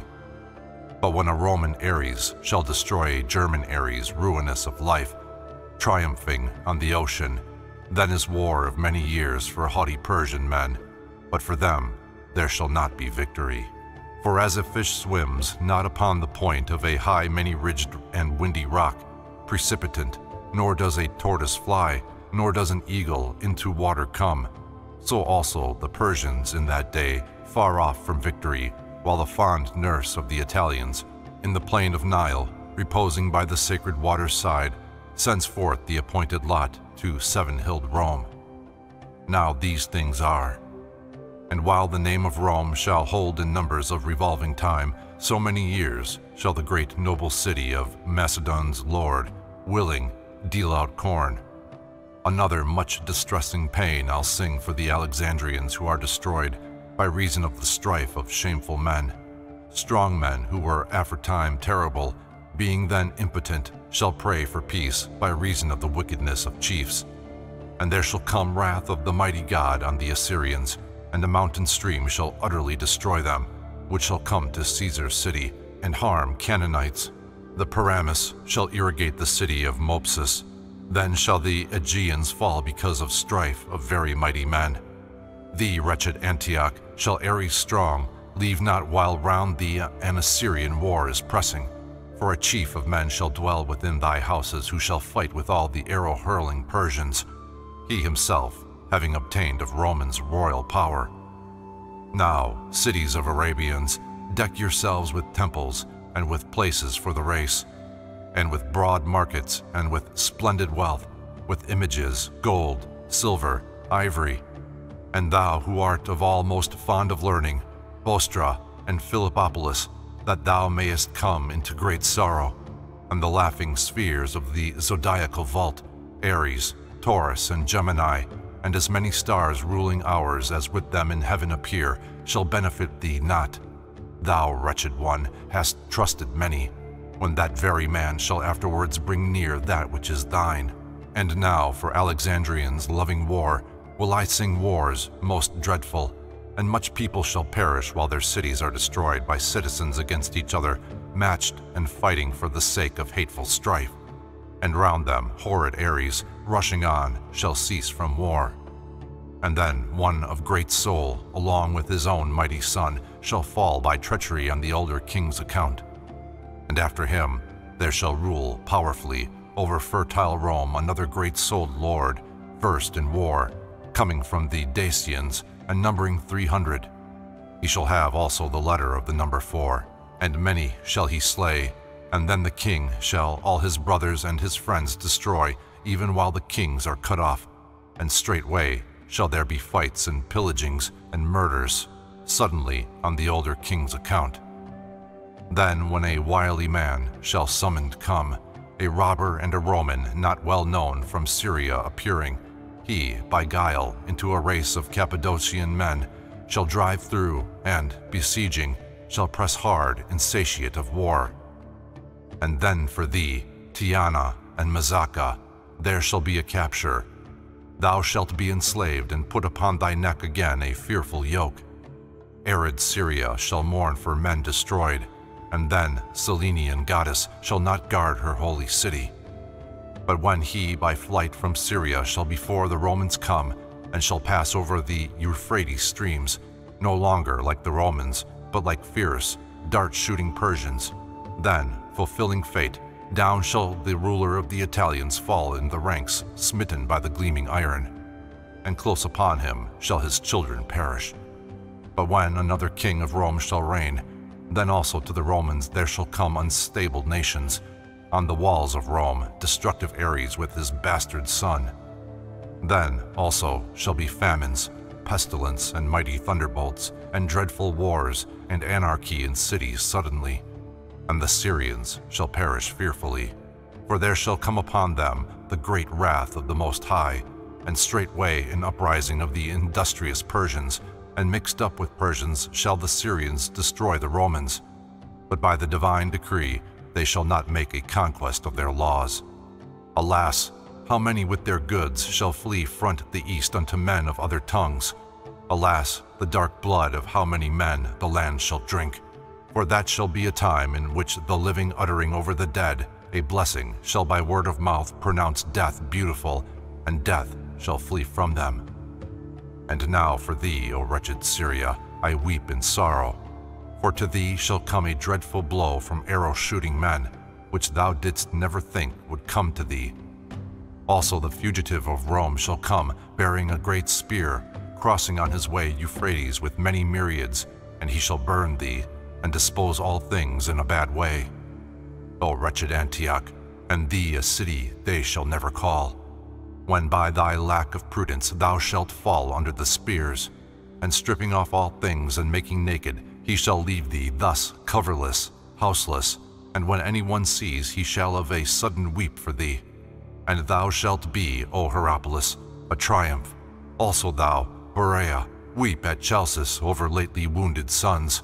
Alas, how many by the steep high mount of Cassius shall dwell, and by Amanus how many, and how many Lysis laves, and Marsyas as many, and Pyramus, the silver eddying.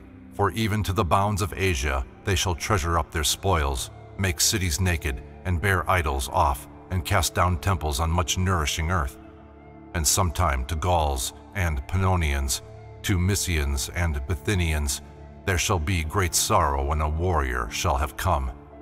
O Lycians, Lycians, there shall a wolf come to lick thy blood, when Sanians shall come with city-wasting Ares, and the Carpians shall draw near with Ausonians to fight. And then by his own shameless recklessness the bastard son shall put the king to death, and he himself for his impiety shall straightway perish. And again shall rule after him yet another whose name shows first letter, but he too shall quickly fall by mighty Ares, struck by gleaming iron. And yet again the world shall be confused, men perishing by pestilence and war, and the Persians, maddened by the Ausonians, shall in the toil of Ares yet again force their way. And then there shall be a flight of Romans, and thereafter there shall come the priest herd of all round, sent by the sun from Syria appearing, and by guile shall he accomplish all things. And then, too, the city of the sun shall offer prayer, and round about her shall the Persians dare the fearful threatenings of the Phoenicians. But when two chiefs, men swift in war, shall rule the very mighty Romans, one of whom shall have the number seventy, and the other the number three, even then the stately bull that digs the earth with his hooves and stirs up the dust with his two horns shall many ills upon a dark-skinned reptile perpetrate, which draws a trail with his scales, and besides himself shall perish. And yet after him again shall come another fair-horned stag, hungry upon the mountains, striving hard to feed upon the venom-shedding beasts. Then shall a dread and fearful lion come, sent from the sun and breathing forth much flame. And then, too, by his shameless recklessness shall he destroy the well-horned rapid stag, and the most mighty venom-shedding beast, so dread, that sends forth many piping sounds, and the he-goat that sideways moves along, and after him fame follows. He himself, sound, unhurt, unapproachable, shall rule. The Romans and the Persians shall be weak. But Lord, King of the world, O God, restrain the song of our words and give charming song. Book 12 O men, why do ye vainly think on things too lofty as if ye immortal were? And ye are ruling but a little time, and over mortals all desire to reign, not understanding that God himself hates the lust of rule, and most of all things hates insatiate kings fearful in wickedness, and over them he stirs up what is dark.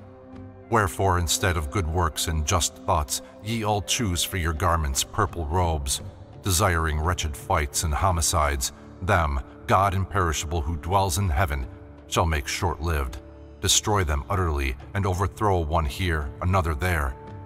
But when there shall a bold destroyer come, trusting in his own might, thick-haired and grim, and shall destroy all, he shall also tear shepherds in pieces, and no victory shall be theirs unless soon, with speed of feet, pursuing eagerly through wooded glens, young dogs shall meet in conflict for a dog pursued the lion, which destroys the shepherds. And then there shall be a Lord confident in his might, and named with four syllables, and shown forth clearly from the number one. But him shall brazen Ares quickly slay because of the conflict with insatiate men. Then shall two other princely men bear rule, both of the number forty, and with them shall great peace be in the world, and to all the people law and right. But them in turn shall men with gleaming helmet, needing gold and silver, impiously put to death, for these things, catching them by their deft plans.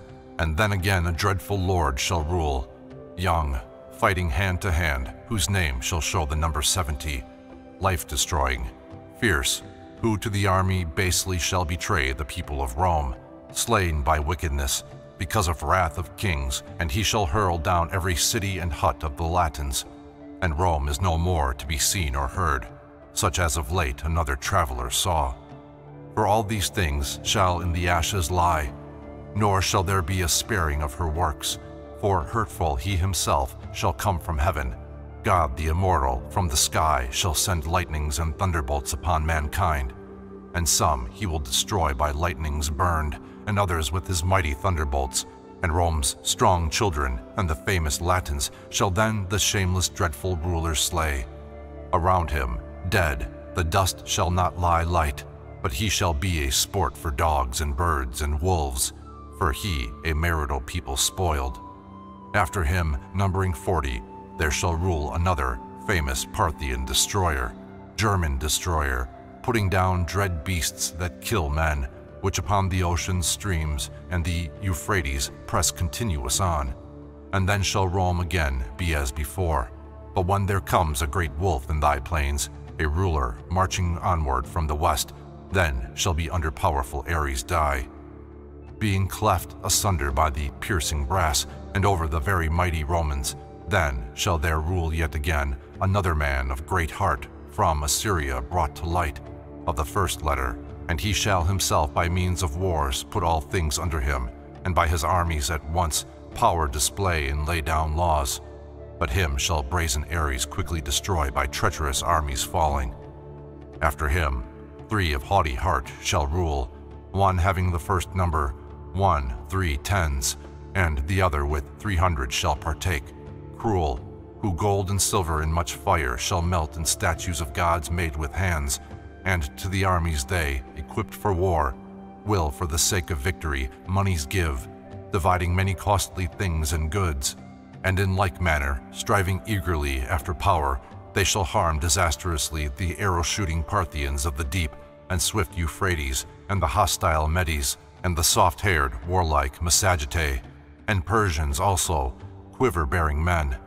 But when the king shall his own fate unloose, leaving unto his sons more fit for arms, the royal scepter and entreating right, then they, forgetful of their father's words and having their hands all prepared for war, shall rush in conflict for the royal power.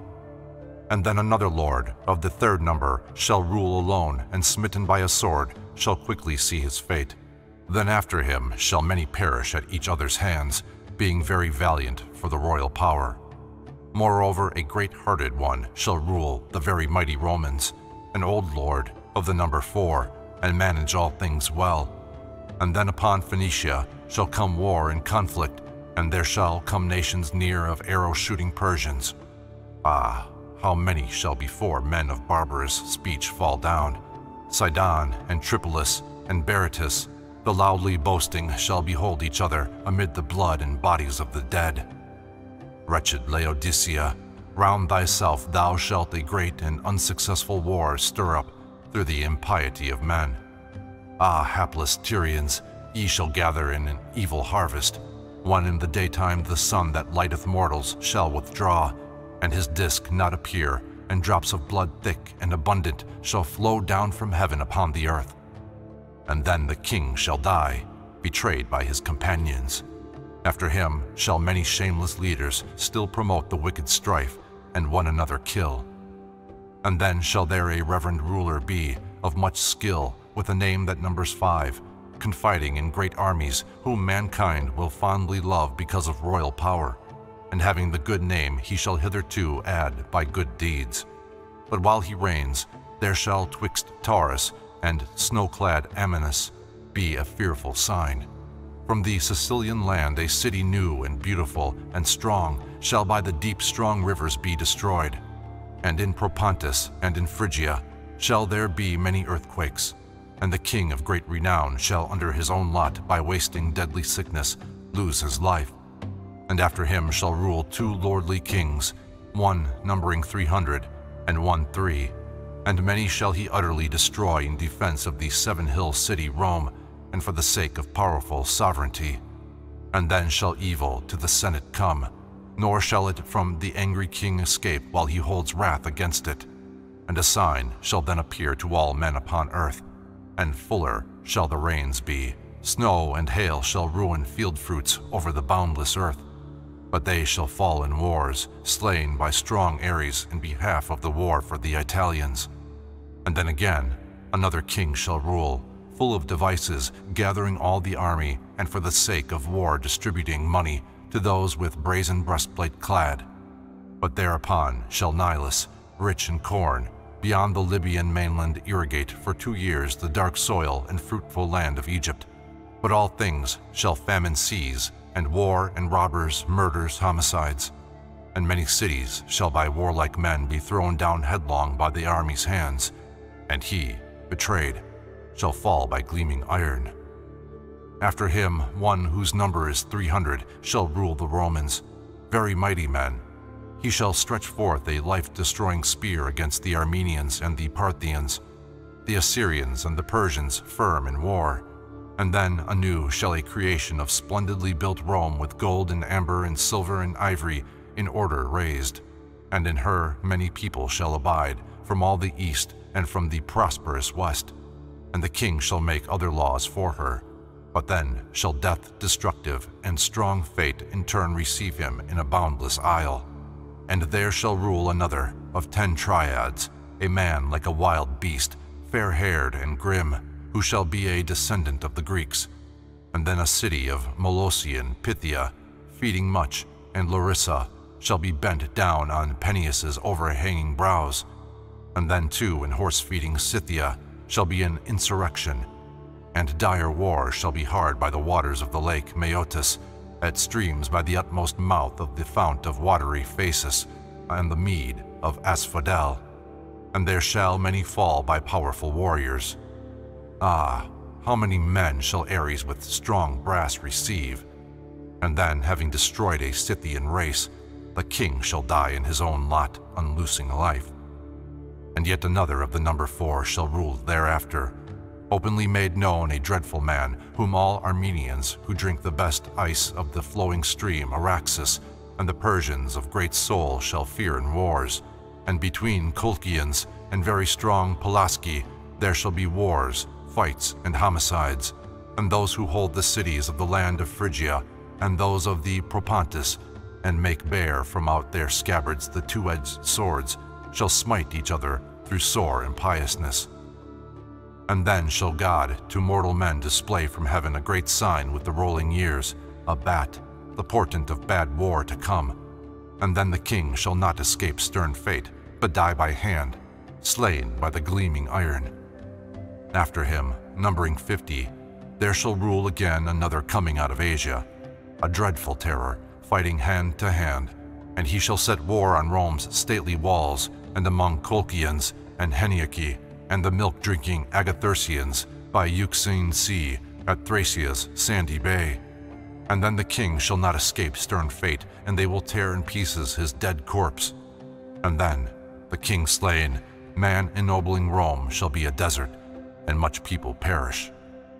And then again one terrible and dread from mighty Egypt shall rule, and destroy great-hearted Parthians, and Medes, and Germans, and Agathyrsians of the Bosporus, Iernians, Britons, and Iberians, that bear the quiver, bent Massagetæ, and Persians, thinking themselves more than men. And then a famous man shall look upon all Hellas, acting as an enemy to Scythia and windy Caucasus, and there shall be a dread sign while he rules. Crowns altogether like the shining stars shall from heaven in the south and north appear, and then shall he bequeath the royal power to his son, whose initial letter heads the alphabet. When in the halls of Hades the manly king in his own lot shall go. But when the son of this man in the land of Rome shall rule, shown by the number one, there shall be over all the earth great peace, much longed for, and the Latins will love him as king because of his own father's worth. Him, eager to go both east and west, the Roman people shall against his will retain at home and in command of Rome, for among all there is a friendly heart felt for their royal and illustrious lord. But baneful death shall snatch him out of life, short-lived, abandoned to his destiny. But others, afterwards, again shall smite each other, powerful warriors, carrying on an evil strife, not holding kingly power, but being tyrants. And in all the world shall they bring many evil things to pass, but chiefly for the Romans till the time of the third Dionysus, until armed with helmet Ares shall from Egypt come, whom they shall surname Dionysus Lord. But when the famous royal purple cloak a murderous lion and murderous lioness shall rend, together they shall grasp the lungs of the changed kingdom. Then a holy king, whose name has the first letter, pressing hard for victory, shall cast down hostile chiefs to be the food of dogs and birds of prey. Alas for thee, O city burned with fire, O powerful Rome, how many things must thou needs suffer when all these things come to pass? But the great far-famed king shall afterward raise thee all up again with gold and amber and silver and ivory, and in the world thou shalt in thy possessions foremost be, also in temples, marketplaces, wealth, and race grounds, and then shalt thou be again a light for all, even as thou wast before. Ah, wretched Sacripes and Cadmeans, and the Laconians, who are situate around Peneus and Molossian stream, thick grown with rushes, Trica and Dodona, and high-built Ithome, Hieraean ridge around the summit of Olympian Mount, Ossa, Larissa, and Highgate Calydon. But when God shall for mortals bring to pass a great sign, day dark twilight round the world, even then to thee, O king, the end shall come, nor is it possible that thou escape a brother's piercing dart against thee hurled. And then again shall rule a life-destroyer, a fiery eagle from the royal race, who shall of Egypt's offspring take fast hold, younger, but then his brother much more strong, who has for his first sign the number 80. And then the whole world shall for honor's sake bear in its lap the soul-distressing wrath of the immortal God. And there shall come on mortal men the creatures of a day, famines and plagues and wars and homicides, and an incessant darkness over the earth, mother of peoples, and relentless wrath from heaven, and disorder of the times, and earthquake shocks, and flaming thunderbolts, and stones and storms of rain and squalid drops. And the high summits of the Phrygian land feel the shock. Bases of the Scythian hills feel the shock. Cities tremble, and all earth trembles at the cliffs of the land of Greece.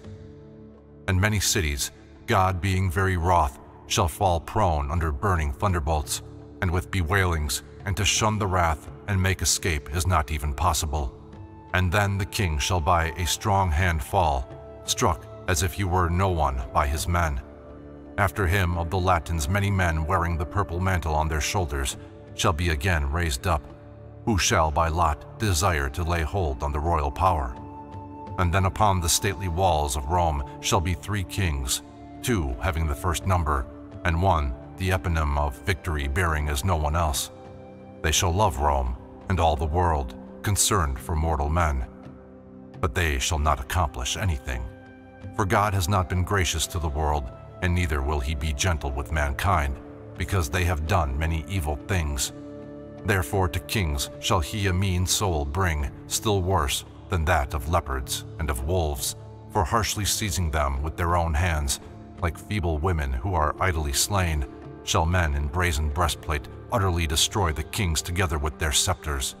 Ah, wretched, lofty men of glorious Rome, trusting in false oaths, ye shall be destroyed. And then shall many masters with the spear, men rushing not in order, furious on, take away offspring of the firstborn men in their blood. Therefore thrice shall the Most High then bring on dreadful doom, and all men with their works shall he destroy.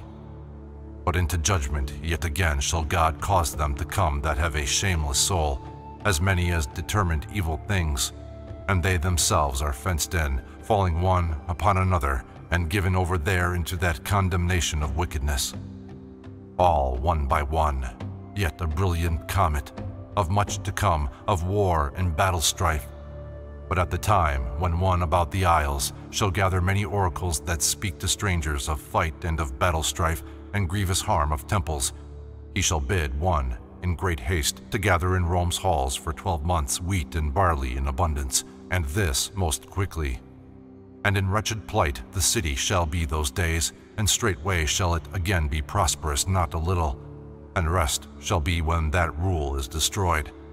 And then the last race of the Latin kings shall be, and after it again shall grow dominion, children, and the children's race shall be unshaken.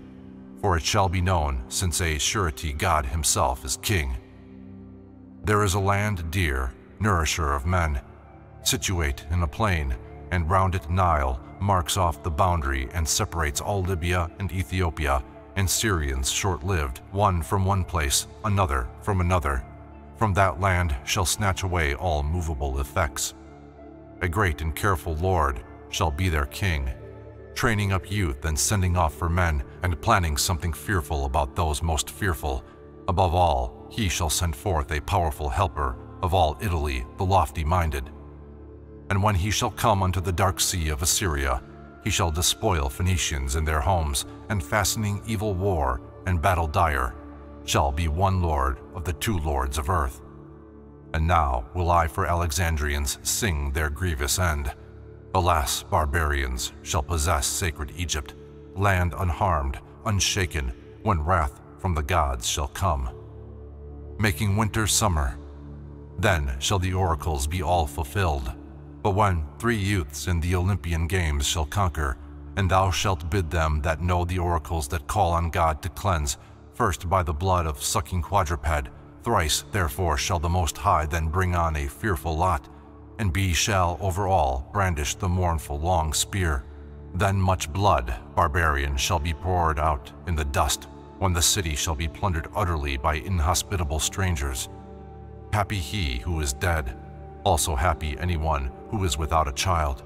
For he who once was leader, surnamed for them that are free, far famed in song, no longer in his mind revolving earlier plans, shall place their neck under a servile yoke. Such slavery, cause of much weeping, shall a lord impose. And then straightway an army of Sicilians, ill-fated, shall come, carrying dismay when a barbarian nation shall again come suddenly, and the fruit, when it grows, they from the field shall sever. Upon them shall God the lofty thunderer bestow evil instead of good. Continually shall stranger pluck from stranger hateful gold. But now, when all shall look upon the blood of the flesh-eating lion, and there comes upon the body a murderous lioness, down from his head will be the scepter cast away from him. And as in friendly feast in Egypt, when the people all partake, they perform valiant deeds, and one restrains another, and among them there is much shouting aloud. So also shall there be upon mankind the fear of furious strife, and many shall be utterly destroyed, and others kill each other by hard fights. And then one, covered with dark scales, shall come. Two others shall come acting in concert with one another, and with them a third, a great ram from Cyrene, whom before spoke of as a fugitive in war beside the streams of Nile, but in no wise an unsuccessful way do all complete, and then the lengths of the revolving years shall be exceeding quiet. Yet again thereafter shall a second war for them in Egypt be stirred up, and there shall be a battle on the sea, but victory shall not be theirs. Ah, wretched ones, there shall a conquest of the famous city be, and it shall be a spoil of war not long. And then men having common boundaries of much land shall flee wretched, and shall lead their wretched parents. And they shall again having great victory light on a land, and shall destroy the Jews, men staunch in war, wasting by wars far as the hoary deep on both sides, fighting in the foremost ranks for fatherland and parents. And a race of trophy-bearing men shall for the dead be reckoned, Ah, how many men shall swim above the waves? For on the sandy beach many shall lie, and their heads of golden hair shall fall beneath Egyptian winged fowls. And then for the Arabians mortal blood shall go in quest. But when wolves shall with dogs pledge in a sea-girt island solemn oaths, then shall there be the raising of a tower, and the city that suffered very many things men shall inhabit. For deceitful gold shall no more be, nor acquiring of the earth, nor much laboring servitude, but one fast friendship, and one mode of life with cheerful soul, and all things shall be common and equal light among the means of life. And wickedness shall sink down from the earth into the vast sea. And then, near at hand, is come the harvest time of mortal men. There is imposed a strong necessity that these things be fulfilled, and at that time there shall not any other traveler say in this conjecturing that the race of men, though imperishable, shall ever cease to be. And then a holy nation shall prevail, and hold the sovereignty of all the earth unto all ages with their mighty sons. Fragments of the Sibylline Oracles 1. Ye mortal men and fleshly who are not, how quickly are ye puffed up, seeing not the end of life? Do ye not tremble now and fear God, him who watches over you, the one who is most high, the one who knows, the all-observant witness of all things, all-nourishing creator who has put all-nourishing creator who in all sweet breath implanted and made God the guide of all, in all things his sweet spirit and has made him leader of all mortals. God is one, who rules alone, supremely great, unborn, almighty and invisible, himself alone, beholding all things, but not seen as he himself by any mortal flesh.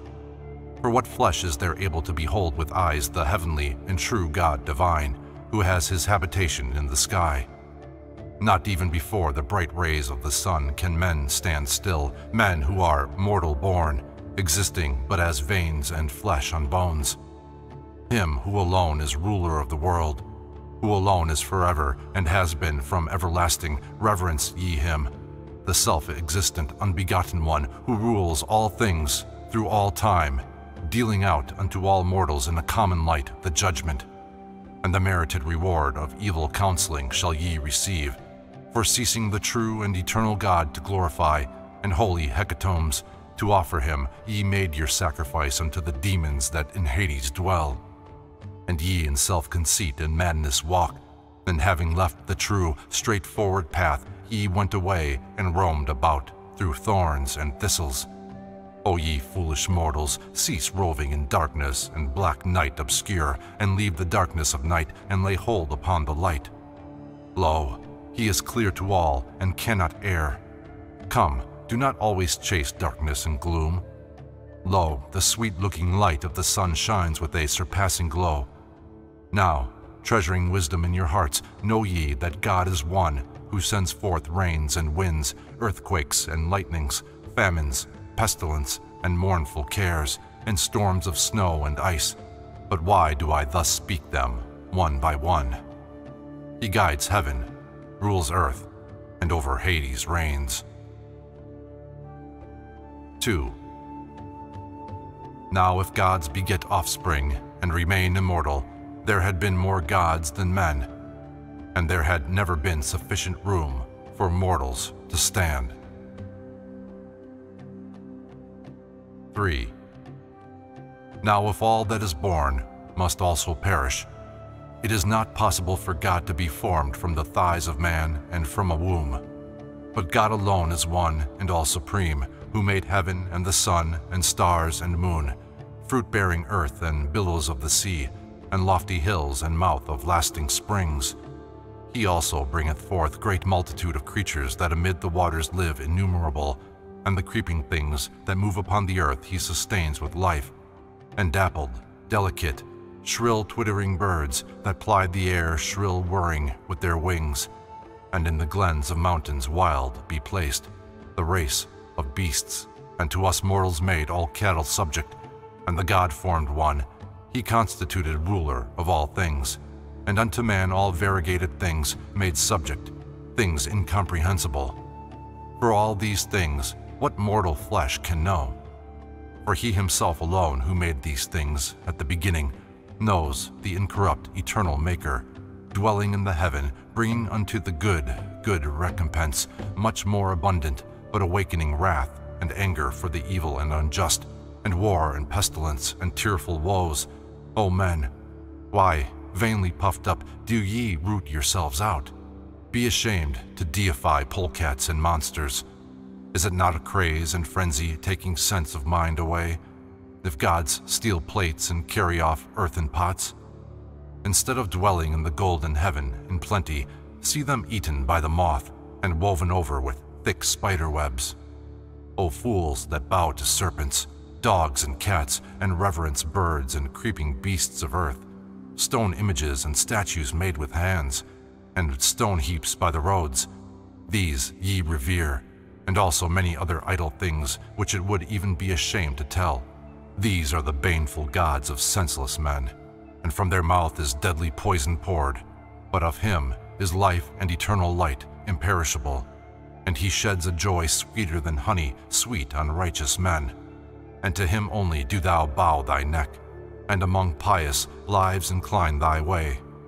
Forsaking all these, in a spirit mad with folly, ye did all drain off the cup of judgment that was filled full, very pure, closely pressed, weighed down, and withal unmixed and ye will not wake from your drunken sleep and come to sober reason, and know God to be the King who oversees all things.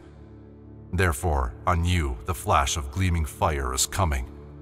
Ye shall be with torches burned, the livelong day through an eternal age, at your false, useless idols feeling shame. But they who fear the true eternal God inherit life, and they forever dwell alike in fertile field of paradise feasting on sweet bread from the starry heaven. 4. Hear me, O men, the King eternal reigns. 5. He only is God, maker uncontrolled. He fixed the pattern of the human form and did the nature of all mortals mix himself, the generator of all life. 6. Whenever he shall come, a smoky fire shall be in midnight dark. 7. The Erythraean Sibyl, addressing God, says, Why dost thou, O Lord, enjoin on me the necessity of prophesying, and not rather take me aloft from the earth and preserve me unto the most blessed day of thy coming.